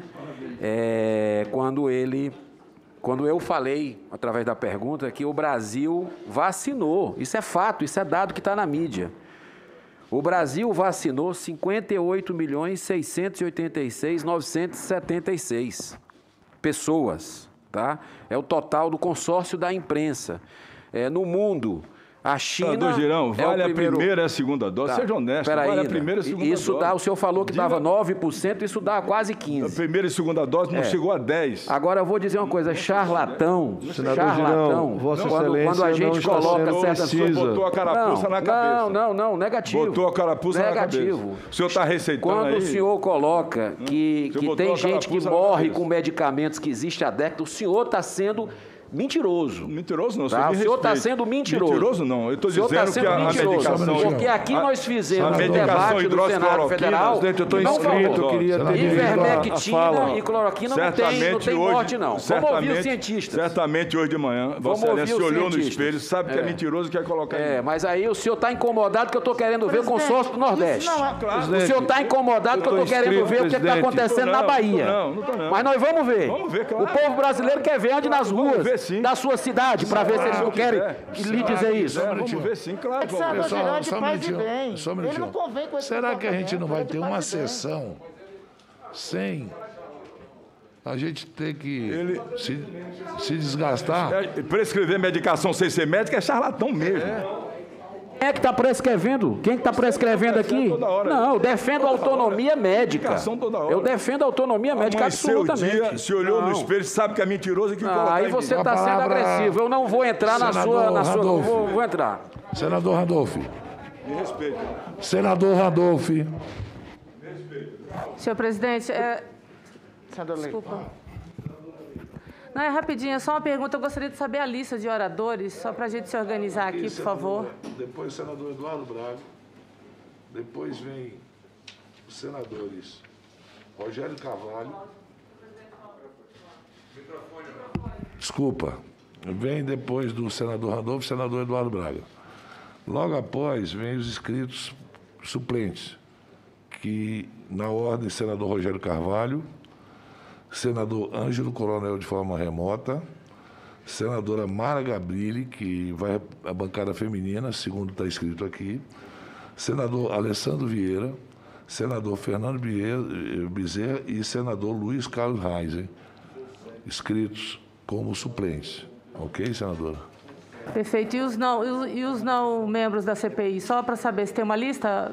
Tem uma lista? É porque eu me inscrevi. Devo ter. Vou já, eu digo já já para a senhora, senadora. Ok.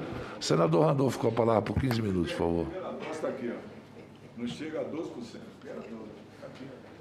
Primeira dose. Não, ontem nós vimos, ontem passou.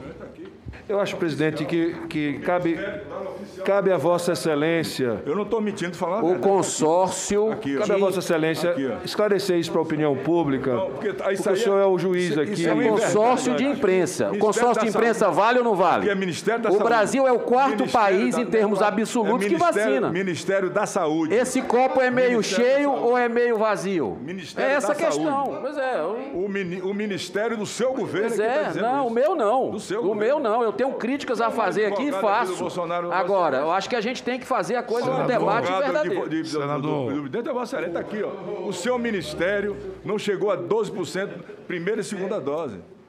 Então, eu não estou falando a verdade, eu só falo a verdade. Médico não pode faltar com a verdade. Eu, eu, eu jurei por Hipócrates, estou falando aqui a verdade. Está aqui, ó. Seu Ministério da Saúde é que está dizendo. Se o senhor quer a verdade, vamos atrás do consórcio Nordeste Vamos junto sim, claro, comigo. vai chegar a hora. Me ajude Claro. aí atrás do consórcio Nordeste, do governo da Bahia, Claro, do, do governo da Bahia. dos hospitais lá da Bahia. Senador Girão, senador Girão, senador Girão, Vossa Excelência, Vossa Excelência, me ajude aí. Senador Otto, Vossa Excelência não foi testado ainda não, nunca administrou nada. Eu tenho 35 anos de política, administrei todos os carros do governo e tenho vida limpa. Precisa respeitar as pessoas. Vossa Excelência não foi testado ainda, porque todo mundo é, é honesto, todo mundo tem um negócio vazio, que é o seu caso. senador, senador Otto, senador Girão.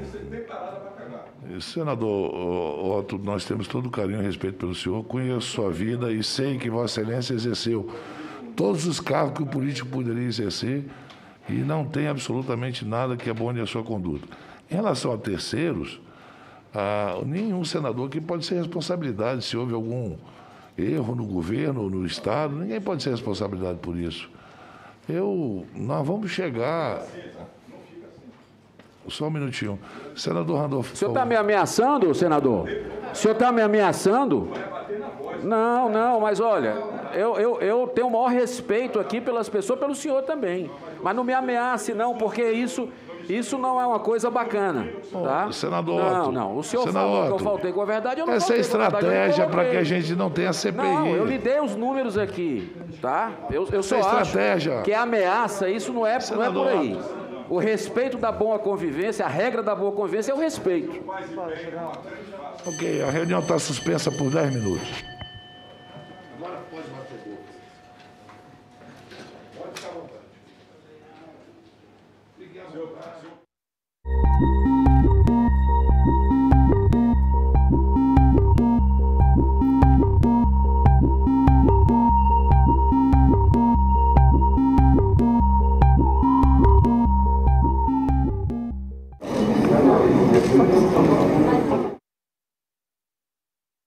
Nossa negociação foi com o Ministério da Saúde.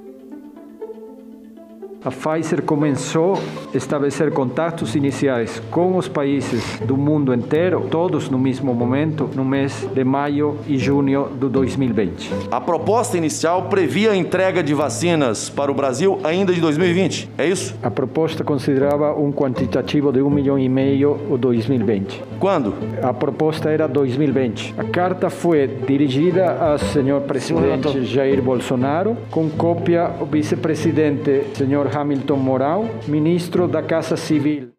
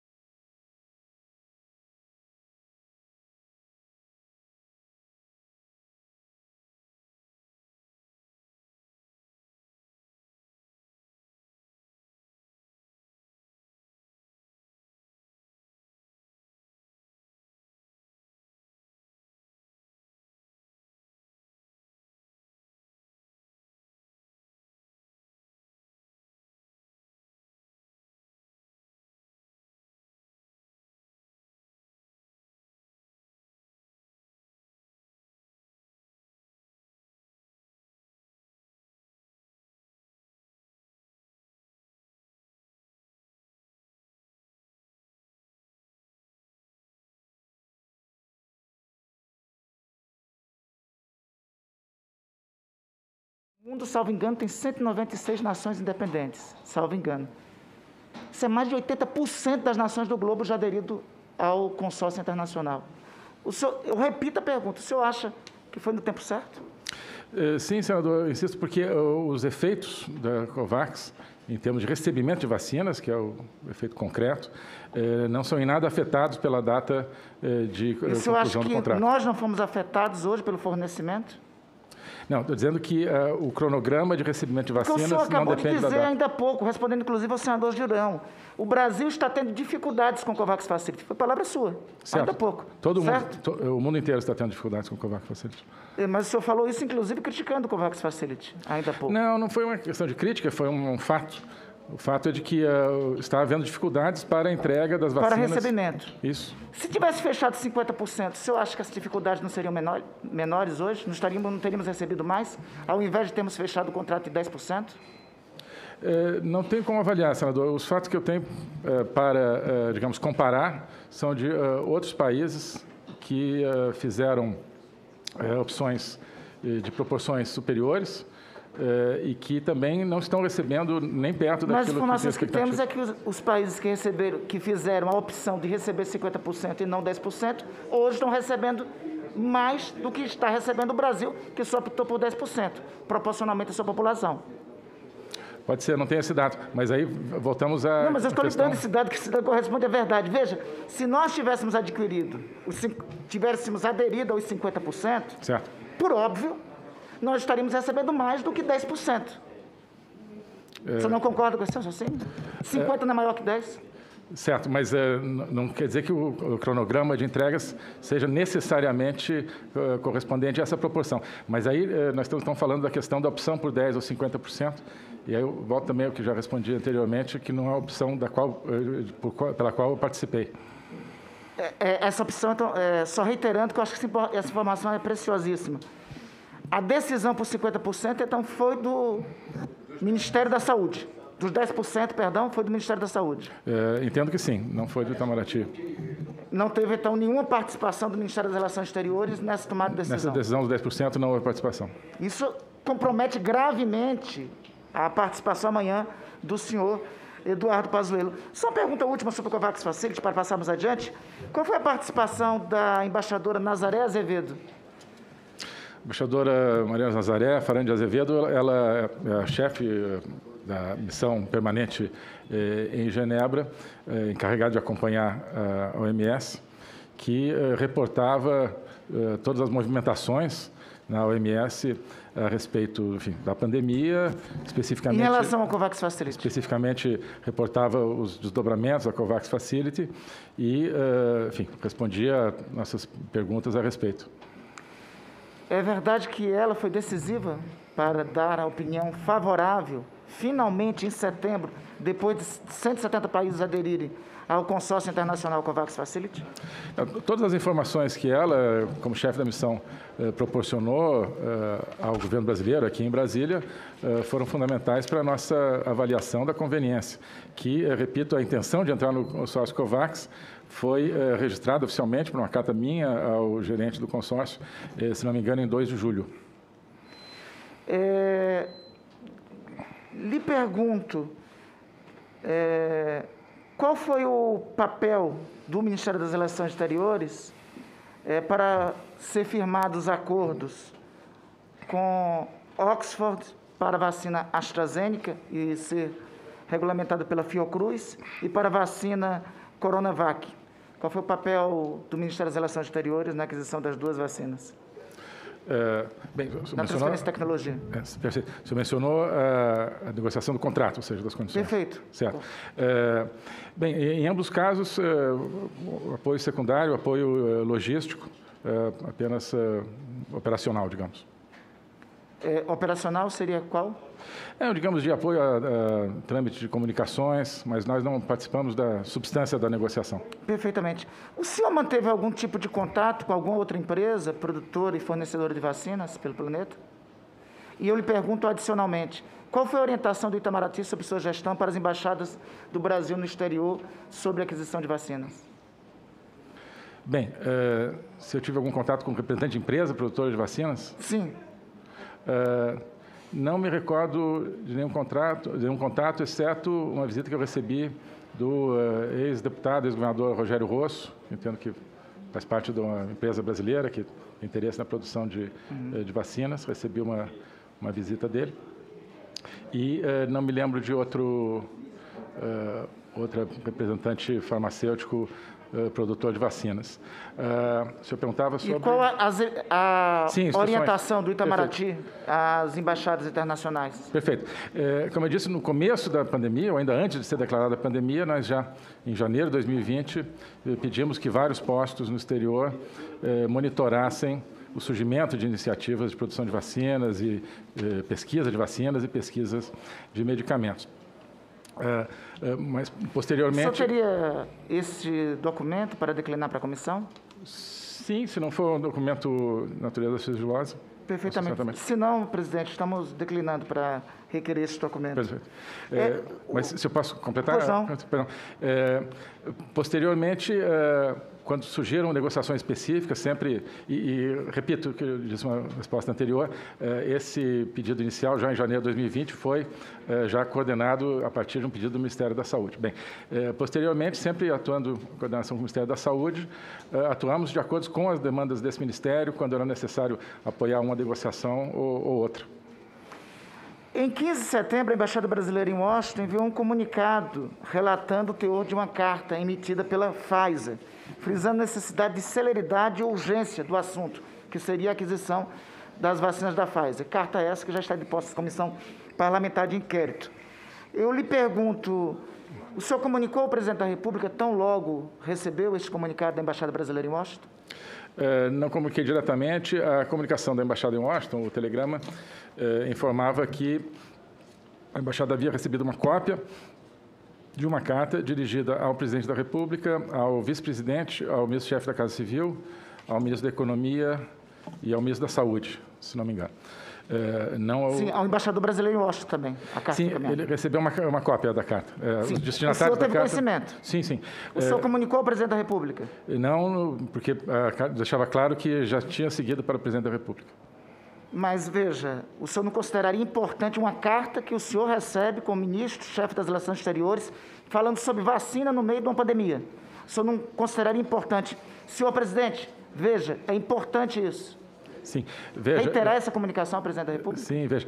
É, obrigado, senador. É, eu não era destinatário da carta, né? eu não, uma cópia. O, o destinatário era um subordinado seu. Não, é, se, e, e, por óbvio, era um é. subordinado seu porque ele era embaixador do Brasil não, em Washington. Perfeito. E a faz a empresa norte-americana. Perfeito. E é. se o embaixador do Brasil em Washington declinou a carta para o senhor, por óbvio, era para o senhor tomar as providências devidas, não é? Perfeito. As providências, no caso, é, enfim, a questão de destinatário, o entendimento é que a embaixada em Washington recebeu uma cópia, o embaixador não era destinatário, mas enfim, é, tive conhecimento do tema e a, o telegrama de Washington também é, esclarecia que a própria embaixada em Washington já havia antecipado também para a assessoria internacional do então, Ministério da então, Saúde. Resumindo, o senhor não comunicou ao presidente da República.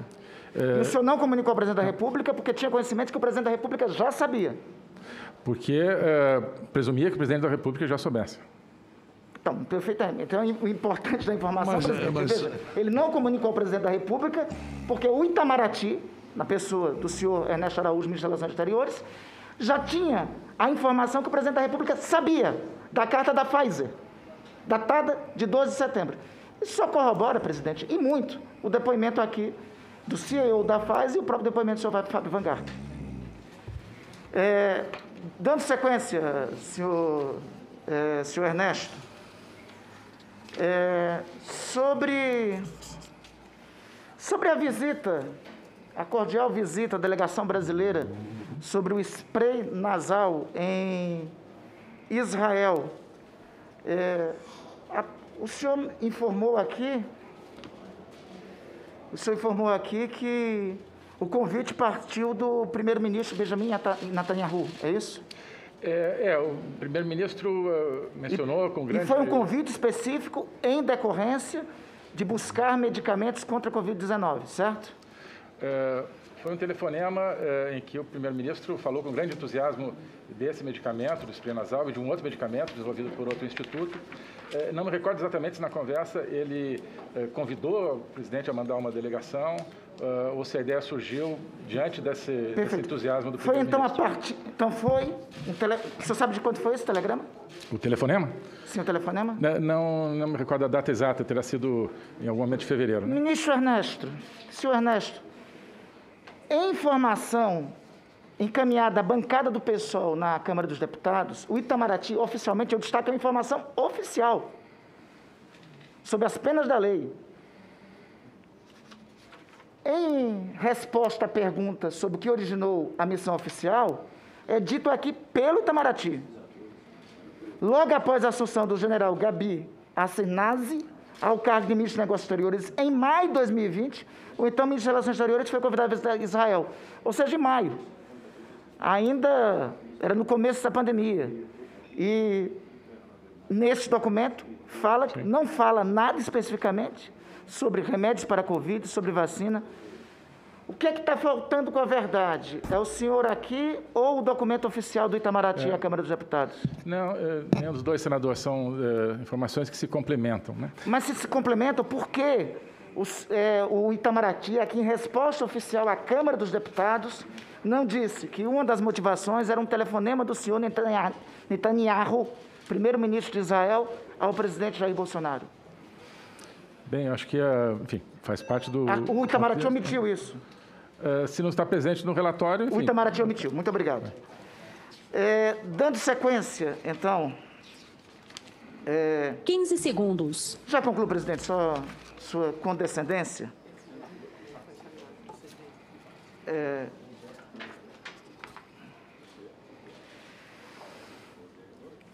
Qual a sua opinião sobre o uso de máscaras? Eu sou a favor do uso de máscaras. Mas não é o que falava a Fundação Alexandre de Guzmão sobre sua gestão no Itamaraty.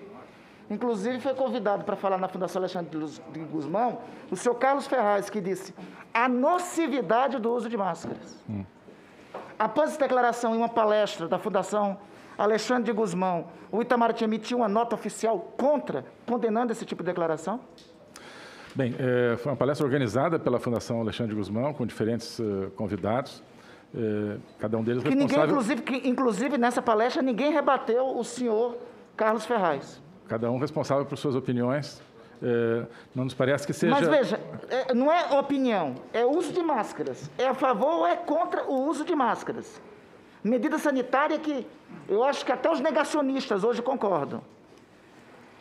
Em uma conferência na Fundação Alexandre de Guzmão, vinculada ao Itamaraty, de notório conhecimento, alguém diz lá claramente a nocividade do uso de máscaras. Ninguém rebate. O Itamaraty e a própria Fundação não emite uma nota condenando?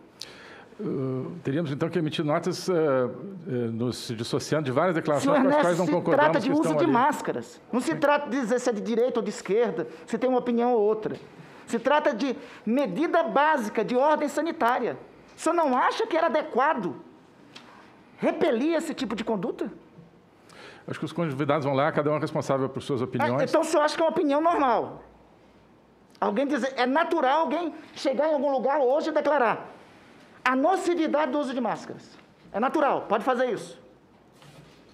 É, não digo que seja natural, seja que é uma opinião. Eu tenho acho que vários meses dessa. é, Sobre a comitiva Israel, eu posso- lhe pergunto ainda. É, o senhor Max Moura estava nessa comitiva. Qual a participação dele?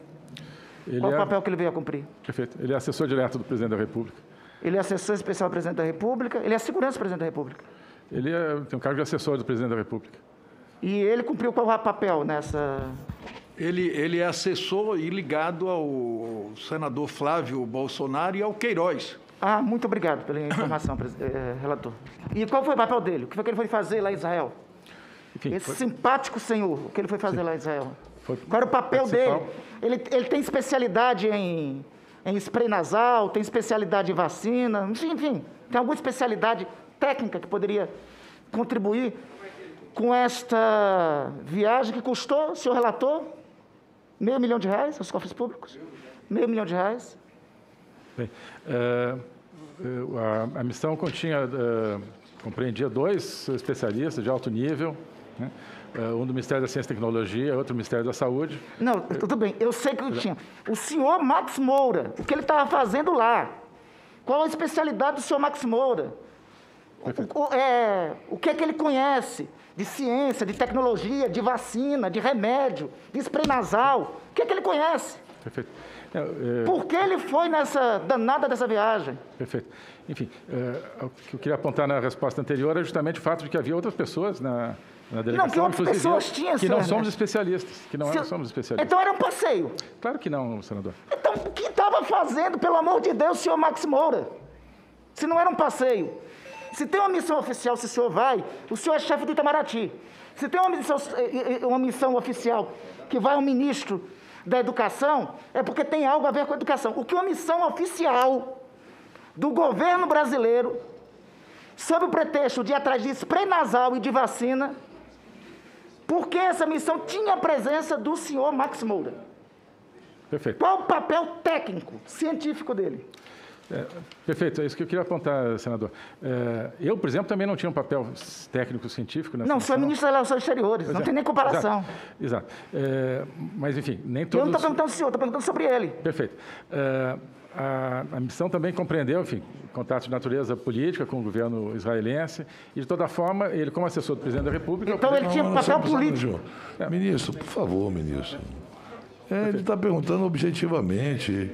O senhor quer contar uma historinha, não faça isso. Mas aí, presidente. O senhor não sabe, diga, olha, não sei o que, que ele estava na comissão, tudo bem. É mais adequado. Melhor. É mais adequado. a gente falar alguma coisa. O papel dele era, de, enfim, como tá bom, assessor senador, especial, da, como assessor Randolfo. direto do presidente da República, era. Papel Só outra pergunta, presidente. É o seguinte: hum. durante a crise da falta de oxigênio no Amazonas, o senhor mesmo declarou, declarou que houve apoio é, humanitário do governo venezuelano. Eu pergunto ao senhor: o senhor fez algum contato com alguma autoridade venezuelana para conseguir esse apoio? É, não, a doação foi oferecida pelo governo venezuelano. Perfeito. O Itamaraty realizou algum esforço com os demais países vizinhos para socorrer os amazonenses que estavam oh, faltando oxigênio? Não, não permitiram que um avião fosse lá. Teve que vir de estrada. Enquanto estava morrendo gente sem oxigênio em Manaus, o oxigênio vindo da Venezuela estava vindo de estrada. Um voo da FAB, se o Ministério das Relações Exteriores tivesse interferido, em uma hora aí voltava faço minha não fizeram isso, do... Não fizeram isso. Enquanto, ministro, enquanto a gente não conseguia um voo, e o desespero era grande porque eu estava lá, um voo para ir buscar oxigênio na Venezuela e voltar, o tempo para levar esse oxigênio da Venezuela até Manaus, morreu muita gente. Poderia ter sido evitada essas mortes se Vossa Excelência tivesse agido. Nós fizemos um esforço danado. E aí, ressalve-se, o ex-ministro da Defesa, o general Fernando, que foi um gigante para ajudar o povo do Amazonas. Então, o Ministério das Relações Exteriores não fez contato com o governo venezuelano por questões ideológicas. e até hoje eu estou esperando essa guerra, viu? Que senhor, o Brasil não aguenta duas senhor horas. o senhor confirma? Não, não confirmo. Não confirma? Então, não é, é verdade o que o presidente está falando? É, nós... Você ligou para alguém lá? O senhor ligou para alguém da Venezuela? Não. O senhor agradeceu ao gesto do governo venezuelano? Não. Perfeito. Presidente, eu acho que Nessas tudo... horas todas, senador Randolph, estava indo a óbito pessoas sem oxigênio. Presidente... Nessa eu... hora. Presidente, eu concluo. O ministro trouxe importantes informações, senhor relator, sobre as responsabilidades do governo brasileiro em relação à tragédia de Manaus. Mais que isso, senhor presidente, eu acredito que o ministro, e é o que eu me reporto ao senhor, e eu não vou nem reportar as nossas diferenças, o senhor pode ver aqui. Ninguém do governo, a base do governo não veio para socorrer o senhor. O senhor está abandonado aqui nessa comissão. Eu acho que o senhor pode contribuir muito mais com a CPI nas perguntas dos demais colegas aqui. Acho que o senhor pode entrar em, nessa comissão parlamentar de inquérito, eu falo isso até em nome da biografia do senhor, em uma ação de colaboração, concurso, com encaminhamento das investigações que estão ocorrendo. De qualquer sorte, eu estou satisfeito com as respostas do senhor.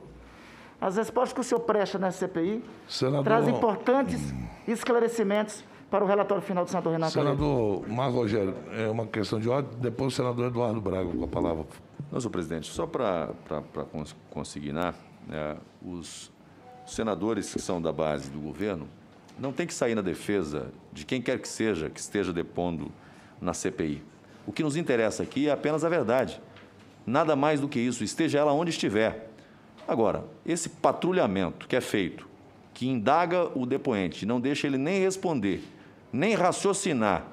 Não, mas a sociedade está acompanhando. Ele respondeu tudo. Não, a sociedade senador, está acompanhando. Senador, então, senador, então, Vossa assim, Excelência, só um minutinho, mas, senador Marco Rogério, Vossa Excelência me deu um telefonema preocupado com a falta de oxigênio em Rondônia. Sim. Correto? Vossa Excelência, que não é o governador, Vossa Excelência é senador. Eu me lembro do seu, da sua preocupação, seu desespero. Sim. Tá certo? E eu, é, solidário a você, porque nós passamos por isso. Senador Marco Rogério, veio de carro, poderia ter vindo de avião. Era um telefonema. Era uma aproximação. Era para salvar vidas. Não é questão política aqui, por favor. Não, senhor presidente, eu não, tô, eu não, eu não estou não é questionando. esse- nada. não estou, estou questionando. É, eu só estou dizendo o seguinte: é, eu vi o seu desespero. E, há de, o povo de Rondônia. Vossa Excelência, foi, Vossa Excelência foi muito atenciosa Não, comigo, e- embora o governo do Não, Estado sim, não é. fez nada, mas Vossa É, Excelência mas foi Vossa extremamente Excelência é seguinte, comigo. Eu sou testemunha e o povo de Rondônia pode ter certeza do empenho do senador Marco Rogério quando estava com problema de falta de oxigênio. O senador Marco Rogério ligando, ligou para mim como ligou para outras pessoas atrás de oxigênio. Então, veja bem, eu sou testemunha do seu esforço e o seu desespero. Sim. Imagine o nosso. É, eu penso que na semana que vem vai estar aqui o secretário, atual secretário de Saúde e o ex-secretário executivo do Ministério das- da, da Secretaria de Saúde do Estado do Amazonas. Vai ser uma boa oportunidade para a gente conversar sobre isso. Eu solicitei à própria White Martins documentos sobre essas tratativas que aconteceram sobre o oxigênio. Acho que esse é um ponto que todos nós temos de preocupação. Não só o seu Estado que aconteceu, o meu também. Agradeço, Vossa Excelência. Senador Eduardo Braga, por favor. Senhor presidente, senhores senadores, eh, senhor eh, ex-chanceler brasileiro Ernesto Araújo, eu gostaria, presidente, de iniciar relendo o requerimento que criou essa CPI, senador Renan. No trecho em que eh, senador Randolph, apoiado por outros 32 senadores, depois perdemos o senador Major Olímpio, subscreveram, entre eles eu, um dos subscritores deste requerimento. Apurar as ações e omissões do governo federal no enfrentamento da pandemia do Covid no Brasil e, em especial, no agravamento da crise sanitária no Amazonas, com a ausência de oxigênio para os pacientes internados. Isto é fato determinado, portanto, que nós estamos tratando aqui. Quero também reler um dos requerimentos que foi aprovado para convocar o ex-chanceler Ernesto Araújo. Um desses requerimentos, subscrito pelo senador Marcos Duval, diz o seguinte: é fato público e notório que o senhor Ernesto Henrique Fraga Araújo, durante o período que foi ministro de Relações Exteriores, executou na política externa o negacionismo de Bolsonaro na pandemia. Quem diz isso é o senador Marcos Duval, Fernando, Bezerra. O que teria feito o Brasil perder um tempo precioso nas negociações por vacinas e insumos para o combate à Covid-19? Isso quem está dizendo não é o líder do MDB. Quem está dizendo é o senador Marcos Duval, num requerimento aprovado para que o ex-chanceler viesse a essa CPI. Por que faço essas, essas, essas duas lembranças? Porque, afinal de contas, o senhor Ernesto Araújo está aqui na posição de ex-chanceler do povo brasileiro. O que se esperar de um ex-chanceler? A defesa do interesse do Brasil e do povo brasileiro. Não a defesa da posição partidária ou a defesa de governos que é, estão temporariamente no poder. Até porque a diplomacia brasileira é uma diplomacia reconhecidamente competente e reconhecidamente apartidária. Para aqueles que possam não, não identificar a expressão chanceler, nós estamos falando do ministro das Relações Exteriores, portanto, aquele que trata das relações do Brasil com outros países, como os Estados Unidos, e nós fizemos, lamentavelmente, uma opção partidária com relação aos Estados Unidos. Com relação à China, e lamentavelmente nós já ouvimos aqui vários senadores, e eu aqui não vou ser repetitivo, quero apenas dizer que vários senadores colocaram e deram a oportunidade ao ex-chanceler de contraditar a questão do negacionismo, de forma clara, de forma é, cartesiana, de forma objetiva. E na resposta que Vossa Excelência poderá dar a mim, Vossa Excelência terá novamente essa chance. Agora, qual é os interesses do Brasil e dos brasileiros diante de uma pandemia? Salvar vidas, ter vacinas. O senhor Ernesto não esclareceu isso. E, lamentavelmente, o Brasil, que poderia ser o primeiro, de repente o segundo ou o terceiro, ficamos aqui discutindo se somos o quarto muito atrás. Enquanto isso, o número é, é entristecedor, senador Marco Rogério. 436.682 brasileiros morreram. E no Amazonas, mais de 12.800 brasileiros morreram. Quando houve a crise de oxigênio no Amazonas, e o senador Randolph é testemunha disso, nós tivemos a oportunidade de falar com o embaixador da Venezuela no Brasil, que lamentavelmente não podia estar em Brasília, porque o governo brasileiro rompeu relações diplomáticas com a Venezuela. Eu não defendo o governo Maduro ou o governo A ou B ou C. Eu defendo os interesses do povo brasileiro e o interesse do povo do Amazonas a independência e a autonomia do povo venezuelano que estabeleça o destino do seu povo. Mas a verdade dos fatos é que o governo brasileiro, em plena pandemia, mandou que os representantes da Venezuela saíssem do Brasil. No mês de maio, dando um prazo até o mês de maio de 2020. E o ex-chanceler precisa responder isso. Porque, senhor Ernesto Araújo, no Amazonas, morreram no mês de janeiro mais de 3 mil pessoas por falta de oxigênio. A distância que nos separa da Venezuela são alguns milhares de quilômetros, asfaltados. Mesmo que fosse por estrada, senador Omar, não precisava levar o tanto de dia que levou, porque chegou oxigênio no Amazonas, vindo da Venezuela, no dia 20 de janeiro. E foi chegar oxigênio mandado do Brasil para o Amazonas, como se o Brasil não fosse parte do Amazonas ou o Amazonas não fosse parte do Brasil. Foi chegar no dia 24, para começar a ser distribuído a partir do dia 25. Agora, senhor ex-chanceler, a diferença, senhor ex-chanceler, é que morriam mais de 200 amazonenses por dia. No dia 30 de janeiro, alcançamos o recorde de mortes no meu estado, tristemente. 225 mortos. E eu pergunto, por que, que a chancelaria brasileira, em defesa dos interesses dos brasileiros que lá vivem, não agiu proativamente, afirmativamente, para levar oxigênio que estava mais perto para salvar vidas? O senador Marco Rogério ligou a mim, pedindo ajuda sobre Rondônia.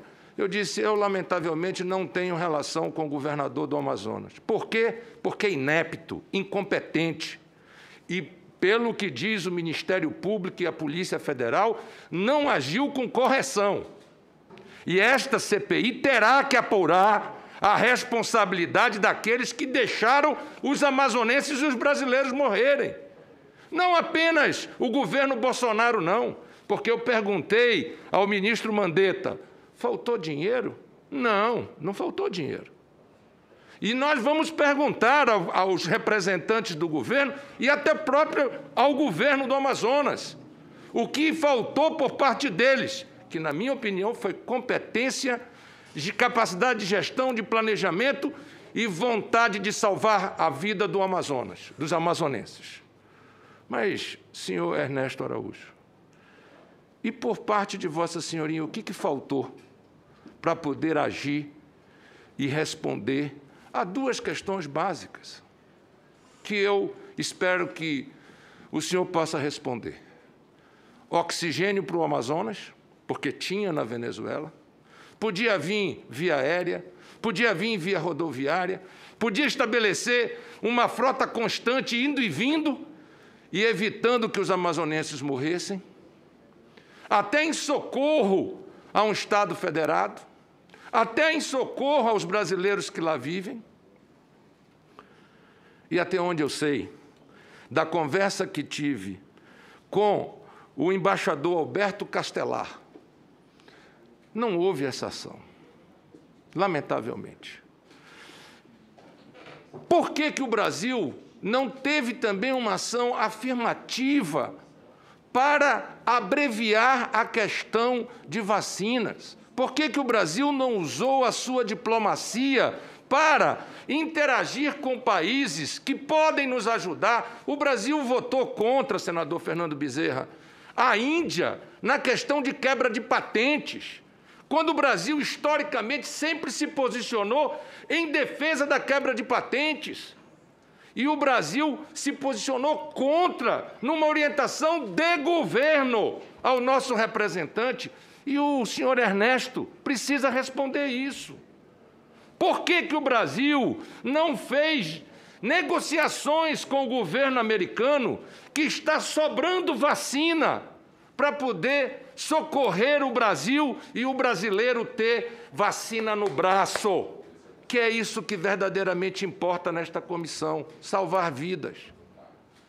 Por que, que o Brasil não estabeleceu relações diplomáticas de alto nível com a China para resolver o problema do IFA? Não é possível. O Brasil faz com que a segurança alimentar da China seja possível com as exportações nossas de commodities alimentares. E a reciprocidade? Qual a ação que a chancelaria e o chanceler de então fez concretamente nesse sentido?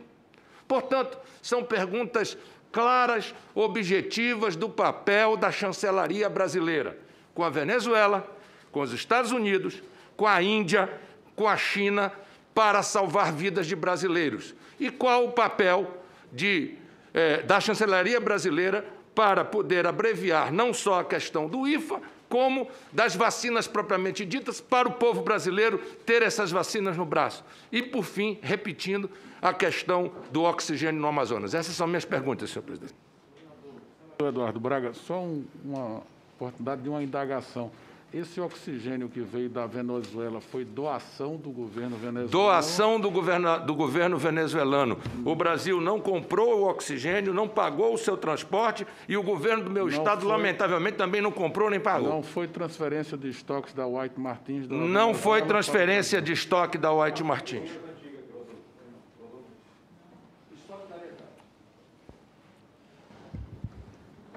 E poderia ter vindo muito mais, porque está ali perto. Só claro. transporte, só que de, de, de caminhão demora praticamente dois dias para chegar.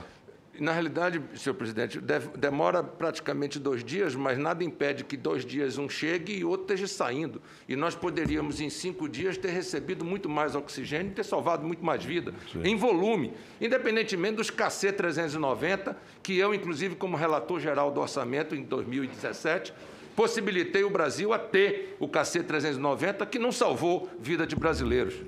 Pois é, tem avião também, né? Podia ter vindo de avião. Bom, agora nós vamos passar aos... Ah, desculpa, senador... Obrigado. Muito obrigado, Presidente, obrigado, senador. Bem, eh, em relação ao oxigênio, Bem, aqui mais uma vez, eh, Itamaraty não age de maneira autônoma eh, em temas eh, de saúde. Né? O Itamaraty não tem condições de avaliar o momento em que condições é necessário proceder a essa ou aquela ação em relação ao sistema de saúde, no caso, ao suprimento de oxigênio. Então, tem duas situações específicas. Primeiro, não tenho exatamente a data, mas deve ter sido 14 ou 15 de janeiro, foi procurado pelo é, governador do Amazonas, pelo governo do estado do Amazonas, para tentar viabilizar a vinda de um avião com capacidade para transporte é, de oxigênio dentro do território nacional. Né? chegou a mim imediatamente, quer dizer, pedi para que informassem a, a da, da, Saúde, mas pra, justamente para não perder tempo, já saí logo eh, em atuação para tentar localizar esse, onde haveria esse avião. Eh, soubemos que teria o Chile... E, oi? É. O Chile e uh, os Estados Unidos teriam aviões com capacidade para transportar grandes quantidades de oxigênio. O, o, que me chegou, no caso do governador do Amazonas, foi de que haveria oxigênio disponível em outros, outros pontos do território nacional e se tratava de simplesmente ter o avião, porque eh, foi, foi me dito que não havia aviões disponíveis naquele momento no Brasil para o transporte. É, o Chile não tinha o avião, os Estados Unidos tinha, e em mais ou menos 24 horas o avião americano já estava praticamente com tudo pronto para decolar. Aí eu recebi é, ligações do é, ministro da Defesa e do ministro da Saúde, ministro da Defesa dizendo que sim, havia aviões disponíveis no Brasil, e do ministro da Saúde no mesmo sentido de que só interessaria ao Brasil se o avião já viesse carregado de oxigênio. então, nós imediatamente contactamos, eu com toda urgência o, governo do estado do Amazonas é, para é, que nos desse as especificações, então, é, do, do, oxigênio, quer dizer, que tipo de cilindro, que tipo de é, especificações mínimas, das quais nós não dispunhamos e que os Estados Unidos precisavam para proceder a, a isso. Passaram, 15 segundos. Passaram-se dois, três dias e não recebemos essas especificações, acabou não sendo, não se, via, não se Então, senhor presidente, o que o ex-chanceler está dizendo é que, ao comunicar o governo do Amazonas quais as especificações necessárias para que este avião pudesse transportar oxigênio para salvar vidas no Amazonas, estas informações não chegaram até a chancelaria brasileira. É isto que é, é Excelência está dizendo? É, infelizmente, não. Enfim, não chegaram. É, infelizmente não chegaram. Não chegaram essas informações. Ou seja, é mais criminoso ainda. Havia o avião, havia as tratativas do governo brasileiro através da chancelaria, e este avião não foi utilizado para salvar vidas por não ter havido informações complementares. E, por outro lado, o Ministério da Saúde, substituindo o papel do governo do Estado, também não o fez. E, enquanto isso, lamentavelmente, brasileiros amazonenses morriam por falta de oxigênio. Bem, posso continuar as respostas? Por favor. Obrigado, presidente. É, bem, é, Ainda em relação a, ao oxigênio, eh, não se materializou esse, esse momento, mas alguns dias depois, ou uma semana talvez, eh, não sei exatamente a data, os Estados Unidos fizeram uma doação de concentradores de oxigênio, que não sei se já estão operativos, para eh, minimizar essa, essa situação. Bem, é, e é, em relação ao oxigênio vindo da Venezuela, assim que chegou a notícia de que havia essa disponibilidade de, de doação, eu determinei que se fizesse tudo que cabe ao Itamaraty, que é, são alguns procedimentos burocráticos através da Agência Brasileira de Cooperação, para viabilizar essa uh, o mais rápido possível essa doação, sem nenhum percalço político, de nenhuma maneira. Me lembro que coloquei eh, colegas, funcionários de alto nível, para monitorar, inclusive durante a noite, se houvesse algum problema na passagem da Receita Federal ali na fronteira, para que. Uh, pudéssemos comunicar, não, isso é uma doação, sim, que nós estamos aceitando. Então, uh, fizemos plenamente o nosso papel, sem nenhum impedimento de natureza uh, política. Uh, bem, o senhor perguntou sobre a. Vossa Excelência perguntou sobre o. é, Índia, Estados Unidos, China. Né? Bom, é, com a Índia, é, essa questão das patentes, repito aqui, se me permite, nosso posicionamento não afetou em absolutamente nada o nosso relacionamento com a Índia, em nada, e inclusive não no, especificamente não no caso das patentes. o Brasil não é contra a quebra de patentes, inclusive porque já existe o mecanismo dentro do esquema de propriedade intelectual da OMC que permite a quebra de patentes em caso de emergência sanitária. Então, para efeitos do Brasil, nós já hoje poderíamos quebrar patentes de vacinas e produzi-las no Brasil se tivéssemos essa eh, capacidade. Eh, o que essa proposta da Índia acrescentaria seria a possibilidade de que vacinas produzidas a partir de patentes quebradas sejam exportadas, porque hoje, eh, digamos, se a Índia quebrar a patente, ela pode produzir lá, apenas para o mercado indiano, não, não poderia exportar. Eh, essa seria a, diferença. Eh, mas nós não nos. Eh, só para esclarecer também, o senhor mencionou que a gente votou contra a Índia. Na verdade, a tomada de decisões na OMC não é por votação, é por consenso.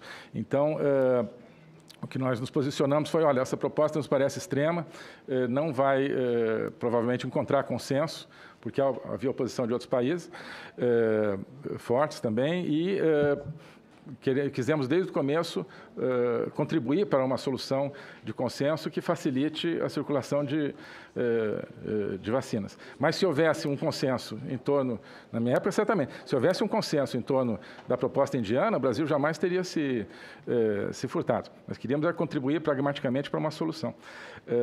Mas isso não teve consequência nenhuma em recebimento de, de vacinas, ao contrário, trabalhei com o chanceler indiano para viabilizar a vinda de vacinas da Índia.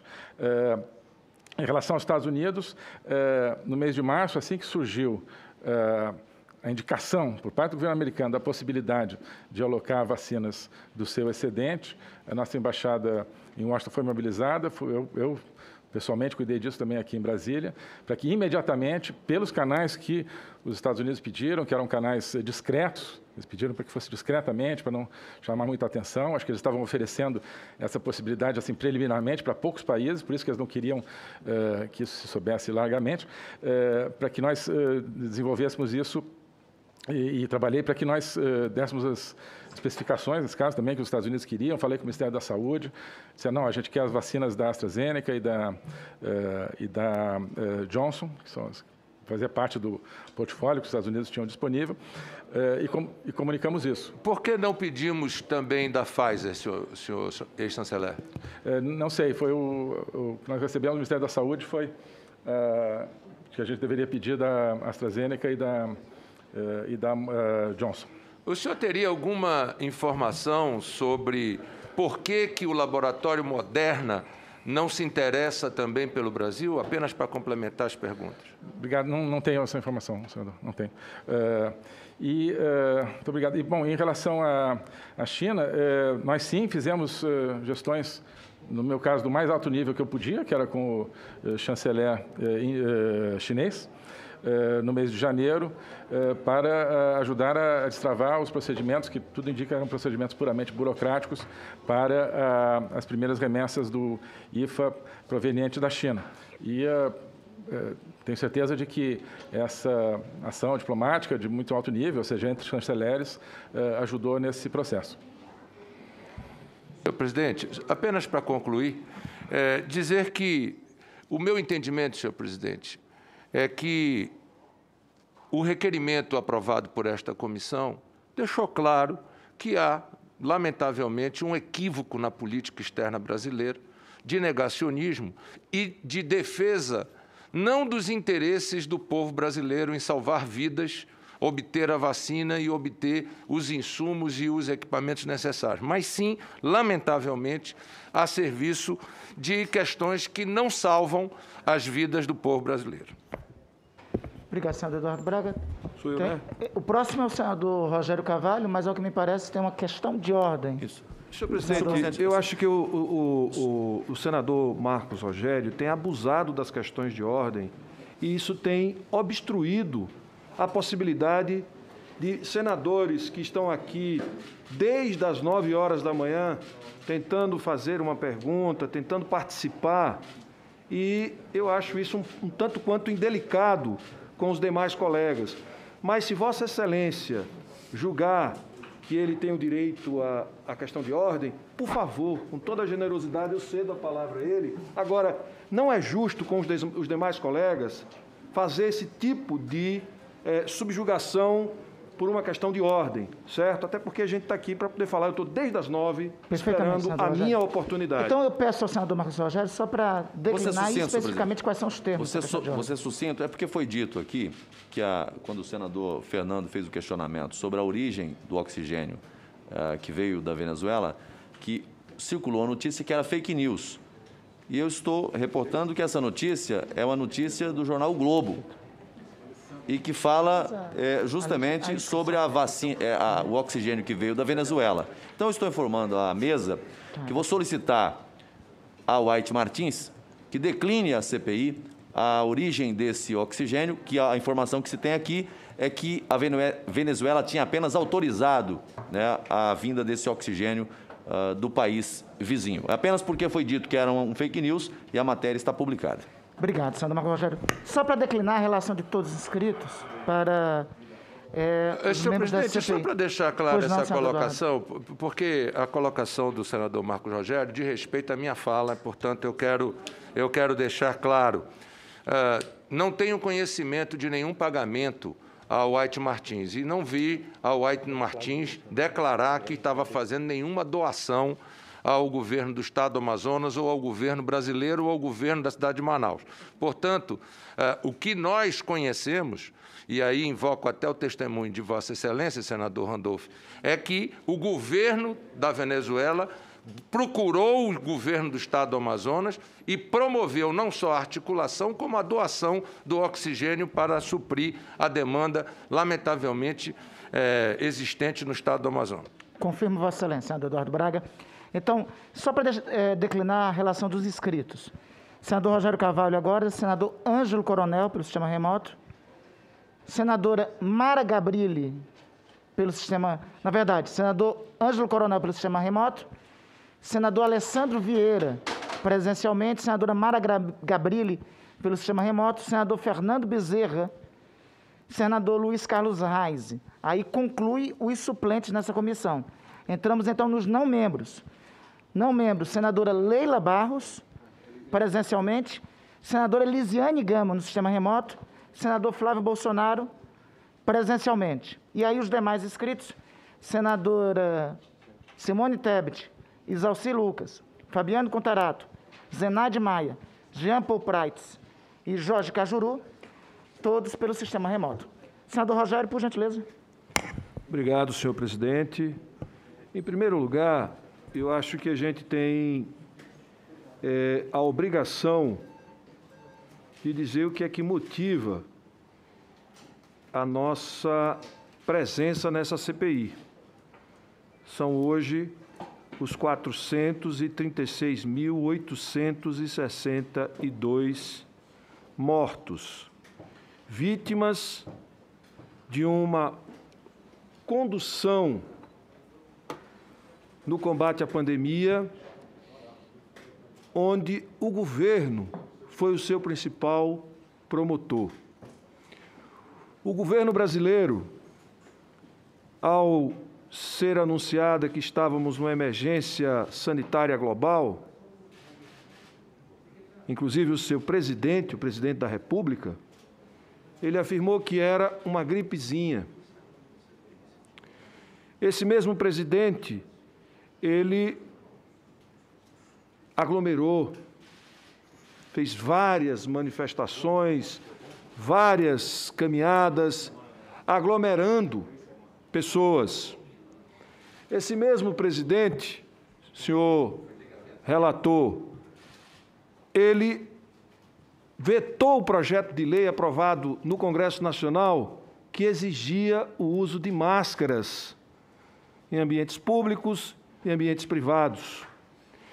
Este mesmo presidente da República entrou com ação no STF para proibir estados e municípios a fazerem isolamento ou adotarem medidas de restrição de circulação, de, restrição de circulação de pessoas, esse mesmo presidente não deu importância ao consórcio da OMS para a compra de vacinas.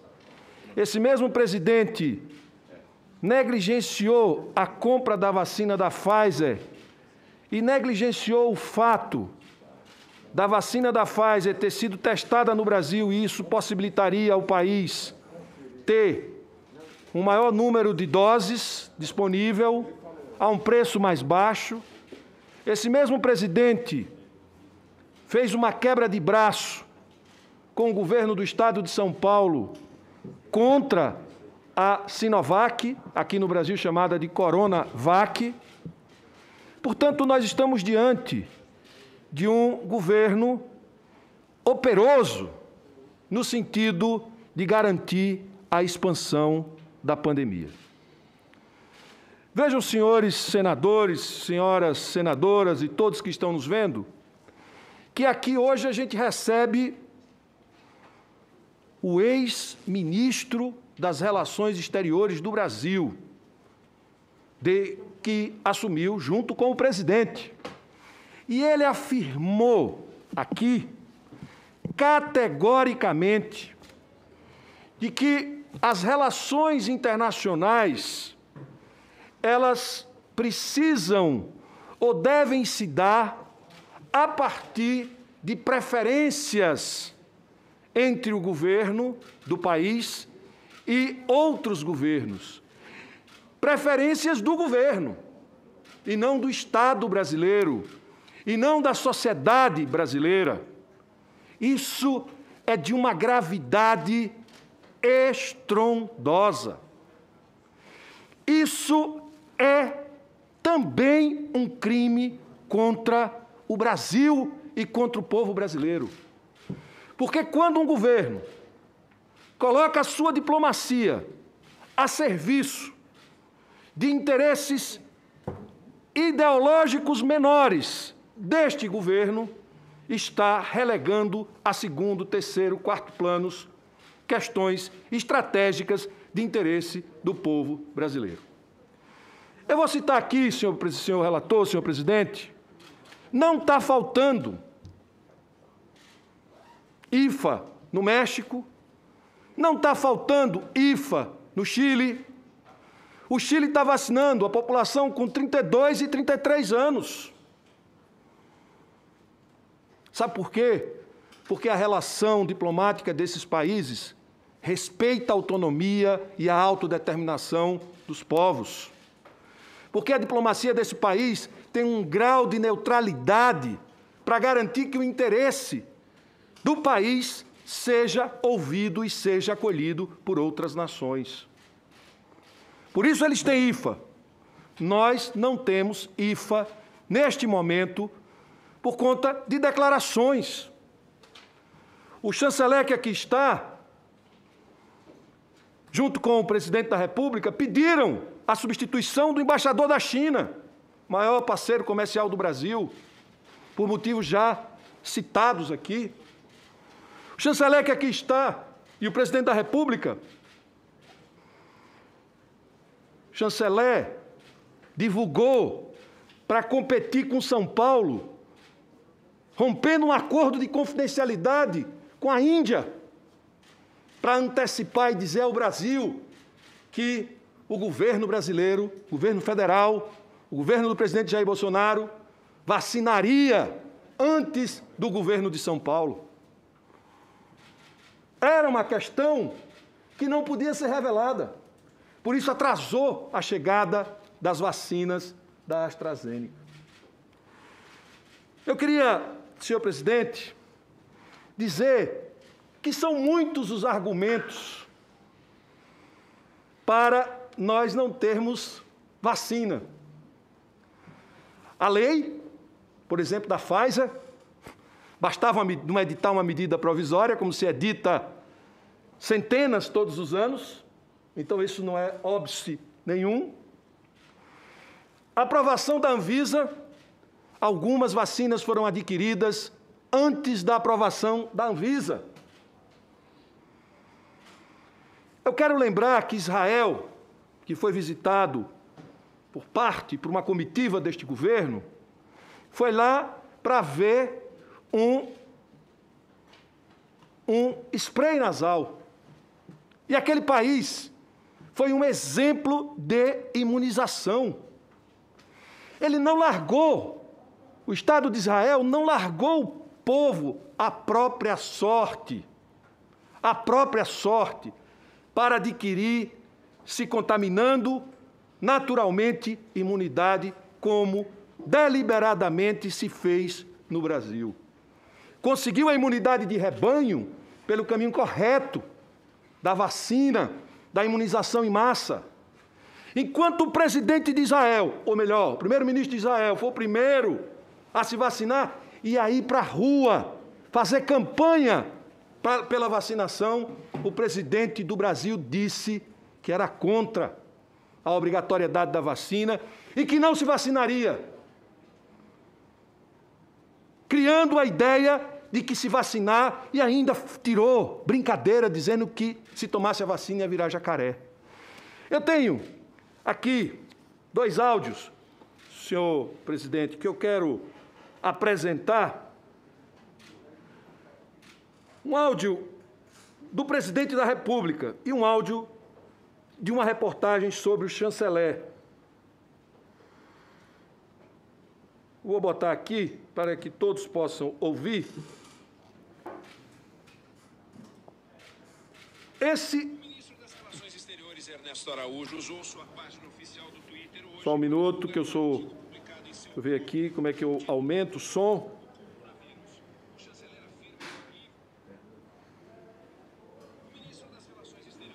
Ernesto Araújo usou sua página oficial do Twitter hoje para divulgar um artigo publicado em seu blog com o título Chegou o Comunavírus. O chanceler afirma que o livro de um filósofo esloveno entrega sem disfarce o jogo comunista globalista de apropriação da pandemia para subverter completamente a democracia liberal e a economia de mercado, escravizar o ser humano e transformá-lo em um autômato desprovido de dimensão espiritual facilmente controlável.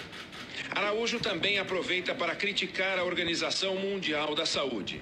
Ele escreve: transferir poderes nacionais à OMS sob o pretexto, jamais comprovado, de que um organismo internacional centralizado é mais eficiente para lidar com os problemas do que os países agindo individualmente, é apenas o primeiro passo na construção da solidariedade comunista planetária. Agora eu vou botar o outro. Ainda não acabou.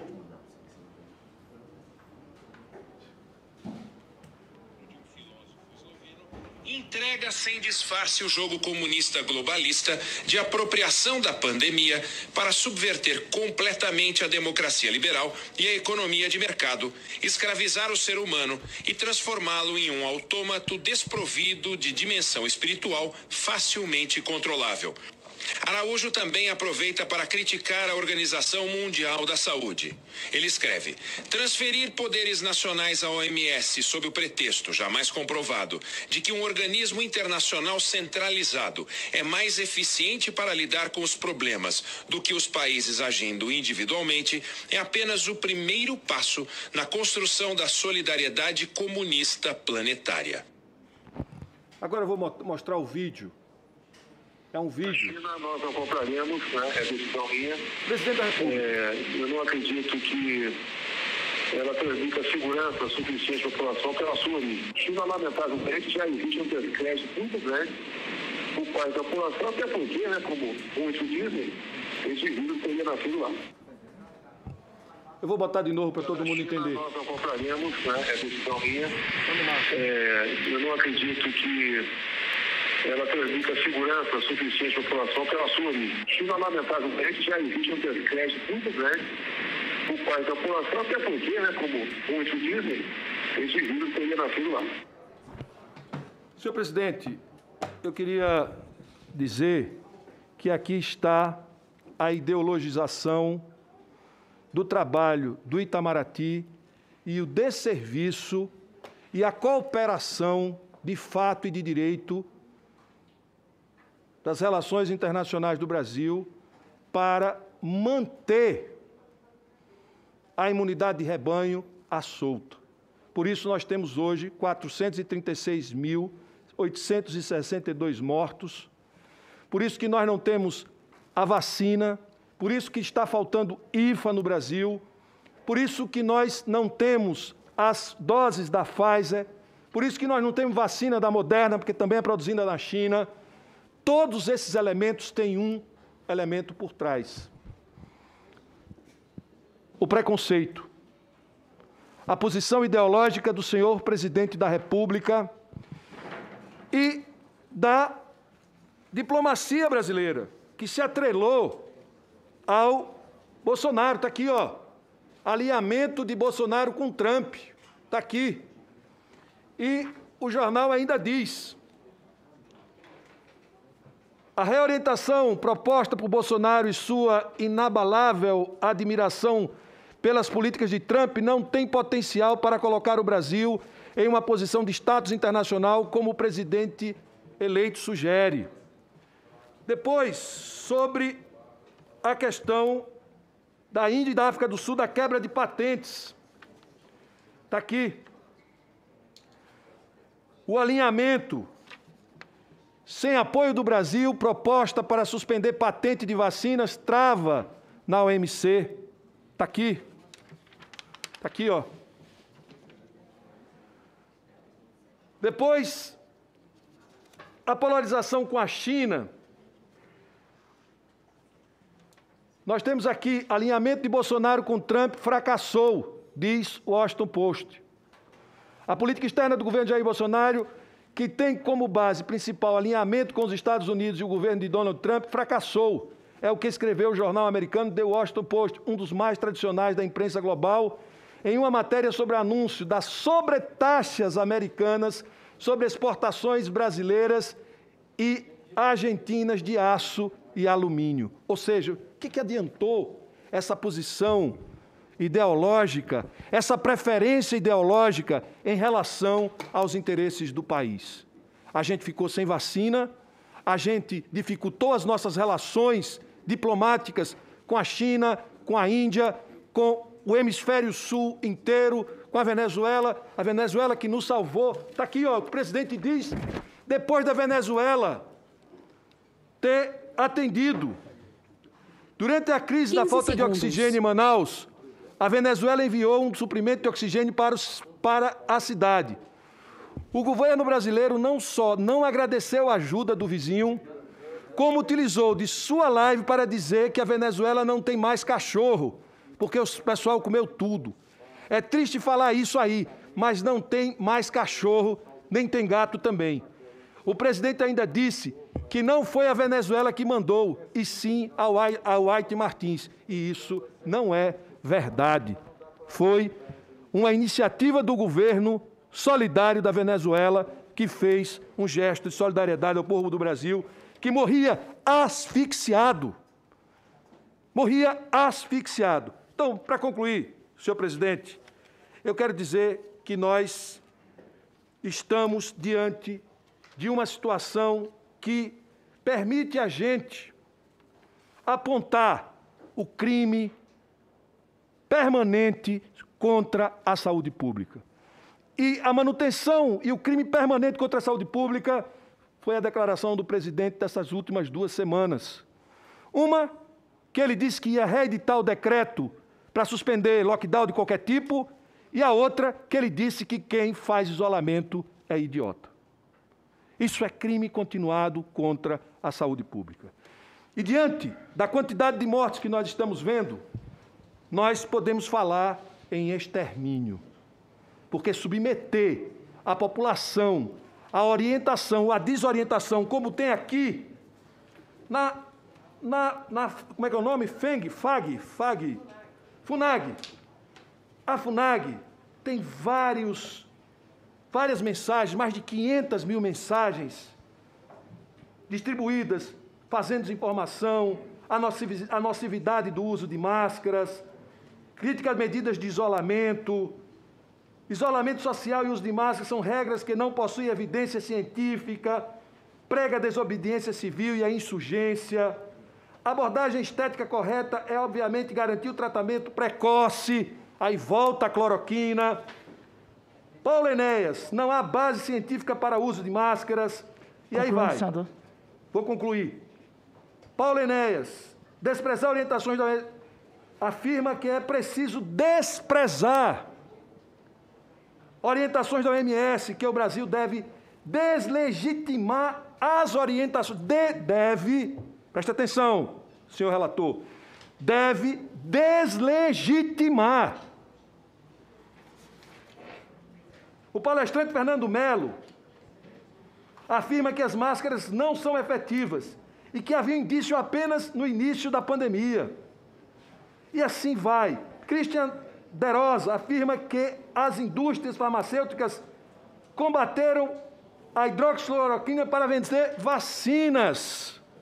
E a Conitec, essa semana, disse que a hidroxicloroquina não tem eficácia no tratamento da doença, coisa que todos os periódicos de renome internacional já tinham afirmado. Concluindo, senador. E aqui, por final, durante, só para concluir, durante palestra, presidente da FUNAD recomenda sites de estudos nacionais. Olha aqui.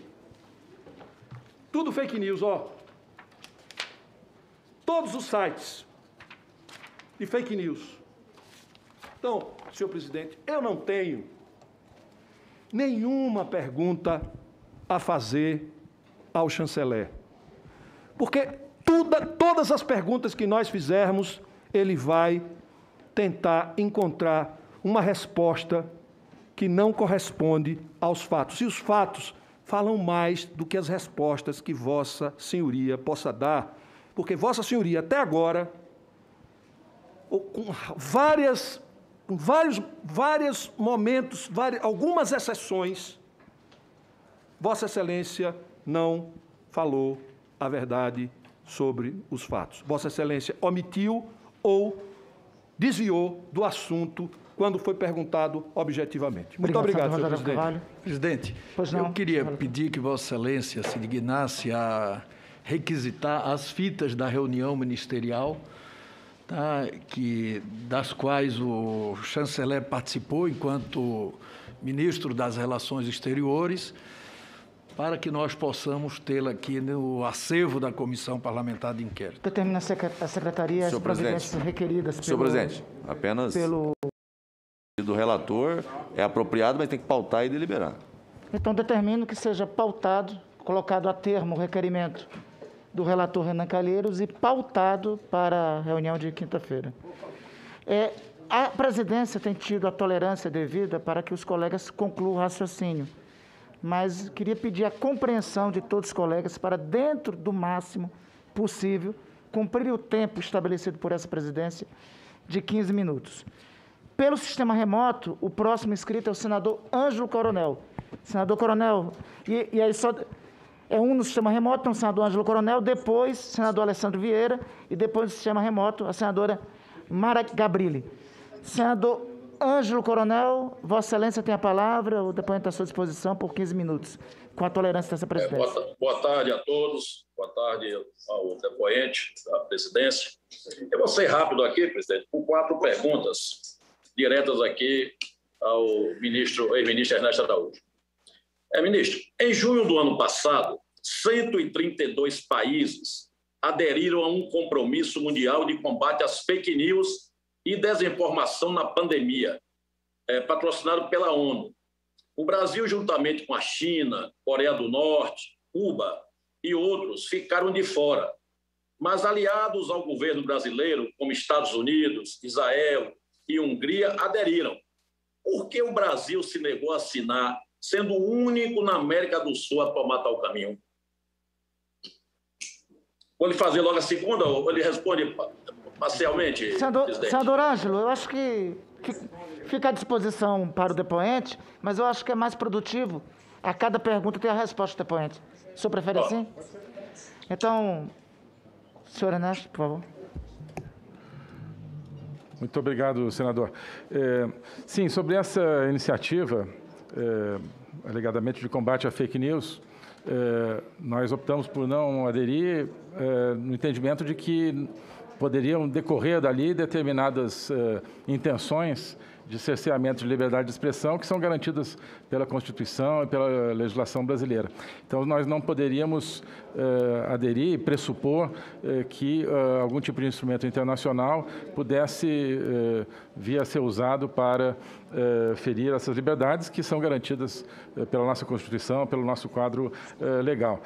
Esse é mais um exemplo de iniciativas multilaterais nos quais, nas quais a gente se posiciona, no fundo, defendendo, claro, o princípio da independência nacional, o princípio de que cabe ao Parlamento brasileiro legislar para os brasileiros e não, digamos, simplesmente transpor iniciativas multilaterais.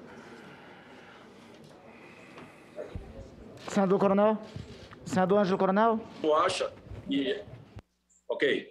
Então, ministro, o senhor acha que uma pessoa criar perfil fake para incentivar pessoas a não se vacinarem, eu só acho que isso é uma coisa correta, já que o senhor não quis, na época, como chanceler, aderir a este acordo. Então, o senhor acha que a criação de um perfil fake, um perfil falso, para depreciar as pessoas, eu acredito até, o senhor deve ter sido até já depreciado ao longo da sua vida, o senhor acha também isso essencial, o direito à liberdade de expressão?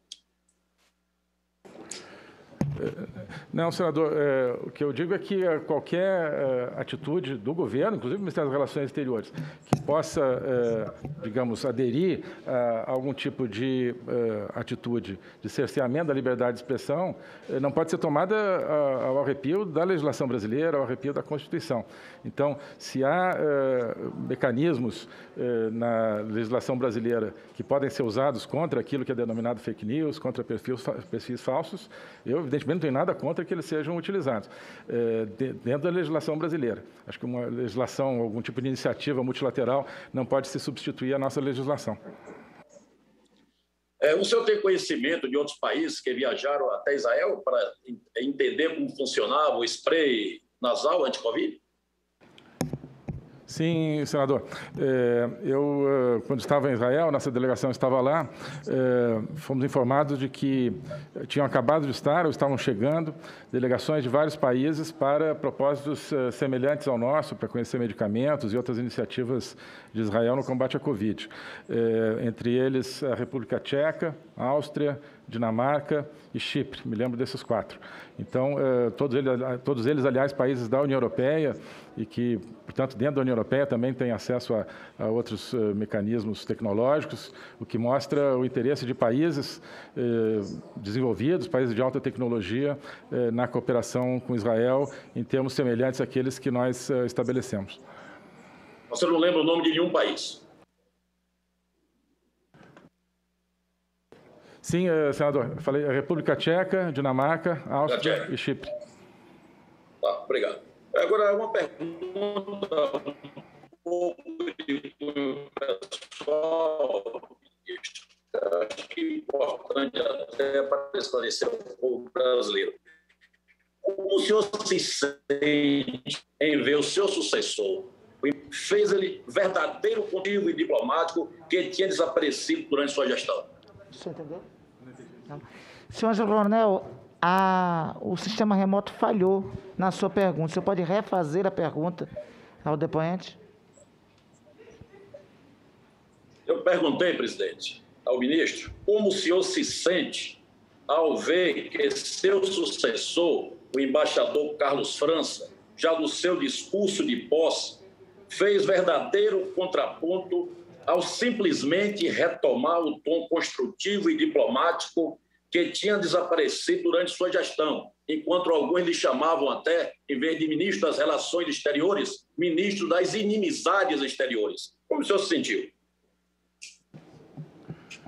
Senador, não quero fazer nenhum comentário sobre a atuação eh, do meu sucessor, apenas reiterar a minha convicção eh, de que a minha gestão atendeu plenamente aos interesses brasileiros, atendeu aos nossos objetivos eh, de nos tornarmos uma grande nação, objetivos básicos deste governo eh, e também aos objetivos de combate à pandemia.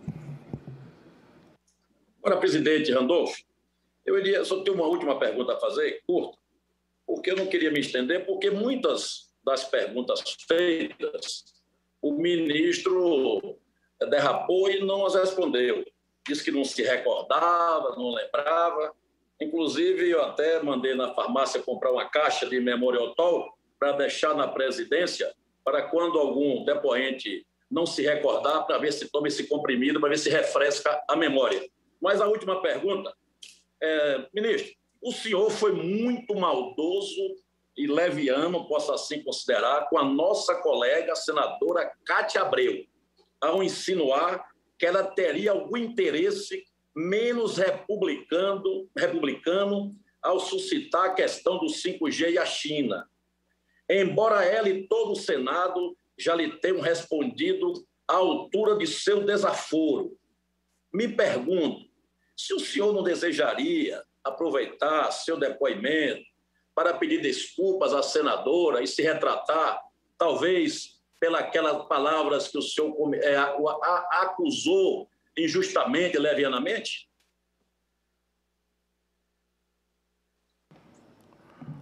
Senador. É, bem, na referência que eu fiz a determinado comportamento da senadora Cátia Abreu, eu simplesmente disse a verdade, eu simplesmente relatei um fato. Então, jamais vou me arrepender de dizer a verdade. Obrigado. Ok. Então, senhor presidente, eu agradeço. Fica aí realmente um dos motivos que levou à exoneração do chanceler Ernesto Araújo por ter desacatado uma senadora briosa, combativa, como a senadora Cátia Abreu. Realmente é um absurdo é, ver um diplomata que devia usar diplomacia para tratar, tratar bem as pessoas, ele realmente usa diplomacia para atacá-las. Muito obrigado, senhor presidente. Obrigado, senador Ângelo Coronel. Senador Alessandro Vieira, na sequência, pelo sistema remoto, a senadora Mara Gabriel. Obrigado, senhor presidente, senhor ministro. É, boa tarde. Eu gostaria de indagar o senhor, com, com a carreira relativamente curta na diplomacia, como Vossa Excelência chegou ao Ministério das Relações Exteriores. Obrigado, senador. Eu não vejo relação com o tema da comissão. É, o senhor deixa isso a cargo da comissão e, com, ao cargo da presidência. Faz sentido. Eu quero saber o momento que Vossa Excelência aderiu a esse projeto de governo e a esse perfil ideológico. Repito a pergunta: como Vossa Excelência, com a carreira que tem na diplomacia brasileira, chegou ao cargo de ministro das Relações Exteriores do Brasil?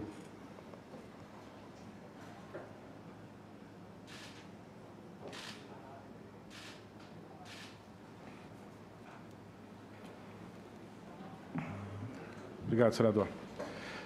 Bem, é, deferência à Vossa Excelência, eu vou responder, embora continue com esse entendimento de que não diz respeito ao objeto da comissão. É, cheguei por designação do presidente da República. Vossa Excelência não conhecia o presidente da República nem seu projeto antes da designação que recebeu? Não conhecia o presidente da República até depois da sua vitória na eleição. Claro que conhecia seu programa de governo. O senhor participou de reuniões sobre a Covid, combate à Covid, combate à pandemia no Palácio do Planalto? Uh, participei uh, em algumas ocasiões uh, de reuniões onde se falou de diferentes aspectos do combate à Covid no Palácio do Planalto, sim. O senhor pode elencar, mesmo que sucintamente, com quem Vossa Excelência se reuniu? senador, várias ocasiões, basicamente com vários ministros, quase sempre sob coordenação, que eu me lembre, do uh, ministro-chefe da Casa Civil, ministro da Saúde, uh, geralmente ministro da Ciência e Tecnologia e outras autoridades. Assim, Vossa Excelência é, testemunha sobre a participação de pessoas de fora do quadro oficial do governo em reuniões dessa natureza? É, não, não sou. Todas as reuniões onde Vossa Excelência esteve presente eram formadas apenas por servidores do quadro, seja comissionado ou concursado, da República? É, bem, pode ser que em alguma reunião houvesse pessoas que eu não conheço, portanto que eu não sei se eram é, do quadro da República. O senhor foi demandado em algum momento pelo senhor presidente da República para alguma ação ou omissão específica no combate à pandemia? Não, nunca foi demandado pelo presidente da República, exceto numa ocasião, eh, não como uma crítica, mas como um pedido de eh, esclarecimento. Acho que me referi em alguma pergunta eh, anterior, no momento em que se noticiou que haveria atraso de alguns dias na remessa das primeiras vacinas da Índia. O presidente me ligou especificamente sobre isso, perguntando como estava a situação, e eu relatei. O senhor nunca recebeu nenhum tipo de solicitação para acelerar contatos com fornecedores ou para escolher fornecedores de vacinas ou de insumos por Não. parte do presidente da República? Não. Perfeito. Pelas eh, declarações de Vossa Excelência nessa comissão, pode-se compreender que todas as ações ou omissões do Ministério de Relações Exteriores se deu por orientação técnica do Ministério da Saúde, é isso? O Ministério das Relações Exteriores sempre atuou a partir eh, de uma coordenação nessa área do, do Ministério da Saúde. A escolha pelo percentual de vacinas da COVAX se deu por orientação técnica do Ministério da Saúde. Sim. O senhor já, já respondeu, ainda que brevemente, ao, ao senador Ângelo Coronel, mas eu vou repetir a pergunta para poder aprofundar um pouco mais. Por que, que o Brasil recusou o acordo sugerido pela OMS contra fake news e desinformação durante a pandemia? Acordo esse que foi subscrito por 132 nações, inclusive Estados Unidos e Donald Trump, para dar um exemplo. Sim. É, bem, eu acho que não é propriamente um acordo de características uh, mandatórias, uh, o status jurídico do, uh, do instrumento, o tipo de instrumento, não recordo exatamente se era uma declaração, um acordo. De toda forma, como eu disse também ao senador Ângelo Coronel, nós avaliamos que esse instrumento poderia conter determinadas expectativas de comportamento do governo brasileiro que pudessem não ser compatíveis com a legislação nacional de proteção à liberdade de expressão eh, e outros aspectos da expressão regulados pela nossa legislação. Era um compromisso para que as nações evitassem, os governos evitassem a disseminação de informação falsa sobre a pandemia, era isso? É, basicamente é o que foi alegado, exato. E o Brasil se recusou a subscrever esse documento? O Brasil não quis subscrever esse documento pelas razões que eu apontei. Essa decisão é exclusiva de Vossa Excelência ou ela tem algum tipo de orientação técnica, seja do Presidente da República ou de outro setor? Essa decisão foi minha. Exclusivamente sua. Vossa Excelência é, tem diversas, diversas manifestações públicas curiosas. Eu vou citar só uma delas que me chama a atenção. Abro aspas. Quando você compra a biopolítica do Fique em Casa, talvez esteja ajudando o narcotráfico. Declaração que Vossa Excelência deu em 31 de dezembro de 2020, ou seja, já com a pandemia a pleno vapor, e onde o senhor atribui a uma conduta orientada pelo próprio Ministério da Saúde, que é de dentro do possível evitar a circulação, um potencial auxílio ao narcotráfico. O senhor consegue nos explicar essa declaração? Sim. É, eu também, em outros textos, em outras ocasiões, chamei atenção para uh, o risco uh, de uma ideologização, uh, seja da pandemia, seja de outros aspectos da vida internacional de hoje. nesse caso, eu fazia referência a essa ideologização, ou seja, a criação digamos, de determinados parâmetros que não respondem à ciência, que podem responder a determinados interesses. É basicamente isso que eu chamei de, nesse caso, de é, biopolítica. Seria, não são, não são as orientações é, concretas é, de é, isolamento ou de outras coisas é, com base em critérios científicos. É a apropriação de determinados aspectos da pandemia para objetivos políticos. E a minha tese, que eu expus claramente nessa, nesse texto, é de que várias, digamos, correntes de ação de opinião, mesmo que inconscientemente ou mesmo que sem deliberação, acabam, digamos, convergindo em torno de determinados interesses. Então, apontava que existe uma espécie de um, um conjunto, um arco de posicionamentos ideológicos que se alimentam uns aos outros e muitas vezes, infelizmente, se alimentam de aspectos da criminalidade. Se o senhor me permite só, talvez, tentar resumir para quem nos acompanha, para o próprio relator. o cidadão que adota a conduta do isolamento social, porque pode adotar essa conduta, porque a maioria dos brasileiros não pode, infelizmente, não foi provido de condições para fazê-lo, ainda que a ciência recomende. Esse cidadão que escolhe ou tem condições de optar pelo isolamento social, ele não é apenas um idiota, ele é um colaborador do narcotráfico. Do ponto de vista de toda essa conversa nebulosa de ideologia e, enfim, conspiratória, de que existe alguma ligação entre um cidadão, para não se contaminar e não morrer, ficar em casa e ele colaborar com traficantes. Eu estou tentando conectar isso porque é, é incompreensível para mim, sinceramente. O senhor pode tentar minimamente sintetizar o que o senhor quis fazer com esse texto? E claro, eu li o texto. Perfeito. Bem, é, claro que não é uma opção do, do cidadão. Né? É, o que eu estou falando é, da, é, o pretexto da, da pandemia para determinadas uh, atitudes de, uh, de controle social, ou seja, de criar uh, determinadas propensões entre as pessoas para que hajam, não de acordo com medidas, como eu disse, cientificamente comprovadas, mas uma determinada atitude ideológica, no caso diante da, da pandemia.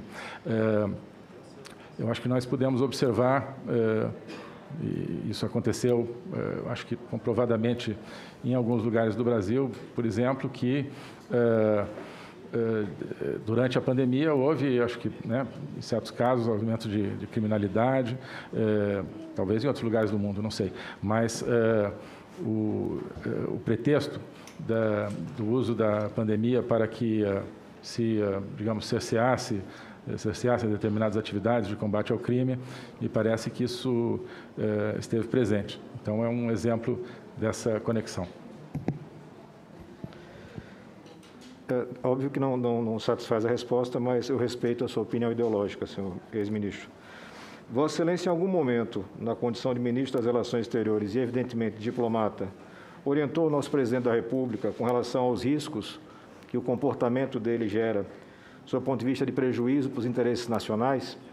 E exemplifico, quando ele, mesmo que em tom de brincadeira, agride nações amigas ou parceiras comerciais relevantes, o senhor algumas vezes é, é, orientou o presidente no sentido das consequências dos atos que ele pratica? É, bem, senador, é, eu não acho que nenhum desses atos do presidente tenha prejudicado uh, as nossas relações.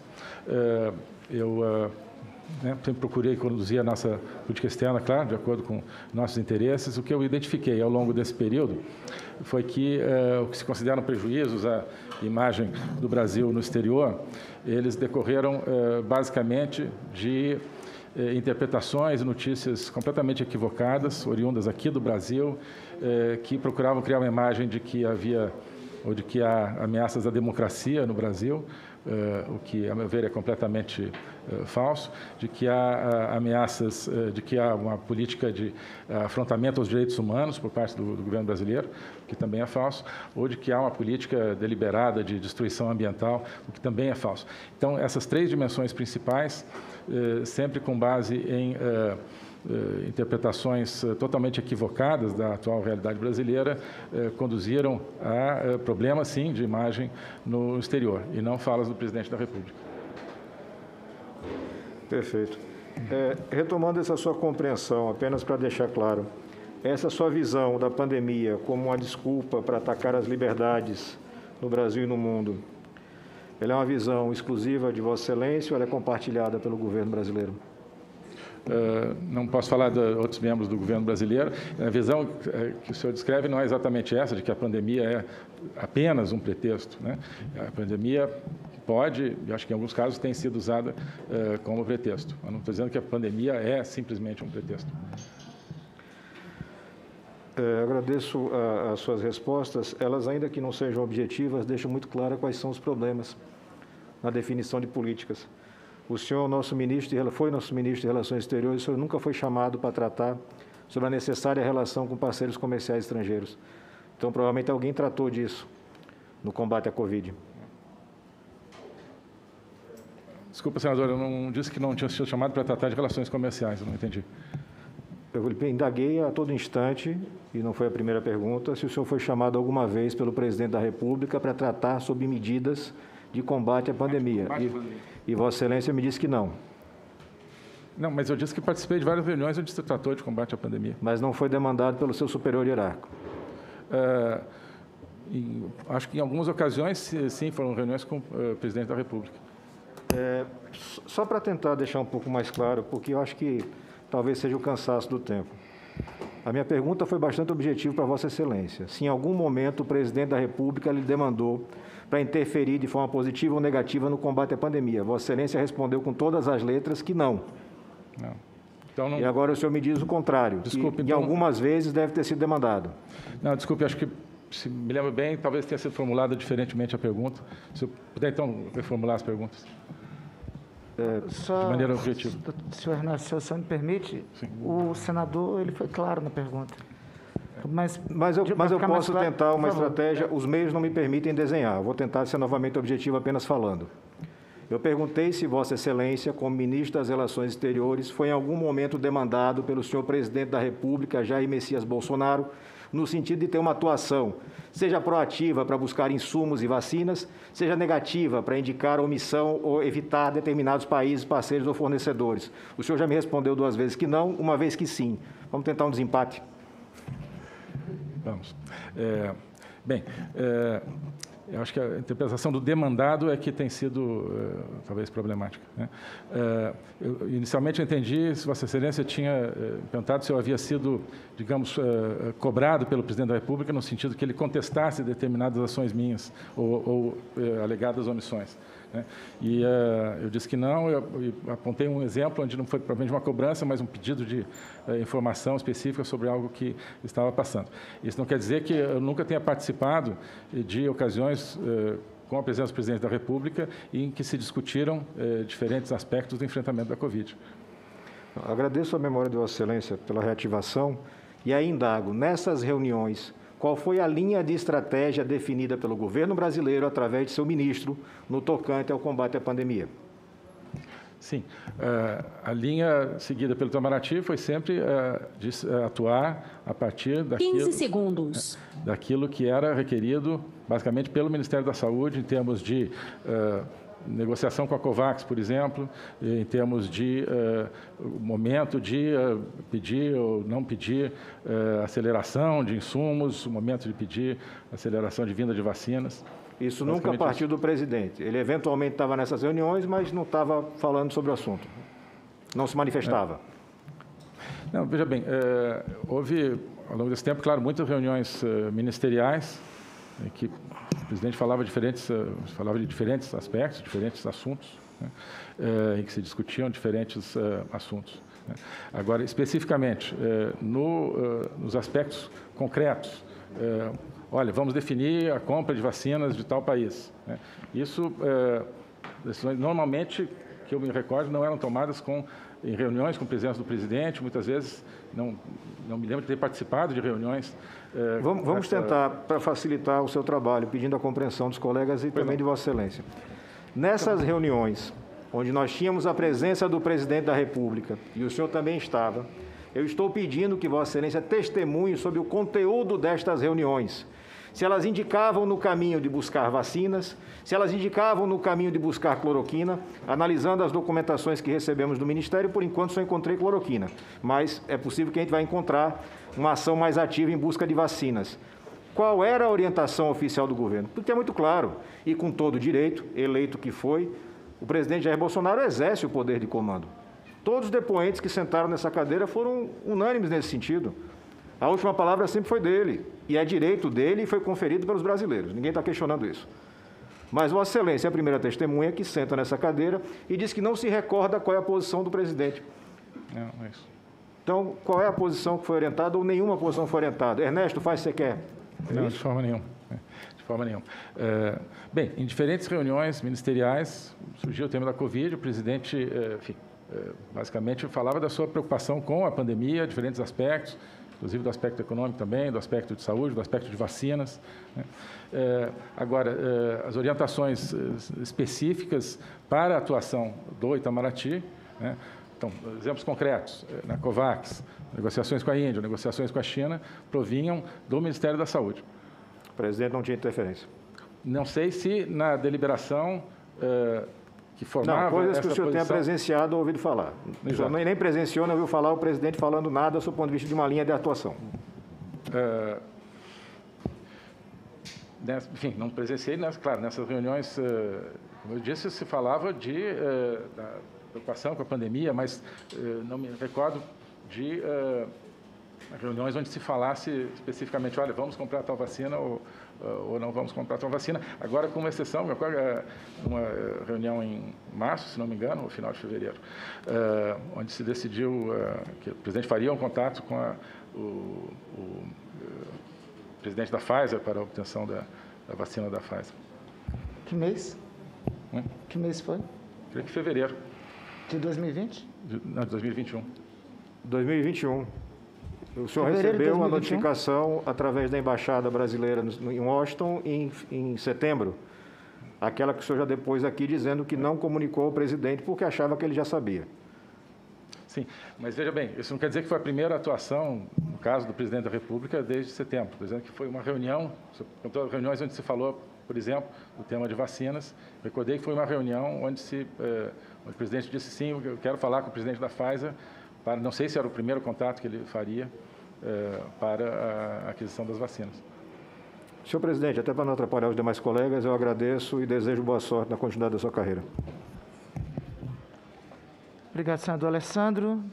Pelo Senhor sistema remoto. pela- pela ordem. Senador Humberto, por gentileza. Eu só fazer uma pergunta. Eu não entendi muito bem. O, o senador Ângelo Coronel perguntou ao depoente se ele mantinha o que ele disse ainda no tempo que era ministro, depois de receber a senadora Cátia Abreu lá no, no ministério e que depois ele divulgou que ela tinha, teria dito a ele que se ele resolvesse o problema do 5G, o, ia ter o Senado todo ao lado dele. Eu entendi isso. Ele reafirmou aquela agressão, foi isso?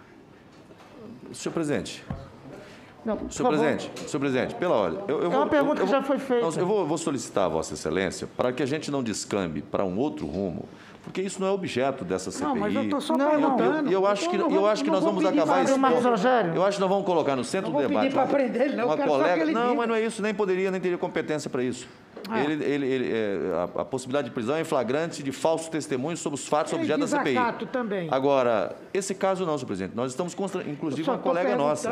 E todos nós temos respeito. Eu perguntei a ele, eu perguntei a ele. Senador Marcos Rogério, veja. Eu apelo que faça a Vossa Excelência. Acho que nós Senador não Marcos devemos Rogério, entrar veja. nesse caminho. Foi uma pergunta objetiva do senador Ângelo Que Coronel. não, tem, que não tem pertinência com essa CPI. Não, é, senador Marcos Rogério, se for todos os temas que não têm pertinência, eu vou interferir na fala de todos os senadores. Foi uma pergunta objetiva. Foi uma pergunta objetiva do, sen- do CPI, senador Ângelo presidente? Coronel. O depoente quer falar. Hã? Por favor. Pediu. Não, senhor presidente. O depoente está dizendo que Ele não. pediu, Vossa Excelência está faltando com a verdade. senador. Senhor presidente, Ele acabou de pedir eu estou mim olhando para o depoente e está dizendo que não pediu. Não, não pediu. Não, ele não pode responder o que eu perguntei. Não é tem a ver com o tema CPI. da CPI, não, não tem pertinência com o tema da CPI, ele responde se ele Senhor quiser. presidente, eu tô, eu tô... Bom, o depoente tinha dito que iria responder. Agora mudou de opinião, disse que não ia responder. Tá, as notas tá aqui gráficas estão Perfeitamente, aí. perfeitamente. E a filmagem está aqui. Depois nós vamos sentar para discutir o que fazer. Perfeitamente. Eu peço para a secretaria, determina a secretaria, que separe tanto as notas taquigráficas quanto o vídeo, onde teve a resposta à pergunta do senador Ângelo Coronel. Resolvido. E o próximo inscrito é a senadora Mara Gabriele, pelo sistema remoto, por, por gentileza. Obrigada, senhor presidente. Senhor Ernesto Araújo, sua gestão, todos sabemos que colecionou ofensas a países parceiros do do Estado brasileiro, sobretudo com a China. Os resultados foram desastrosos nos sucessivos atrasos para aquisição de vacinas e insumos para a nossa população já tão sofrida, com as mais de 40, 437 mil famílias em luto.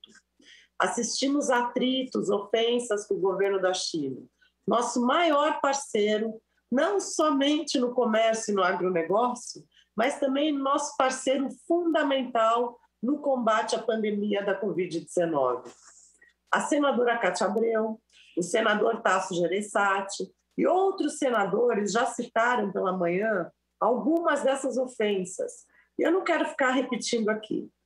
Mas eu quero reforçar o dado apresentado pela senadora Cátia Abreu, que é nossa representante na CRE, nossa presidente, que falou em nome da bancada feminina do Senado.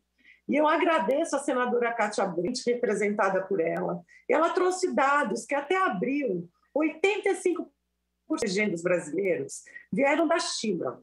E foi o nosso Instituto Butantan quem negociou no meio do seu prestígio, por meio do seu prestígio internacional e também da força do governo do estado de São Paulo. O senhor não ajudou em nada, não defendeu a saúde dos brasileiros, não primou por seguir as lições mais básicas do Instituto Rio Branco. Nós, senadores, só temos a lamentar a sua gestão, porque os governos passam, sempre passam, mas o Estado brasileiro permanece. E eu gostaria de lembrar que seus interesses pessoais, eles não interessam em assuntos de Estado. Ao contrário do que o senhor idealiza, a relação do Brasil com a China, e sabe, senhor Araújo, eu sinto uma gratidão gigantesca à China. Não apenas porque sou do estado de São Paulo, onde fica o Instituto Butantan, mas eu tenho gratidão em nome de todo o Brasil, pela celeridade que produziram o IFA e as vacinas. Ó, no próximo mês, no dia 21 de junho, celebraremos mais um ano de parceria estratégica global entre o Brasil e a China, o que mostra o alto nível das nossas relações bilaterais. E olha, no final de 2019, após 45 anos de relações diplomáticas, em visita do presidente Bolsonaro ao presidente Xi Jinping, o presidente enalteceu a parceria com o Brasil, valorizando a nossa economia como a representativa dos países emergentes no, no Ocidente, a maior dela, a mais representativa delas. E falou também que o relacionamento com o Brasil era um exemplo de união, cooperação, progresso, um progresso comum entre duas das principais nações em desenvolvimento. O senhor, logo no início da pandemia, ao invés de se solidarizar com a população chinesa, o senhor rasgou a diplomacia mais básica e atacou a China, fazendo até piada com a propagação do que chamou de comunavírus. Agora, semana passada, o presidente Bolsonaro seguiu seu péssimo exemplo e colocou suspeitas de uma guerra biológica promovida pelo governo chinês. Senhor Ernesto, eu tenho um profundo respeito pela cultura milenar chinesa. Desde 2009, a China é o nosso principal parceiro comercial do Brasil, sobretudo no agronegócio. Mas, para além dessa parceria comercial, nossos países são parceiros culturais e humanitários. O SUS, por exemplo, adotou quase 30 práticas da medicina tradicional chinesa, como acupuntura, fitoterapia chinesa, auriculoterapia, ventosa terapia, tai chi chuan. No SUS, as práticas da medicina tradicional chinesa, elas somaram mais de 150 mil sessões anuais. Por isso, senhor Araújo, eu pergunto o que passava pela cabeça do senhor ao chamar a doença de comunavírus, ao defender pessoalmente o embaixador, o embaixador chinês, é, ofender o embaixador chinês no Brasil para defender o filho do presidente. E por que, que o senhor apoiou o boicote do presidente Bolsonaro à Coronavac? Só para criar dificuldades para o governo do estado de São Paulo, o estado que eu represento? Pergunto-lhe muito respeitosamente, porque eu não acredito que seja possível que todos esses episódios tenham sido mera coincidência. Tratou-se de uma clara estratégia da sua gestão, e graças a elas, a sua gestão, tivemos sérios problemas de retaliação diplomática da China para que o nosso Instituto Butantan acessasse os insumos, atrasando a produção de novas vacinas para serem distribuídas aqui e para serem usadas por todo o Brasil. Eu quero saber o que, que o senhor almejava com isso. Qual que era a sua estratégia exatamente, senhor Araújo? Eu queria saber da sua gestão faltou o essencial no tratamento com a China, que é a diplomacia, a empatia, o diálogo. Por isso, senhor Ernesto, a gente precisa saber sabe, fazer, sabe o quê? Congratular a China, agradecer a China, congratular a China pela sabedoria milenar do seu povo, em especial no campo da saúde, respeitá-los, ter gratidão por eles, senhor ex-ministro. E já que o senhor não é mais chanceler, é bom a gente falar com o presidente Bolsonaro. É o senhor que tem que congratular a China, presidente. Isso é imperativo. Agradecê-los pelo apoio ao combate à, à pandemia.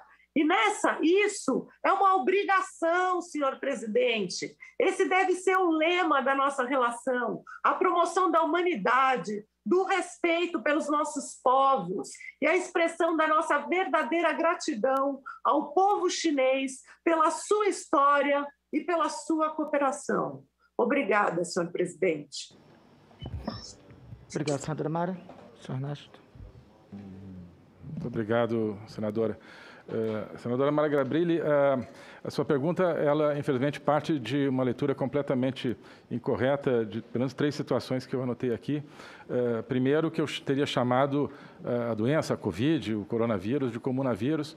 A leitura do meu artigo, ao qual a senhora se refere, deixa claro que essa é uma designação que eu usei para falar do vírus ideológico que, segundo um autor marxista, se implanta na esteira do coronavírus e levaria à instalação de um comunismo eh, global. Então, seria esse vírus ideológico que eu chamei de comunavírus, pela assonância com o coronavírus, mas justamente porque a tese desse autor que eu comentei é de que existe o coronavírus, uma pandemia, e, eh, com base nela, um. Eh, ou com, eh, a partir do, da atmosfera que ela gera, uma oportunidade eh, para eh, uma instalação ideológica do comunismo, segundo ele. Né? o texto não tem absolutamente nenhuma ofensa à China e a leitura do texto deixa isso absolutamente claro. também jamais ofendi o embaixador chinês, o que aconteceu em duas ocasiões. A primeira foi uma ofensa do embaixador chinês ao presidente da República, através de um retweet. Eh, e eu o que fiz através de uma nota de Itamaraty foi o que qualquer diplomacia eh, faria, que é dizer que isso é inaceitável, está fora da prática diplomática, está fora da Convenção de Viena. E numa segunda ocasião, onde também a partir de trocas de, de tweets, a Embaixada da China fez uma nota em tom, de certa forma, ameaçador a pessoas brasileiras, dizendo que pessoas que falassem eh, mal da China se arrependeriam eh, no, Brasil, eh, o que, evidentemente, também, novamente, contraria a prática diplomática. Em nenhum desses casos houve qualquer ofensa ao embaixador da China e, em ambos os casos, eu deixei claro, as notas do Itamaraty deixaram claríssimo, que o nosso objetivo nessa repreensão ao comportamento desse embaixador era com o objetivo de manter as ótimas relações entre o Brasil e a China. E, por fim, em relação a boicotes eh, que a senhora alega do presidente à Coronavac, enfim, qualquer que seja a atitude do presidente da República em relação à Coronavac, eu jamais eh, participei de qualquer eh, decisão de boicotar essa ou aquela vacina. Obrigado. Senadora Mara. É, tudo bem, é, senador Randolfo, presidente, muito obrigada. Eu sabia que não teria resposta mesmo. Eu utilizei o tempo mais explicitamente para congratular e agradecer e mostrar gratidão que eu, o Estado de São Paulo e o povo brasileiro tem pela China e por tudo que a China representa nesse momento. Tá? E assim, dizer que eu sinto vergonha de ter um chanceler e um presidente que descumpriram a diplomacia, que é o que a gente mais precisa para se relacionar bem com os outros povos. Então, obrigada, presidente. Obrigado, senadora Mara Gabrilli. Senador Fernando Bezerra. Senhor presidente, senhor relator, senhor ex-ministro Ernesto Araújo, senhoras e senhores senadores. Com relação às declarações do ministro Ernesto Araújo, percebo que a condução da política externa durante sua gestão não constituiu fator que tenha prejudicado o Brasil durante a pandemia. O Brasil ingressou no consórcio COVAX Facility da Organização Mundial de Saúde, recebeu vacinas e insumos, inclusive sendo o destino principal das exportações chinesas, e realizou o trabalho de assistência consular dentro dos limites de suas competências, lembrando que não cabe ao Itamaraty definir os tempos e a natureza dos contratos de compra de vacinas. Aliás, a assistência consular prestada pelo Ministério das Relações Exteriores foi fundamental, amparando o significativo contingente de brasileiros em situação de vulnerabilidade e facilitando o seu retorno ao país. Ainda sublinho, senhor presidente, que o consórcio da COVAX Facility tem tido problemas para a entrega das doses programadas para os países como o Brasil, que aderiram ao programa. Isso porque os grandes produtores de vacina do mundo não estão tendo as exportações autorizadas pelos seus governos. Há uma má, evidente desigualdade no fornecimento de vacinas, uma vez que os países ricos, cerca de 10 deles, detêm 70% das vacinas aplicadas no mundo. Outro exemplo que ilustra essa disponibilidade limitada por força da grande demanda de insumos e pouca oferta ocorreu na América Latina, com o atraso na distribuição da AstraZeneca. Segundo matéria do jornal o Globo, milhões de doses continuam armazenadas e sem uma data para começarem a ser distribuídas. Segundo a reportagem, a demora tem gerado incômodo entre o laboratório mexicano Liomonte, responsável pela separação e o invase das doses, e a Argentina Ambiex, responsável pela produção da substância ativa. Como consequência desse impasse, nenhuma dose da vacina latino-americana foi aplicada na região. Apesar dessas dificuldades, senhor presidente, para obtenção de vacinas e insumos que não são de natureza política, mas de insuficiência de oferta frente à demanda global, gostaria de registrar que nesta terça-feira alcançamos a marca de 90 milhões 664 mil 475 doses de vacinas distribuídas aos estados brasileiros e um total de 53 milhões 648 mil 292 doses aplicadas. Com esse resultado, o Brasil se mantém em quarto lugar no ranking mundial em termos absolutos, tendo vacinado com pelo menos uma dose 36 milhões 377 mil 591 pessoas. E com a segunda dose, já ultrapassamos a 17 milhões de brasileiros. Ainda é importante pontuar, senhor presidente, o recente anúncio do Banco de Investimento BTG, que elevou sua projeção de crescimento do PIB brasileiro este ano de 3,5% para 4,3%.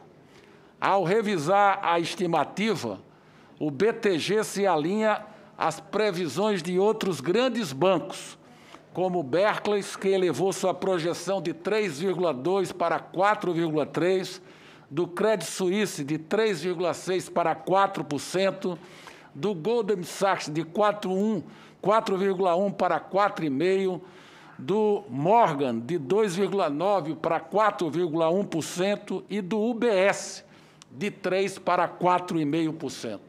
Digo isso, senhor presidente, porque no início do ano se falava que a economia brasileira não ia crescer nem 3%. E hoje as estimativas já elevam o crescimento do nosso PIB para além de 4%. E todos nós sabemos o que isso significa. Significa emprego, significa renda, significa oportunidade de trabalho, de construção da felicidade individual de cada brasileiro. Esses dados, em conjunto, mostram que a política de vacinação em massa e, consequentemente, uma maior retomada das atividades econômicas vão ao, aos poucos pavimentando o caminho para a consolidação do crescimento da economia brasileira, ampliando os instrumentos que dispomos para o enfrentamento dessa grave crise sanitária em todas as suas faces. Feitas essas considerações, eu formulo alguns questionamentos ao ex-ministro Ernesto Araújo. Primeiro, Vossa Senhoria mencionou a importância de preservar as relações comerciais do Brasil, por exemplo, com a China e os países árabes, tendo afirmado que essas relações não foram prejudicadas em face de sua atuação à frente do Ministério das Relações Exteriores. Gostaria que Vossa Excelência apresentasse exemplos com números concretos do que foi feito durante o período que teve à frente do, Mar, do Itamaraty para incrementar essas relações, especialmente com a China. E ainda em relação à China, eu indago o governo chinês, em algum momento, apresentou algum condicionamento à liberação de vacinas e insumos? O Brasil, na sua avaliação, foi discriminado pela China no fornecimento de insumos ou vacinas? E, finalmente, ainda nessa primeira pergunta, houve algum problema de natureza política que possa ter atrasado a entrega desses produtos?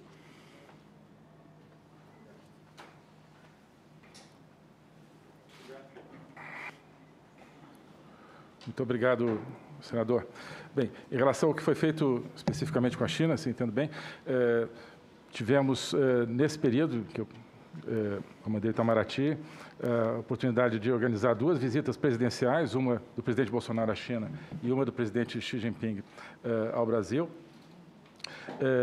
e houve uma comissão de relacionamento econômico, presidida, no caso do Brasil, pelo vice-presidente, como praxe, há 10 anos existe esse mecanismo, e uh, mantive uh, vários contatos com o chanceler chinês, meu contraparte direto.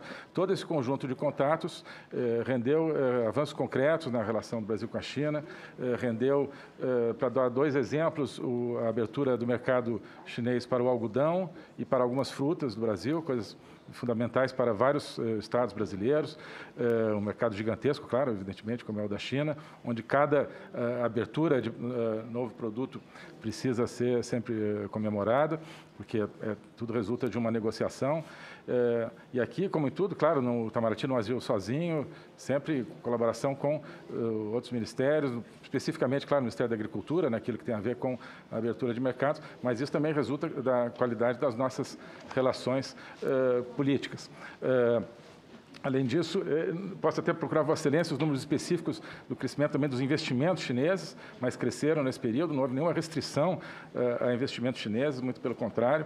Uh, e o saldo brasileiro com a China cresceu, a participação da China na, como destino das nossas exportações eh, cresceu, o comércio total e, sobretudo, as exportações brasileiras eh, para a China cresceram de 66 milhões de dólares, 66 bilhões de dólares em 2018, o último ano antes do nosso governo, eh, para 70 bilhões de dólares em 2020, o que é extremamente expressivo, tendo em conta que foi um ano onde as exportações caíram para muitos países do mundo por causa da recessão advinda da pandemia. É, e nos, uh, no primeiro quadrimestre de 2021, vemos números extremamente promissores. Uh, posso confirmar, uh, posso estar ligeiramente enganado, mas, se não me engano, são 18% de crescimento das vendas para a China no primeiro quadrimestre de 2021, comparado com o de 2020. Então, para dar números globais. A China jamais apresentou qualquer condicionamento de natureza política, comercial ou outra para a liberação das vacinas e insumos de vacinas. Eh, e o Brasil não tem por que se sentir de nenhuma forma discriminado pela China, muito pelo contrário. Isso foi eh, dito por autoridades chinesas à nossa embaixada em Pequim, foi declarado também pelo embaixador da China eh, em, Brasília, que o Brasil foi o país que mais recebeu insumos da China eh, em todo o mundo. Eh, se me permite um comentário a partir disso, senador. Eu acho que muita gente aqui no Brasil, né, numerosas pessoas, é, todo mundo acha que nós criamos problema com a China, menos a China. Né? É, as autoridades chinesas jamais nos deram indicação direta ou indireta de que qualquer comportamento do governo brasileiro é, tivesse é, resultado num problema. É, depois da, dessa situação que nós administramos aqui com o embaixador da China em março de 2020, por exemplo, é, tivemos vários contatos, mas especificamente queria citar uma reunião por teleconferência muito boa que eu tive com o chanceler chinês em setembro, onde repassamos toda a agenda bilateral, falamos não só dos pontos específicos da agenda, mas reiteramos a amizade mútua. Eh, não houve absolutamente nenhuma, eh, nem nas entrelinhas, nenhuma queixa, nenhuma eh, sinalização de problemas. Então, nenhuma, nenhum agente chinês oficial jamais nos fez chegar o sentimento de que o Brasil tivesse criado problemas com a China eh, e de que isso se refletisse de alguma forma na questão das vacinas. Então, nem eh, condicionamento político, nem condicionamento comercial, nem discriminação eh, aconteceram e não há nenhum indício disso. Ex-ministro Ernesto Araújo, Vossa Senhoria esclareceu que os atrasos na adesão à iniciativa COVAX Facilities ocorreram em decorrência das previsões legais que impediam o governo de aplicar recursos financeiros em um produto que ainda não existia. Vossa Senhoria entende que as datas de adesão ao instrumento afetaram o cronograma de recebimento de vacinas? O Itamaraty fez algum esforço para antecipar o cronograma de recebimento de vacinas pela COVAX? E, finalmente, ainda nessa pergunta, o Brasil foi discriminado pela COVAX no fornecimento de vacinas ou isso não passa de narrativa? Obrigado, senador. Bem, é, na questão das datas de adesão, é, de forma nenhuma houve qualquer relação é, estabelecida pela OMS, seja formal ou informalmente, entre data de adesão ao instrumento e data de recebimento de vacinas. Não existe nenhuma correlação. Sim, é, no mês de março, agora não tenho a data exata, é, o Itamaraty encaminhou, através da nossa missão, a Genebra, uma carta do então ministro Pazuello ao diretor-geral da OMS, dizendo que, diante da, situação da pandemia no Brasil, pedindo que houvesse algum tipo de antecipação do recebimento de doses da eh, da COVAX. Então, fizemos esse esforço, quer dizer, dentro da minha gestão, eh, acompanhei esse esforço eh, do, do, ministro Pazuello nesse, nesse caso, e apoiamos esse esforço. mas, realmente, tenho certeza que não é discriminação contra o Brasil, nem má vontade, de forma nenhuma, da COVAX, da OMS, o fato de que não tenhamos ainda recebido tudo aquilo que se esperava até o final de maio, seriam mais 8 milhões de doses. Chegaram 4 milhões, isso tudo já estava previsto lá em março, que receberíamos inicialmente um milhão de doses, que foram recebidas ainda na minha gestão, junto com o ministro Pazuello, é, e depois mais 8 é, milhões até o final de maio. E há sinais claros de dificuldade da COVAX para entregar vacinas não só para o Brasil, mas para todo o mundo. há quadros aí mostrando que uh, países grandes, países populosos, uh, alguns deles receberam até agora, em alguns casos, zero doses da, da COVAX, como, se não me engano, é o caso, uh, posso estar enganado, mas acho que do Paquistão e de Bangladesh e, portanto, caracterizando que não há uma discriminação, que há um problema de disponibilidade realmente de doses no mundo. A última indagação.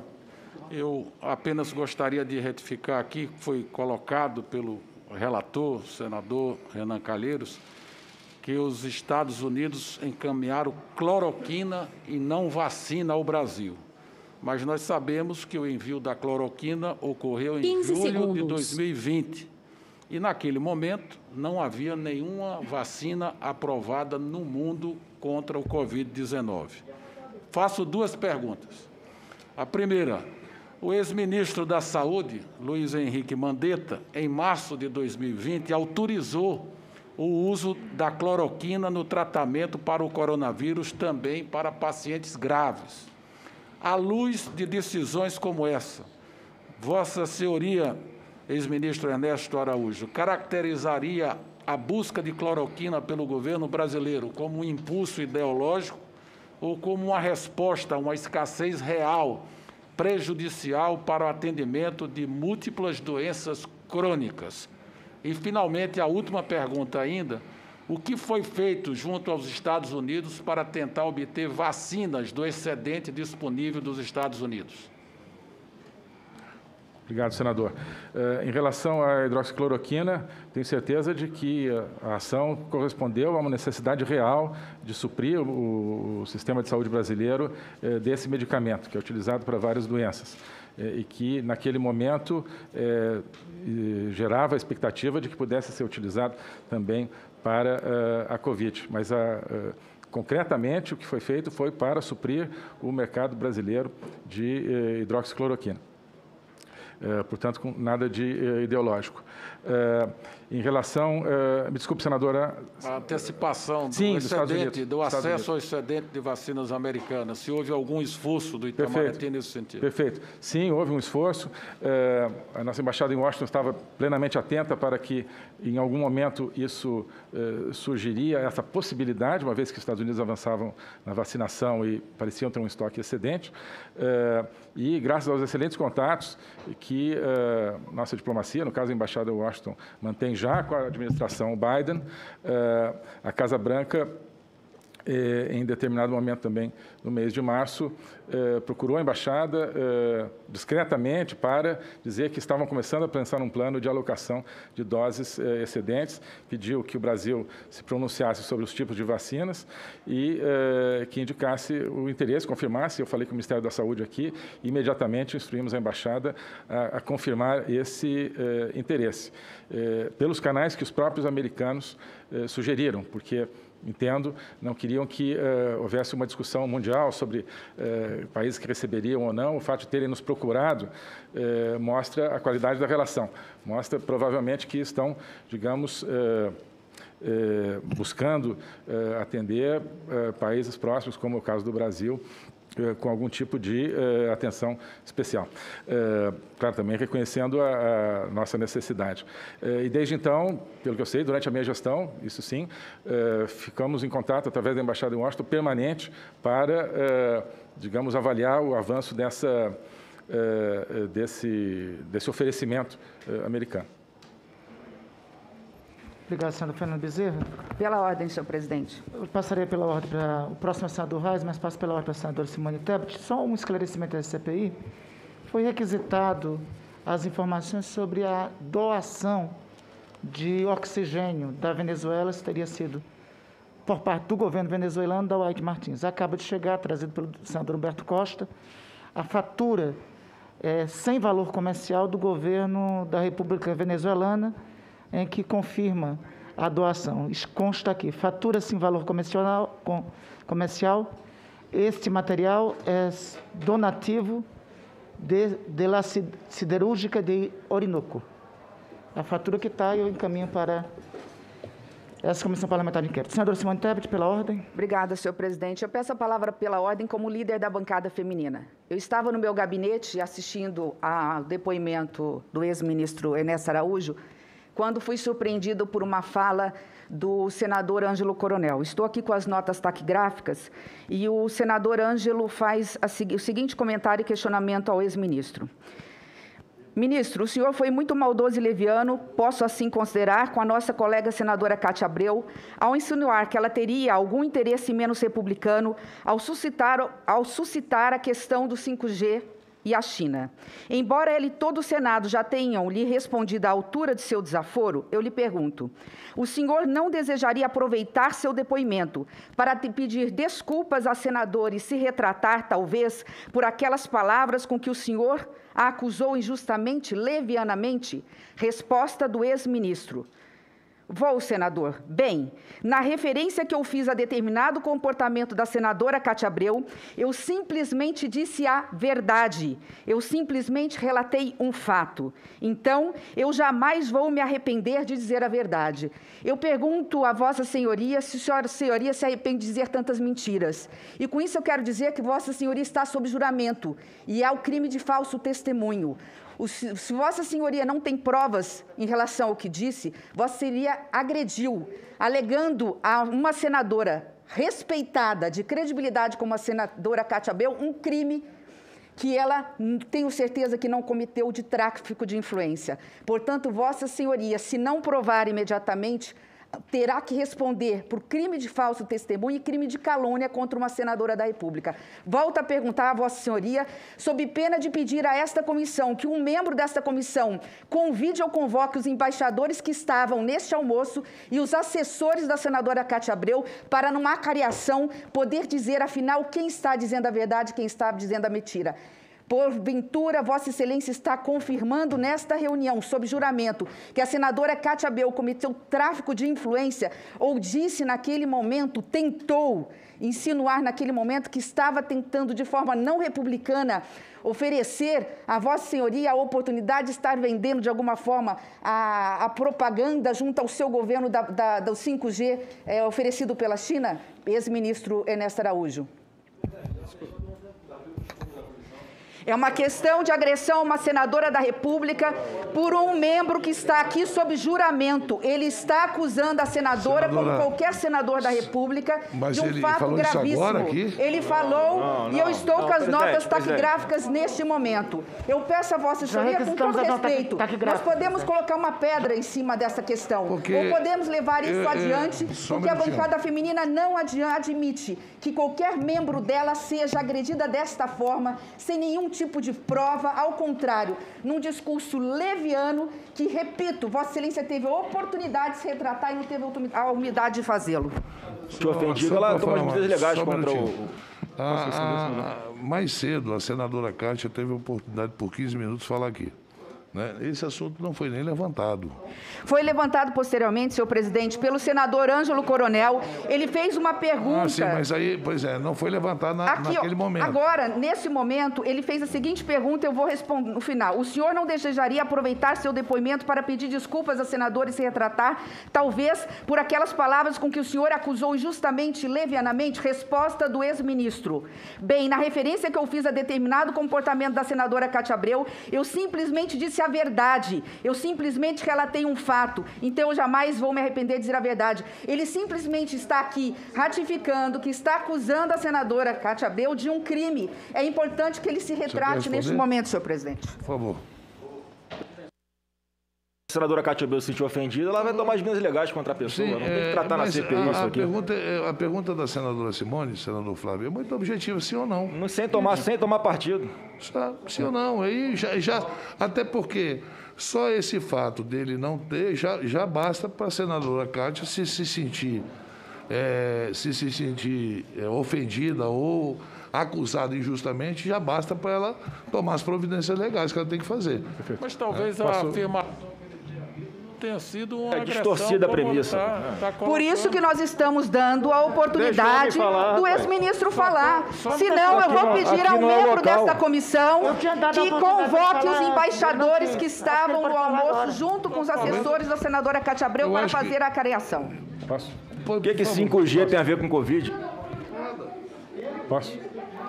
Nada, a pergunta não foi feita nem aqui, foi feita pelo senador Angelo Coronel. Posso, Posso responder, presidente?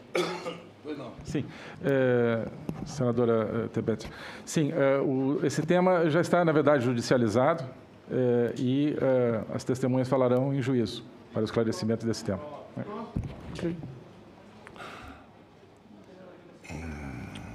Senhor presidente, apenas para deixar muito claro, aqui é o Senado Federal. Qualquer pessoa, qualquer cidadão que ofender um senador ou uma senadora ou acusá-la justa ou injustamente em qualquer ambiente do Senado Federal está acusando injustamente uma representante do povo, seja Não, sei, ou senadora, senadora. que- Nós não poderíamos, nesse momento, o senador Humberto Costa tinha pedido a palavra antes, eu disse que falaria em nome da liderança da bancada, nós não poderíamos, depois da ratificação do ex-ministro, ficar calada diante dessa situação. Não importa se é numa CPI ou no plenário virtual no plenário presencial. Ah, ah. Ele está, de alguma forma, dentro do Senado Federal, dizendo que a, ex- que a- que a senadora Cátia Abreu teria cometido um crime de tráfico de influência. Mas eu acho que a Nós senhora- precisamos, neste presidente, momento, mas, senadora ouvi-lo, Simone- até para que ele possa confirmar ou não. Senadora ele Simone- já, enteu- ele já Senadora acabou Cátia de está responder que cometendo não um quer crime. responder. E nós depois vamos tomar as providências senadora- cabíveis. a Muito senad- obrigada, ex-ministro Ernesto Araújo.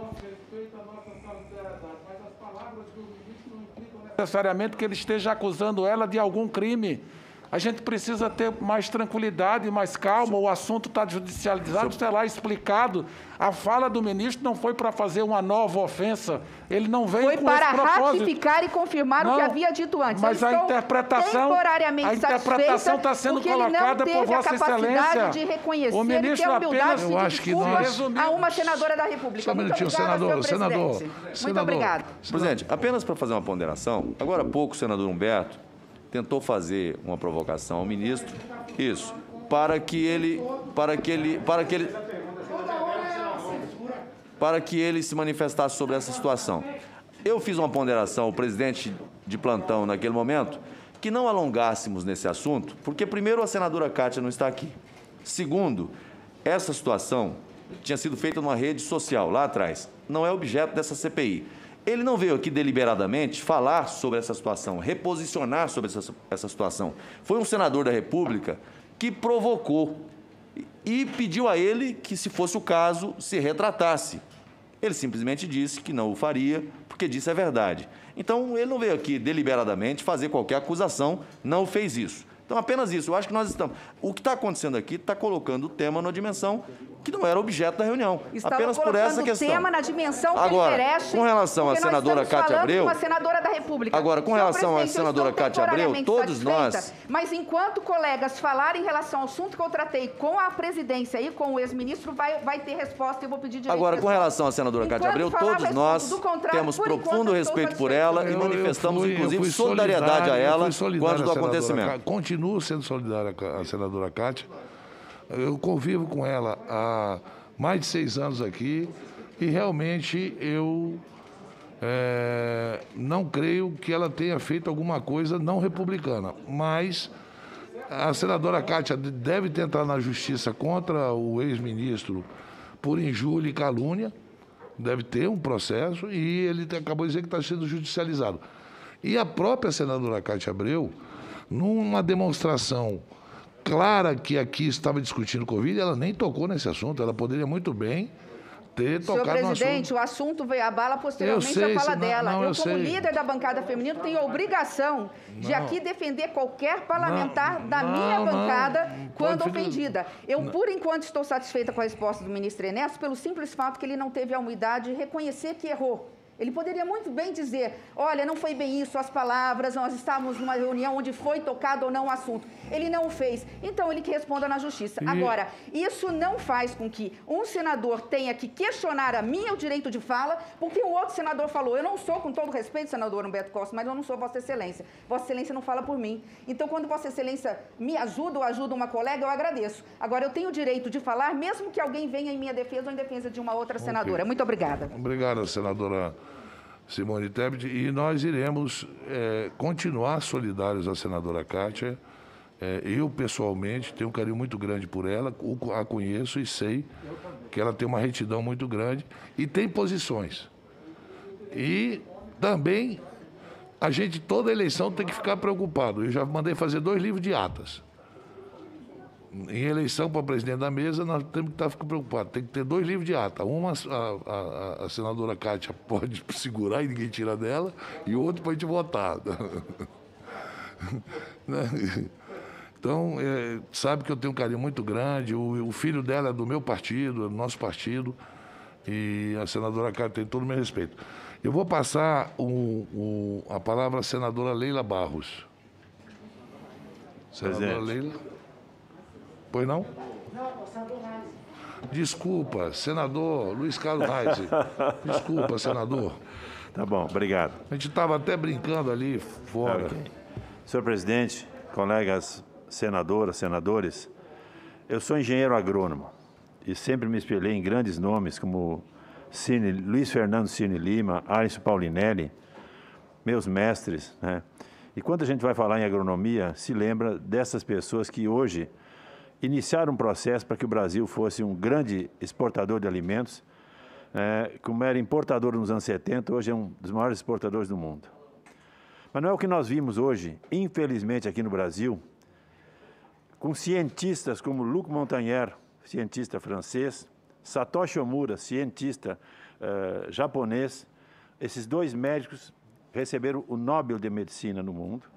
Vladimir Zelenko, que hoje é um outro médico ucraniano, que está concorrendo ao Prêmio Nobel da Paz, e também Didier Raoult, seguramente uma das maiores figuras científicas na área de virologia, certo? Essas quatro pessoas recomendam o tratamento precoce e a invermectina. Então, falo em nome deles, e a partir dessas pessoas é que nós estamos vendo que, desde o início da pandemia, diversas ações do governo federal e de pesquisadores e médicos brasileiros estão sendo alvo de campanhas difamatórias que visavam a desconstrução de reputações, perseguição a profissionais e até mesmo a de ideias científicas. Parte dessa campanha tem certamente interesses políticos contra o atual governo brasileiro e, de outro lado, interesses econômicos da própria indústria farmacêutica que quer vender tratamentos caros e que a população aguarde as vacinas. Eu estou entrando, senhor presidente, com uma representação nessa casa só para fazer uh, esse chamamento. E um colega hoje falou em charlatões. Senador Renan, eu tenho no meu gabinete mais de 14 mil médicos do Amapá Rio Grande do Sul com seu CRM, que eles adotam esse procedimento. Fora outros tantos que, não, de uma certa forma, também não colocam, mas também adotam. Então, cientistas e esses médicos adotam esse procedimento. A perseguição ao uso da hidroxicloroquina, utilizada com sucesso em vários países, começou de uma fraude deliberada, e aqui vou citar dois fatos. Após a pesquisa na Universidade de Harvard, publicada na revista Lancet, envolvia uma companhia de fachada, Surge Spear, que se dizia ter registro de 671 hospitais que misteriosamente pediam para que permanecessem anônimos e alegava que o tratamento com hidroxicloroquina estaria matando pacientes Covid. Jornais brasileiros não noticiaram essa fraude da revista Lancet como uma farsa, publicaram apenas que era um erro técnico. A Folha de São Paulo disse: The Lancet retrata o estudo que apontava o maior risco de morte associado à hidroxicloroquina, dizendo que a retratação se devia ao fato de que a Sugesper se negava a compartilhar sua base de dados e omitindo totalmente a farsa. É grave. Da mesma forma, no site da NIH dos Estados Unidos, ainda figuram estudos inapropriados para abortar o tratamento precoce, porque são de pacientes hospitalizados de doença avançada. Aqui agora estou falando do segundo erro gravíssimo, que é a pesquisa de Manaus, senhor presidente, senador Omar Aziz, que é do seu estado, onde nós tivemos 22 mortes nesse processo, e essas duas pesquisas, Lancet e, e na revista JAMA, do caso de Manaus, foram fundamentais para que a OMS, no final do, escute bem, no final do ano passado, retirasse a recomendação da hidroxicloroquina. Só foi retirada por pesquisas fraudulentas. Aqui está, para quem quiser ver, a retratação da revista, da revista Lancet nesse processo. Então, nesse sentido, são casos gravíssimos e que isso acaba tirando fora de um processo um produto sério, Tivemos ensaios positivos de uso precoce da hidroxicloroquina, não apenas ob só observacionais, como os de Didier Raul, mas também de um estudo randomizado duplo cego, como o ensaio do pesquisador Bowell, com resultados que mostram benefícios da droga. Hoje, nós temos a invermectina, que durante muito tempo praticamente passou despercebida dessa perseguição, porque Trump e Bolsonaro não tinham comentado sobre seu uso. Nosso ensaio aqui no Brasil, também com a Anitta, que foi financiado 100% do governo brasileiro, do governo Bolsonaro, do Ministério da Ciência e Tecnologia, mostrou claramente a capacidade da droga de reduzir a carga viral entre o primeiro e o quinto dia.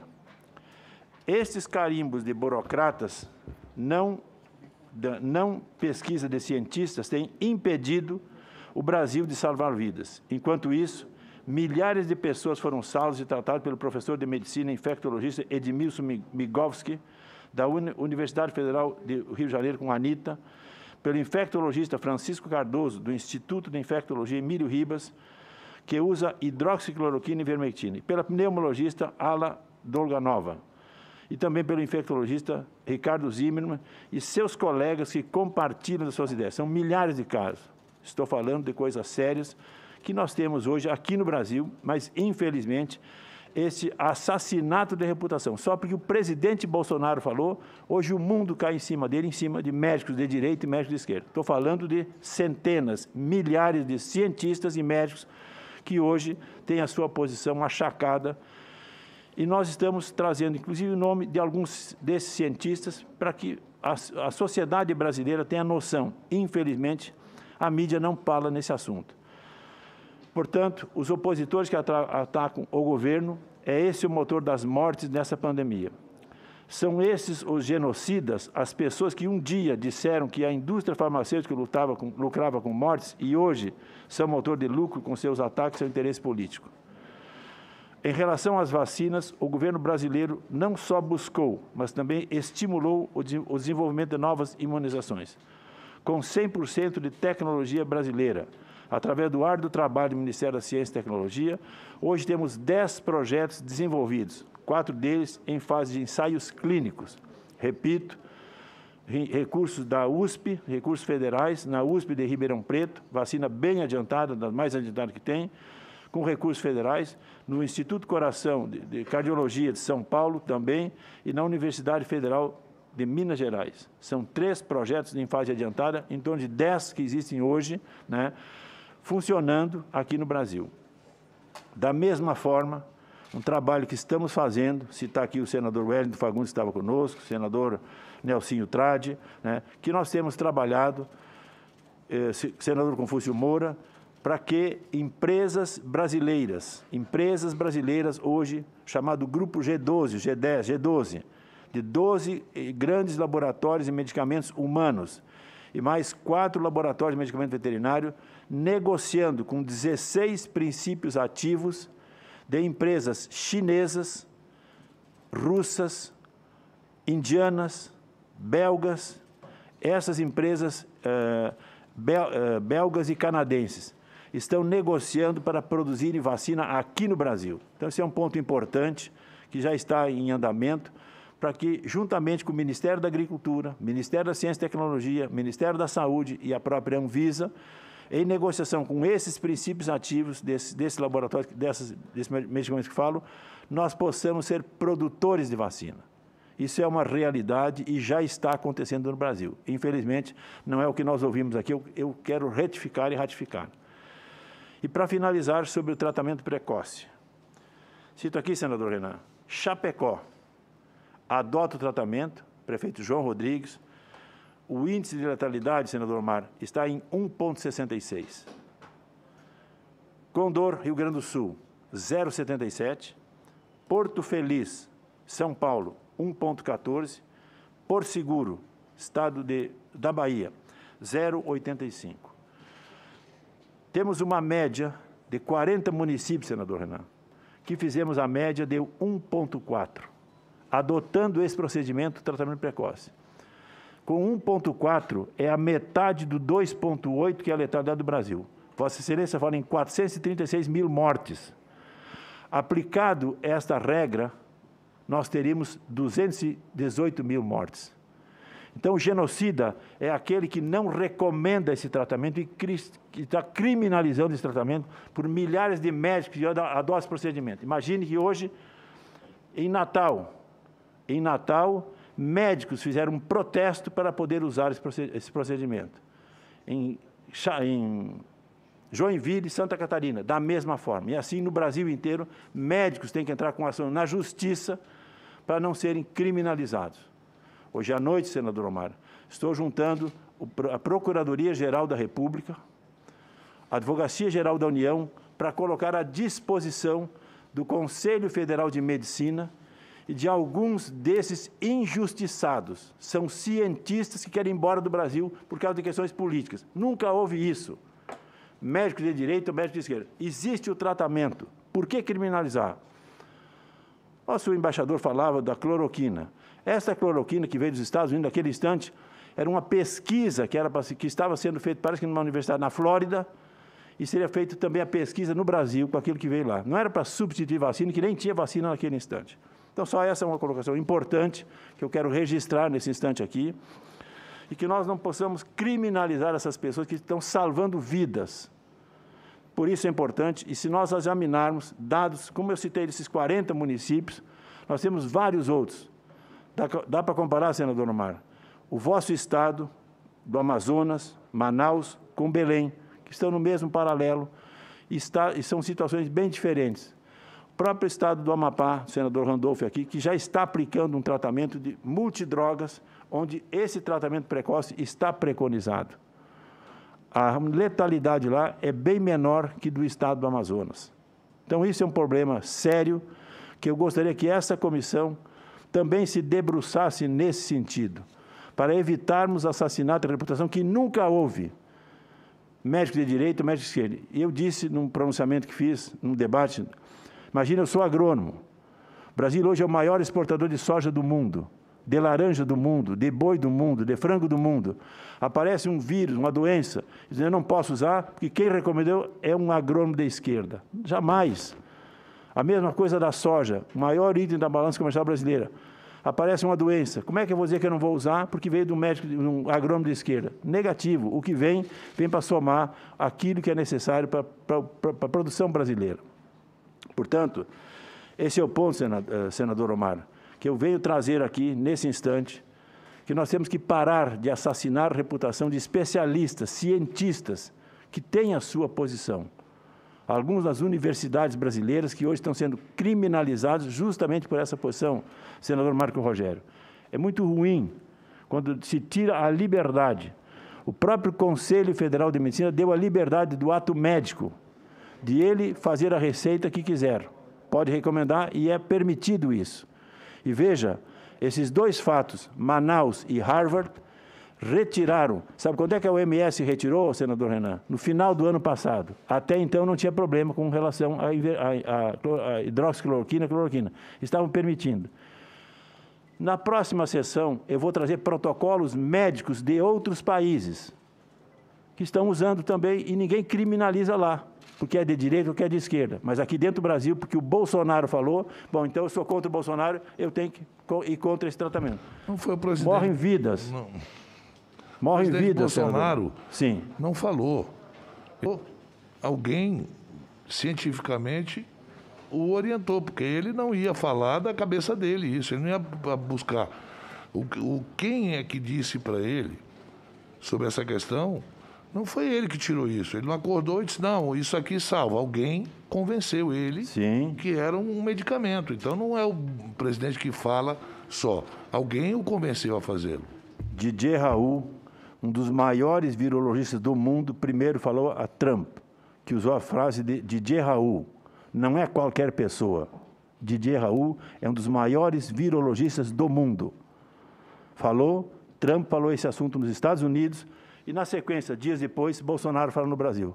Aí veio a guerra, por causa de questões políticas, por questões ideológicas e também por questões econômicas. Não quero imaginar que a Big Pharma não tem seus interesses nessa questão, num mercado bilionário. Qualquer, não é uma empresa, inúmeras empresas têm o seu interesse. Essa é a realidade, esse é o fato, e esse desabafo que faço, como profissional da agronomia, em relação ao respeito aos profissionais da saúde que merecem respeito, infelizmente, estão criminalizando pessoas sérias nesse país, de norte a sul do Brasil, de norte, qualquer canto do país, esses profissionais hoje estão sendo achacados. Em nome deles, uma repórter perguntava assim, se eu já estava prescrevendo hidroxicloroquina. Eu não. Eu tenho procuração desses 14 mil médicos que têm o nome deles e o CRM de qualquer estado brasileiro que estão usando esse tratamento. E vejam, uma pesquisa fraudulenta, Se vocês olharem exatamente, senador Marzinho, o que foi segundos. feito em Harvard, vocês vão ver o que aconteceu. Um abuso. Foi feito em Manaus um abuso. Não podemos fazer uma dose letal. Em Manaus fizeram uma dose letal que sabiam que, que hidroxicloroquina é para pacientes com até de um a cinco dias. Lá já tinha gente que já estava entubada e fizeram dose letal muito mais do que a, a dose normal que se aplica nas pessoas. Foi um, um, ensaio criminoso e por isso que na sexta-feira passada eu representei né, na Polícia Federal pedindo que eles analisassem a pesquisa de Manaus. Alguém tem que ser responsabilizado. Já apresentei aqui nessa comissão para que o presidente do CONEP viesse aqui e o presidente da Fiocruz viesse aqui explicar. É um abuso. Senadora Leila, se pegar as datas estão adulteradas, datas estão adulteradas, não pode fazer isso. Datas adulteradas de uma pesquisa que alguém tem que explicar da forma que fizeram. Muito obrigado, senhor presidente. Talvez um dos poucos estados brasileiros que tenha especializados em várias doenças é o estado do Amazonas. Isso eu posso falar para você porque eu fui governei aquele estado. O Instituto de Medicina Tropical do estado do Amazonas é reconhecido mundialmente como onde tem pesquisadores sérios. A Fiocruz no estado do Amazonas é uma, é uma instituição respeitadíssima. Se você for no Alfredo da Mata, que é a especialidade dele, em todo tipo de doenças que tem na nossa região, poucos têm isso. Então, a cloroquina é uma velha conhecida nossa. É o quinino que é utilizado na malária, que quem lá no Amazonas que não teve malária ainda. Ah, o problema do quinino é que ele afeta o fígado tomado, vai dar um. Isso aí é normal, todos nós sabemos disso. Todo, qualquer caboclo sabe disso. Que foi o grande problema que se aconteceu na, na, na, na, na na BR-319, na, na 174, na, 3, na 364, todas as estradas que foram feitas na década de 70, na, feitas lá, o grande problema é a, aquele, aquela ferrovia que tem, de, ferrovia que tem lá na, na região, o número de óbitos por malária, que aí descobriram que o quinino salvava, isso é antigo. Então, é, hoje a cloroquina é isso. Mas não dá para a gente discutir, senador. Eu não estou aqui, eu não prescrevo remédio. Eu não tenho essa mania, eu não sou médico. Então, veja bem, nós vamos trazer a doutora Yamaguchi vem aqui falar, vem outras pessoas que defendem a utilização é, precoce da cloroquina, e, e aí nós vamos, vai ter um debate em cima disso. Né? Até agora, Infelizmente, ontem, infelizmente que eu digo, porque era bom se desse resultados positivos. Ontem, uma comissão formada pelo ministro Queiroga, ela analisou que não é para ser é, colocada em, em hospitais. Né? Isso foi colocado, não foi eu que disse isso, foi uma comissão que o ministro Queiroga montou. E uma comissão que não é de funcionários públicos, são profissionais e tal. Então é um debate que nós vamos levar. A gente espera realmente que tenha um remédio que não permita o óbito das pessoas. Isso que nós estamos torcendo por isso. Senadora Leila, depois senador Flávio Bolsonaro, depois senadora Elisiane remotamente. A senadora Simone Tebet eh, retirou a sua inscrição, senador Isalci, senador Fabiano Contarato, senadora Zenaide, senador João Paul Prade, senador Jorge Cajuru. Eu quero dizer a vocês que já abriu a sessão do, do, eu vou ouvir logo a senadora Leila e ouvo em seguida o senador Flávio e depois a gente discute aqui o que, é que nós vamos fazer. Senadora Obrigado, Leila, por favor. Obrigado, senhor presidente. Omar Aziz. Saúdo a todos, cumprimento a todas as senadoras, senadores e também o ex-chanceler Ernesto Araújo.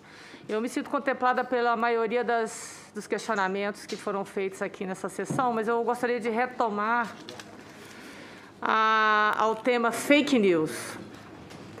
É, eu gostaria de indagar o senhor sobre o que acha do uso de fake news sobre a pandemia em redes sociais.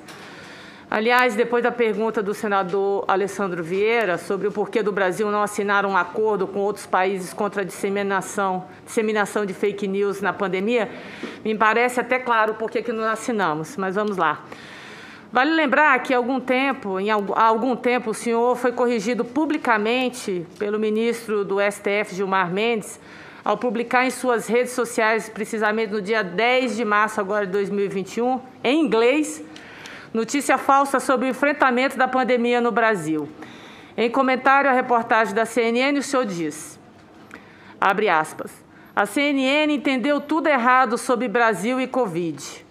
Depois de decisão da Suprema Corte, do, de, da Suprema Corte de abril de 2020, os governadores, não o presidente, têm na prática toda a autoridade para estabelecer e administrar todas as medidas de distanciamento social.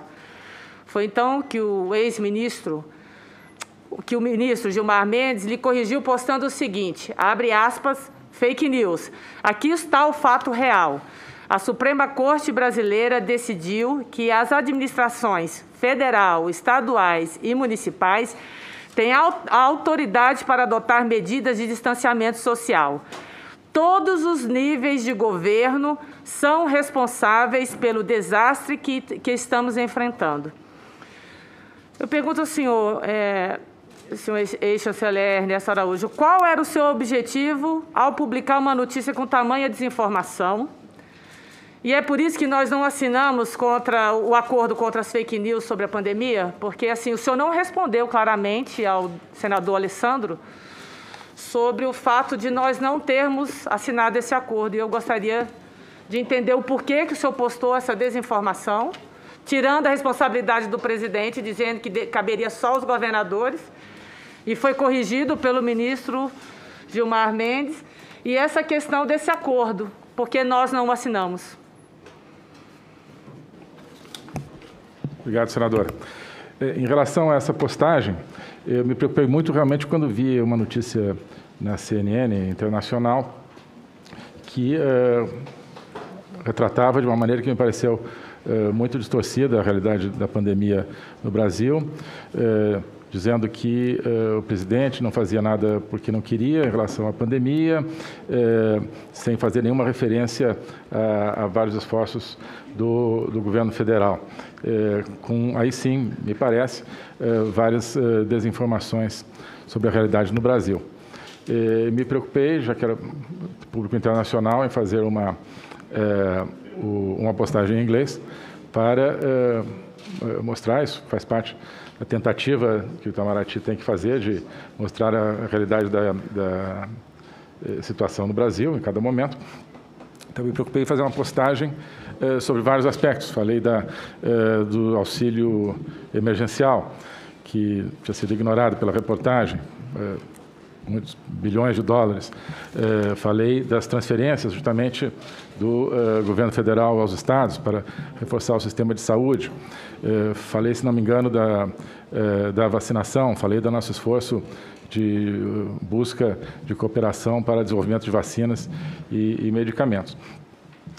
e expressei aquilo que acho que praticamente todos os brasileiros hoje percebem como a realidade, que é o fato de que, na prática, isso é a expressão que eu usei, a autoridade para implementar medidas, sobretudo de organização social, ou seja, de distanciamento ou não, é, compete a, é, aos governos estaduais. Né? É, e eu depois esclareci, procurei esclarecer, depois do tweet do ministro Gilmar Mendes, é, que é, eu tinha justamente é, procurado falar da situação na prática e não da letra da decisão do Supremo Tribunal Federal, eh, expressando aquilo que é, a meu ver, o sentimento social no Brasil, o sentimento da sociedade brasileira, que é de que essas decisões são basicamente da esfera dos governadores. Então, eu disse também, como a senhora leu, depois da decisão, ou seja, não diretamente, literalmente, em virtude da decisão. Então, foi uh, uma tentativa minha de transmitir qual era a, a realidade uh, no Brasil e não de, uh, digamos, reproduzir uma determinada decisão judicial. e em relação ao tema fake news e, enfim, algum instrumento internacional, obviamente que eu não sou a favor de disseminação de nenhuma notícia falsa. o que parece, a, a, linha que nós seguimos na nossa gestão é de que, eh, em qualquer situação, o que eh, prevalece é a legislação nacional, né? a menos que haja um tratado internacional eh, incorporado pelo Congresso Nacional no nosso ordenamento jurídico. Então, os instrumentos legais que existem hoje no Brasil para tratar daquilo que se chama fake news, entendo que não é uma figura jurídica do nosso direito hoje, mas que a sociedade hoje chama de fake news, esses meios existem e são aqueles que eh, cuja, digamos, eh, autonomia, independência, nós temos que defender nas relações internacionais. Não, pareceu que era mais um elemento de, digamos, pressão para países adotarem determinadas, determinados instrumentos que podem afetar a liberdade de expressão, sem que isso tenha passado pelo Congresso Nacional. Então, é essa a razão.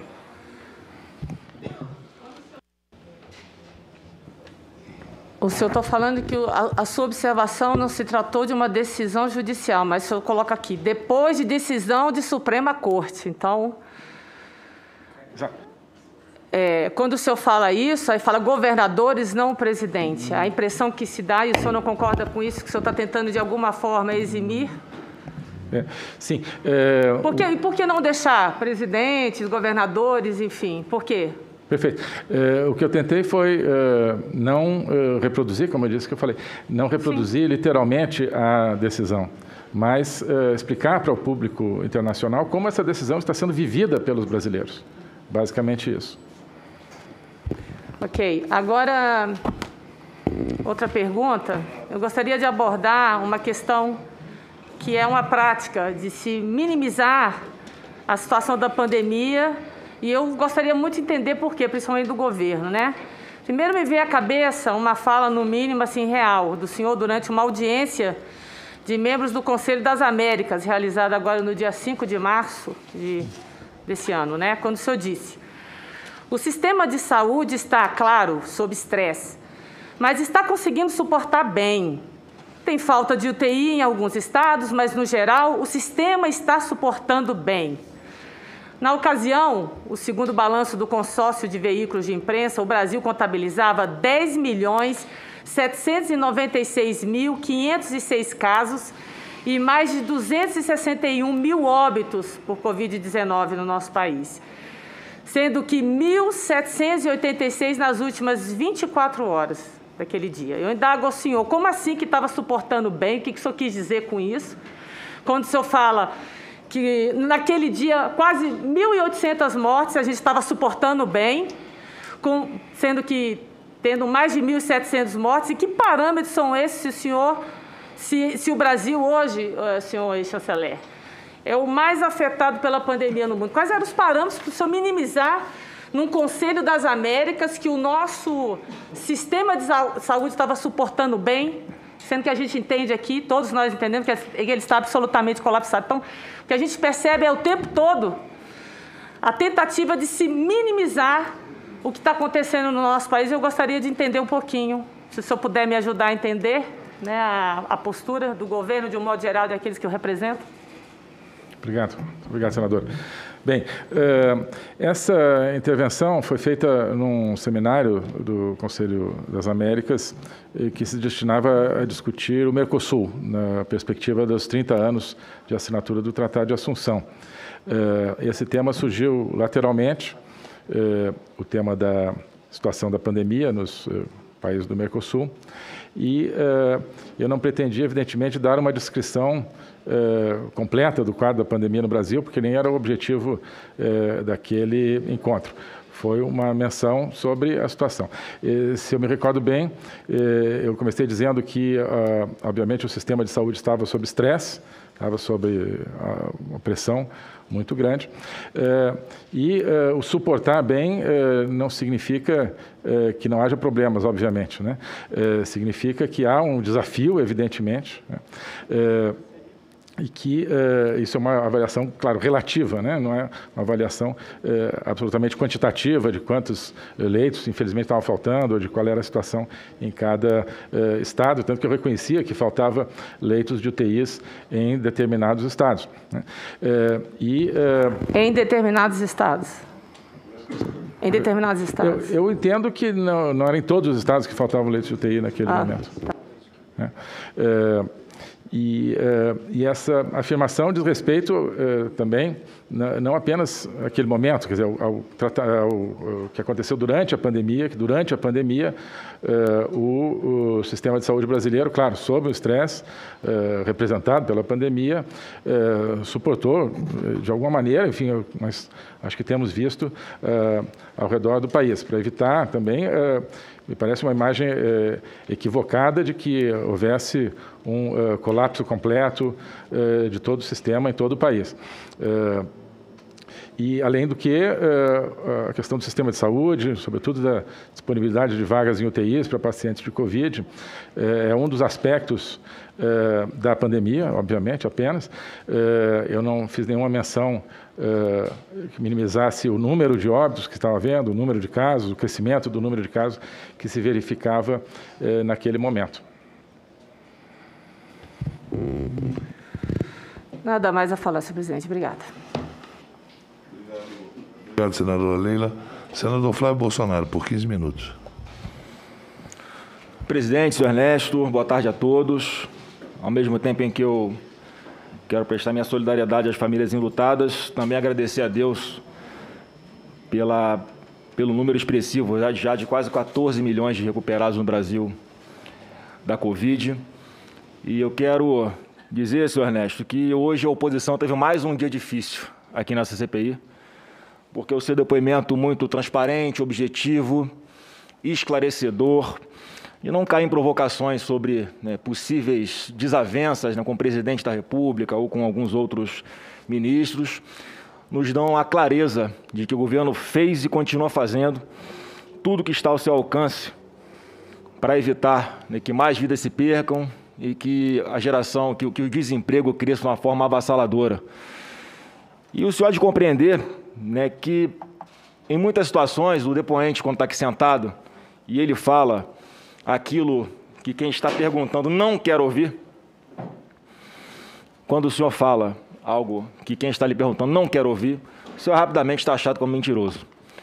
E quando o depoente que está aí sentado fala o que quem está rogando, interrogando quer ouvir, aquilo é tido como uma, uma verdade absoluta. O fato é que muitos já chegam aqui nessa comissão com o seu juízo de valor formado muito antes de ouvir o depoente. E aí, o nome disso é preconceito. E é inevitável que a população perceba que há um grande exagero de se antecipar 22, ao invés de se discutir aqui como evitar que mais vidas se percam ou ajudar o país a adquirir mais vacinas nessa disputa mundial difícil, onde o mundo inteiro está à procura do mesmo produto em escassez. E com relação a isso, nós podemos ter orgulho de falar, senhor Ernesto, que o Brasil já é sim o quarto país que mais vacinou no mundo. O equivalente a seis vezes quase a população do Estado de Israel, já que está havendo muitas comparações entre Brasil e Israel aqui, porque na hora de comprar uma vacina, você não chega no laboratório e compra a quantidade proporcional à sua população, a quantidade proporcional à população do seu país. E sim números absolutos. Então, óbvio que países como Israel com 9 milhões de habitantes, terá mais facilidade de proporcionalmente vacinar sua população mais rápido. Mas aqui no Brasil, graças a Deus, né, se Deus quiser, melhor dizendo, até o final do ano, nós conseguiremos ter nossa população toda vacinada. E também, senhor Ernesto, não leve para o lado pessoal o que muitas pessoas vêm aqui imputar ao senhor, porque o que acontece de bom na área de política externa acontece apesar do senhor. O que acontece de ruim é culpa do senhor. Então, não leve a mal algumas pessoas né, que vêm para cá se posicionar né, com relação à sua política, porque, na verdade, como bem dito, se não me engano, pelo senador Eduardo Girão, alguns ainda não aceitaram o resultado das urnas. O presidente Bolsonaro foi eleito para redirecionar, sim, a política externa do nosso país. E pelos números que o senhor apresentou aqui, pelos resultados, pela forma como o Brasil está conseguindo se desempenhar ante essa pandemia mais drástica, sofrida da história de qualquer um que está aqui vivo nesse momento assistindo. Nós conseguimos um número menor do que o esperado de desempregados.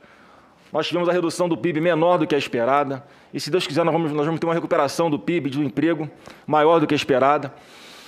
E o Brasil vai continuar fazendo o que for possível para evitar que mais mortes ocorram. E, senhor Ernesto, o que eu percebo aqui de alguns também é o negacionismo do óbvio. Os fatos estão colocados, o óbvio está posto. E hoje, felizmente, presidente Omar Aziz, nós temos internet, temos meios de comunicação alternativos que inviabilizam que o monopólio das narrativas e da informação fique apenas com os grandes veículos. Então, rapidamente, a gente pode, então, no Google, buscar dados e informações que desmentem aquelas narrativas que tentam imputar, em especial ao governo, em especial ao presidente Bolsonaro. Né, por exemplo, ele sempre disse que no caso dele especificamente, caso pegasse o Covid, as consequências seriam similares às de uma gripezinha. No caso dele especificamente, seria uma gripezinha. E graças a Deus foi.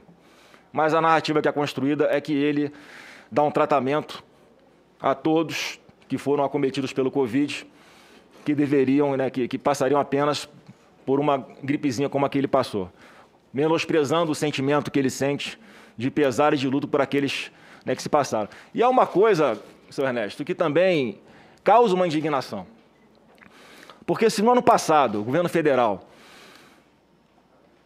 direcionou quase 700 bilhões de reais para estados e municípios no combate à pandemia, aí entre diversas iniciativas, compra de equipamentos, respiradores, abertura de leitos de UTI, prorrogação de prazos de pagamento de dívidas dos estados e municípios, transferência fundo a fundo da saúde, do Fundo de Saúde Federal para os, estaduais, para os estaduais e para os federais, enfim, 700 bilhões de reais.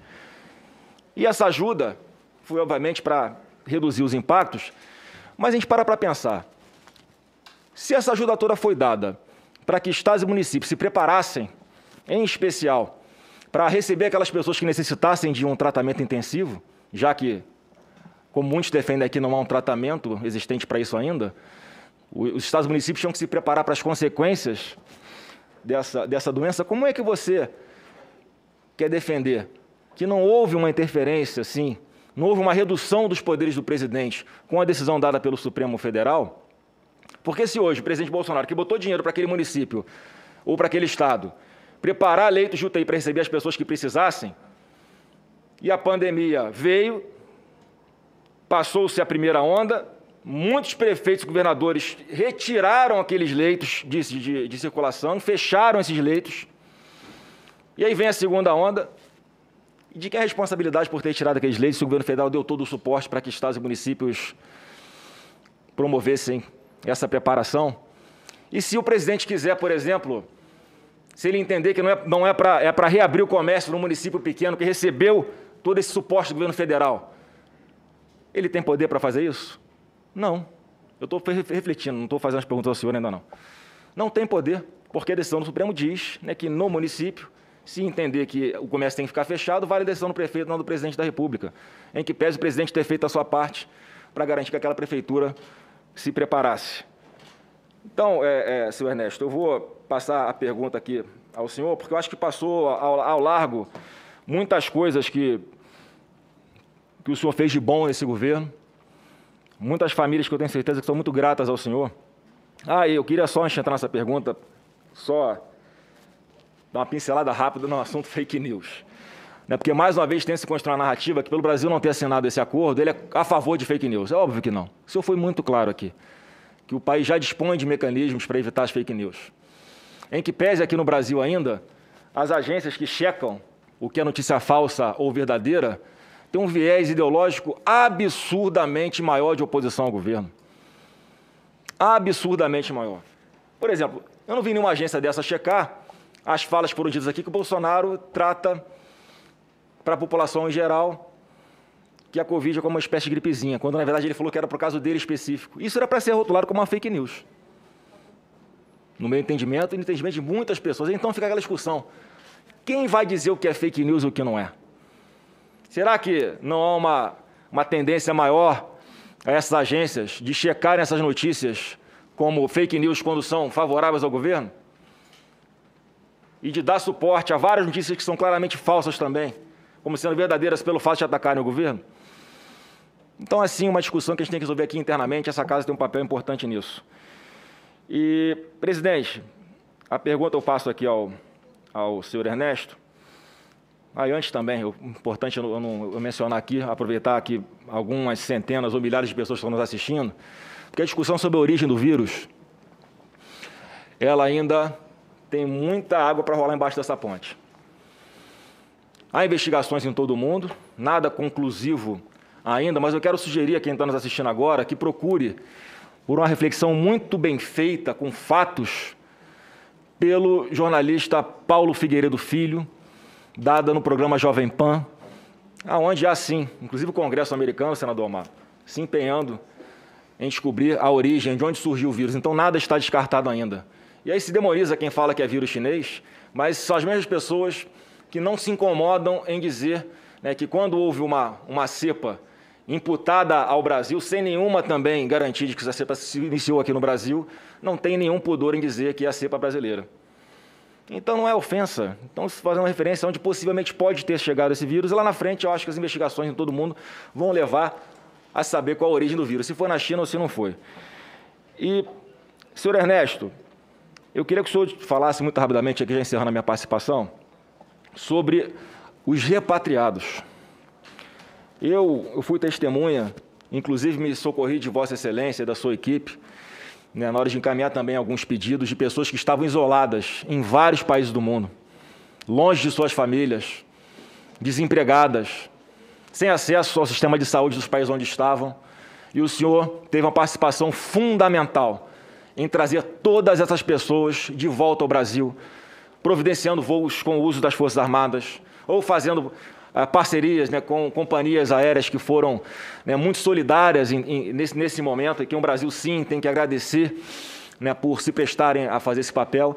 Então, o senhor, quantas pessoas o senhor se recorda que conseguiu trazer de volta para o Brasil, né, de diversos países do mundo? Porque isso pode ajudar a configurar um pouquinho, um pequeno exemplo de como o senhor tinha boa relação com um país no mundo inteiro, que criavam dificuldades para que voos partissem de lá em direção ao Brasil, simplesmente fecharam as suas fronteiras, mas com a sua diplomacia, com a sua competência, com a sua capacidade, o senhor conseguiu desfazer esses nós e repatriar essas pessoas, trazer essas pessoas de volta para os braços das suas famílias. Quantas pessoas foram aproximadamente?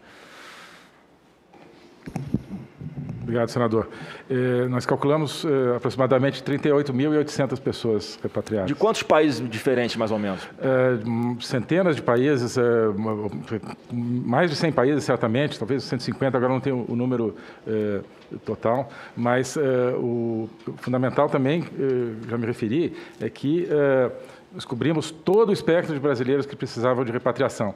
Havia lugares como uh, o México, por exemplo, o México, o Portugal, uh, os países aqui vizinhos, onde havia mil, dois mil, dez mil brasileiros. Havia países como o Laos, por exemplo, onde eu acho que havia um brasileiro. Né? Havia alguns países da África onde havia um, dois brasileiros.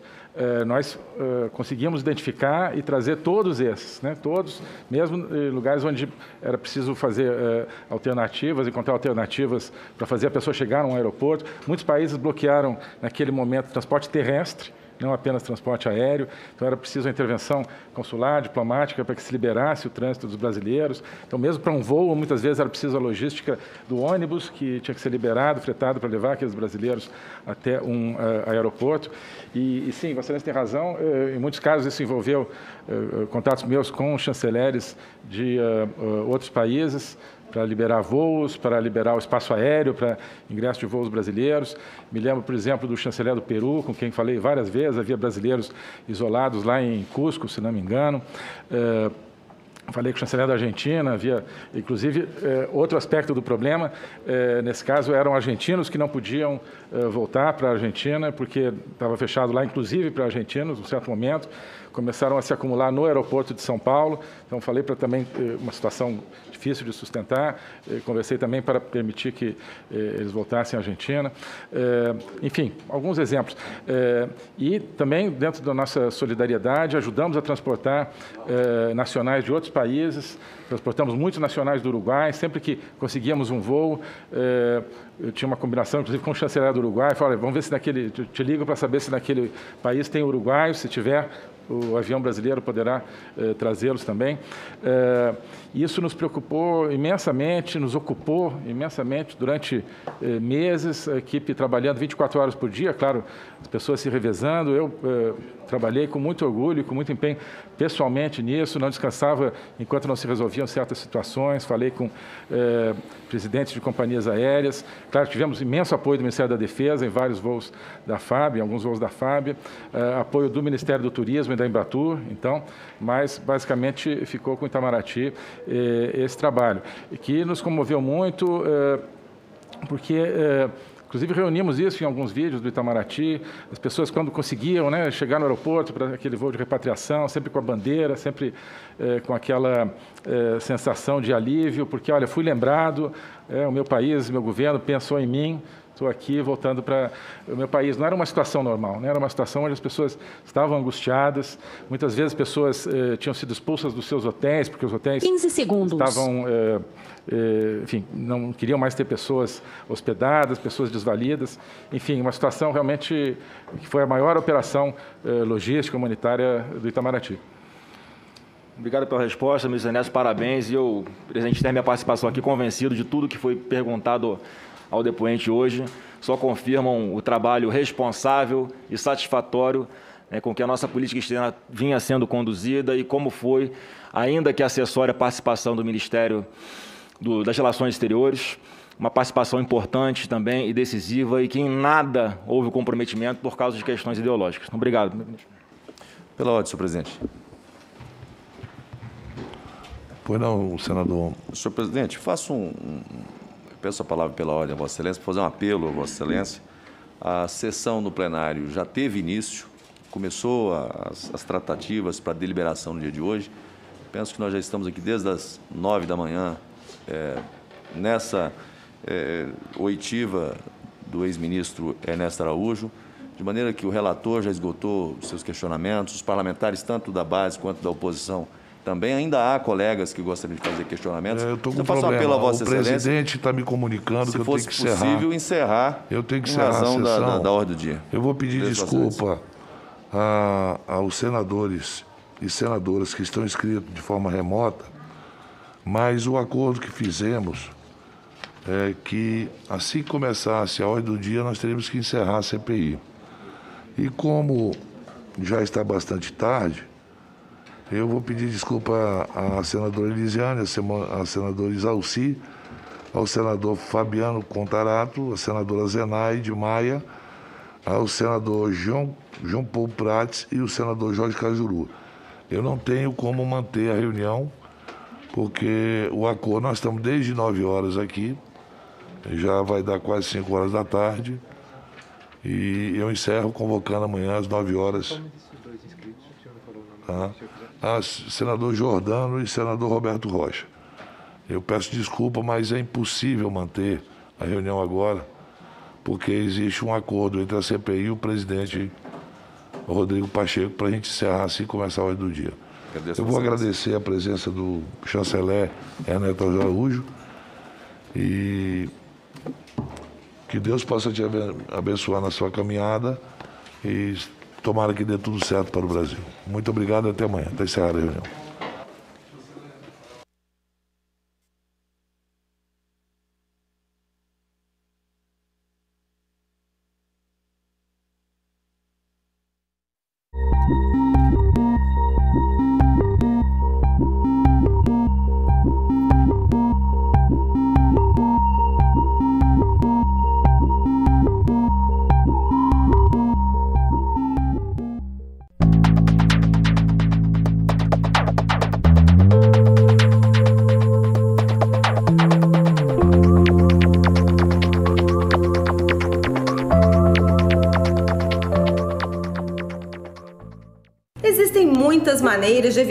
Notícia falsa. Uma delas é buscar as fontes oficiais. Se você receber uma notícia sobre o Senado, procure nos nossos meios a informação precisa. A rede de comunicação do Senado existe para garantir que a informação segura chegue até você. Esse é o nosso papel. O seu é compartilhar a verdade. Notícia falsa se combate com boa informação.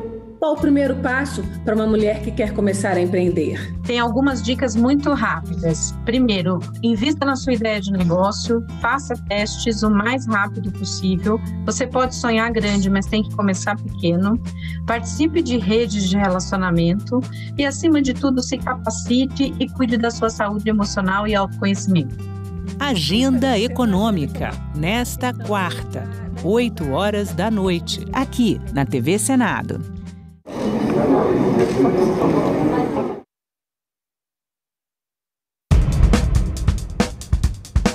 Você lida com machismo? Quais as causas da depressão? E para combater a evasão escolar?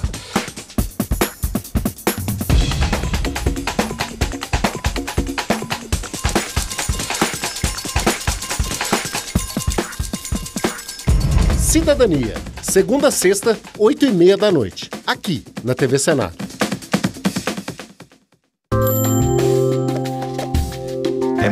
Importante que se siga as recomendações dos fabricantes das vacinas relativas ao número de doses e o intervalo adequado entre elas. Para a Coronavac, só ocorre a imunidade esperada pela vacina após duas doses. No caso da vacina da AstraZeneca, é esperado algum grau de imunidade após a primeira dose.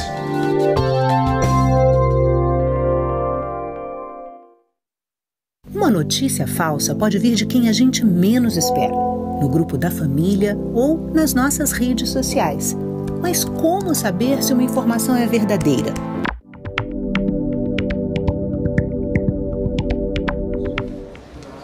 Mas é, trouxe alguns esclarecimentos para nós, no meu sentido, importante, que serão contribuições é, necessárias para o parecer, para o relatório que vai ser apresentado depois pelo senador Renan Calheiros.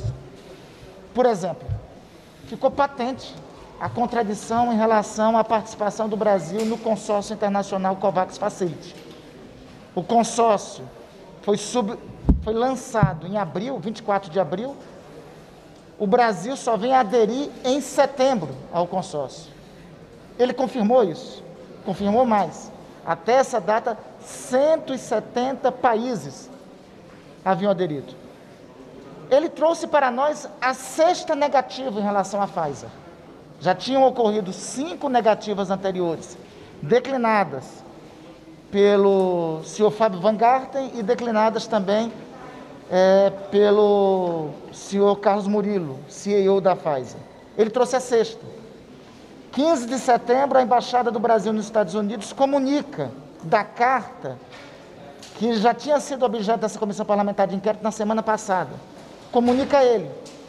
O senhor Ernesto Araújo informa aqui a CPI que não comunicou ao presidente da República porque tinha conhecimento que o presidente da República já sabia, já tinha informação fica patente que, mesmo com mais uma oferta da Pfizer, não teve respostas por parte do governo brasileiro. Nos chamou a atenção a presença de um personagem no, na delegação brasileira que vai a Israel, do senhor Max Moura. Ex-policial. Ex-policial. Perguntamos o que é que ele era, se ele era cientista, se ele era especialista é, se ele era do Ministério da Ciência e Tecnologia, se ele, qual era o papel que ele vinha a cumprir no Ministério da Saúde ou no Itamaraty. Foi, ficou patente, vocês viram isso, que não teve respostas.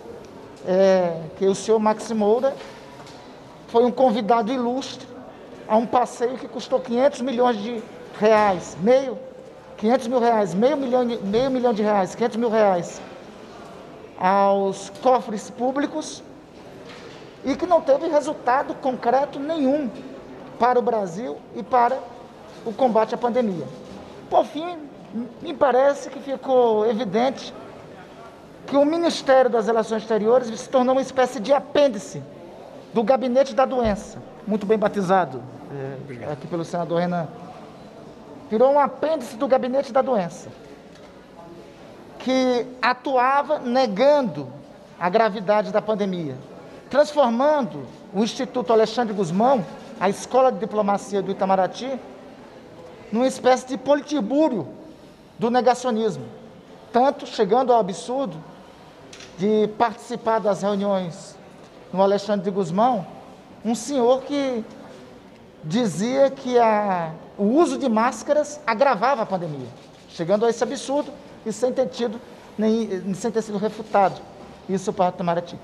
Então, para mim em especial, as colaborações do senhor Ernesto dão conta, primeiro, de mais uma negativa por parte do governo brasileiro, da existência desse gabinete paralelo, deste comando da doença.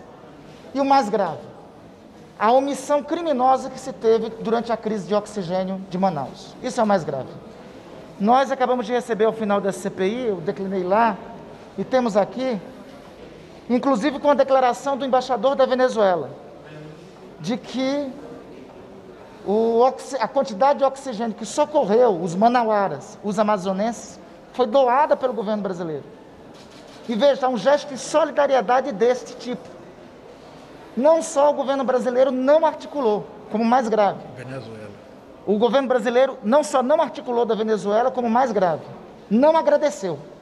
Isso, vocês acompanharam, foi dito pelo próprio ministro. Nós temos o documento oficial já da, do governo venezuelano que essa quantidade de oxigênio foi doada, doada. Quando o governo brasileiro deveria socorrer os manauaras, foi necessário o socorro e a solidariedade de um país vizinho. E por fim, eu acredito que ele comprometeu muito o presidente da República e comprometeu o senhor Pazuello. Ele deixa claro que quem aderiu ao consórcio COVAX Facility com 10% e não com 50% de quantidade de vacinas foi o Ministério da Saúde. Ele deixa o senhor Eduardo Pazuello numa situação muito difícil para amanhã. Eu acho que o melhor que o senhor Eduardo Pazuello está me parecendo que claramente há um movimento de abandono do senhor Eduardo Pazuello. Eu acredito hoje que a melhor coisa que o senhor Eduardo Pazuello poderia fazer no dia de amanhã era colaborar com a CPI. Porque senão todos os elementos vão levar, lamentavelmente, a apontar ele como responsável pela morte de centenas, milhares de brasileiros.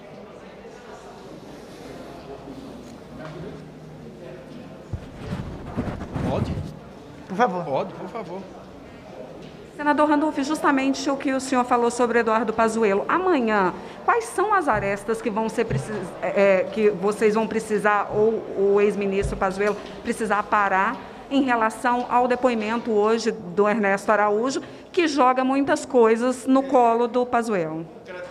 E, para além do que o senador Randolph colocou, o ministro carregou no Ministério da Saúde e, em carregando no Ministério da Saúde, carregou no ex-ministro Pazuello, porque ele disse que suas tratativas todas foram consequência de indicações do Ministério da Saúde, à exceção da importação da cloroquina, que ele falou com o presidente da República, e da viagem a Israel. Foram as duas ressalvadas, mas apenas essas foram ressalvadas. De modo que, não é, com isso, com esse esforço, é, com essa declaração, ele transfere o ônus dos equívocos todos para o Ministério da Saúde e, consequentemente, para quem o ocupou, no caso, o ex-ministro Pazuello. É, relator, houve uma percepção até de alguns parlamentares de que o senhor foi mais afável com Ernesto do que com os outros uh, interrogados anteriores. Houve uh, alguma articulação, uh, alguma conversa para que se mudasse o tom durante a soitiva? Eu, ele. Senhor.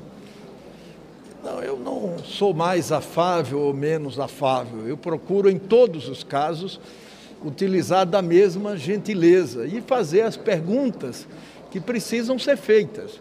É evidente que quando peremptoriamente o depoente se recusa a responder, como hoje foi novamente o caso, né, isso causa alguma indignação, mas não com depoimento, mas pelo que aconteceu no Brasil. Né, esse 430 número, mil. 430, mais de 430 mil mortos, é, as famílias querendo saber o que aconteceu, pais, filhos, irmãos, cunhados, sobrinhos. Né? E nós temos a obrigação, em nome dessa comissão parlamentar de inquérito, de dizer o que é que aconteceu. Isso, em alguns momentos, causa uma certa indignação. Mas eu tenho pedido desculpas, tenho baixado o tom, tenho procurado trabalhar com civilidade. Mais uma pergunta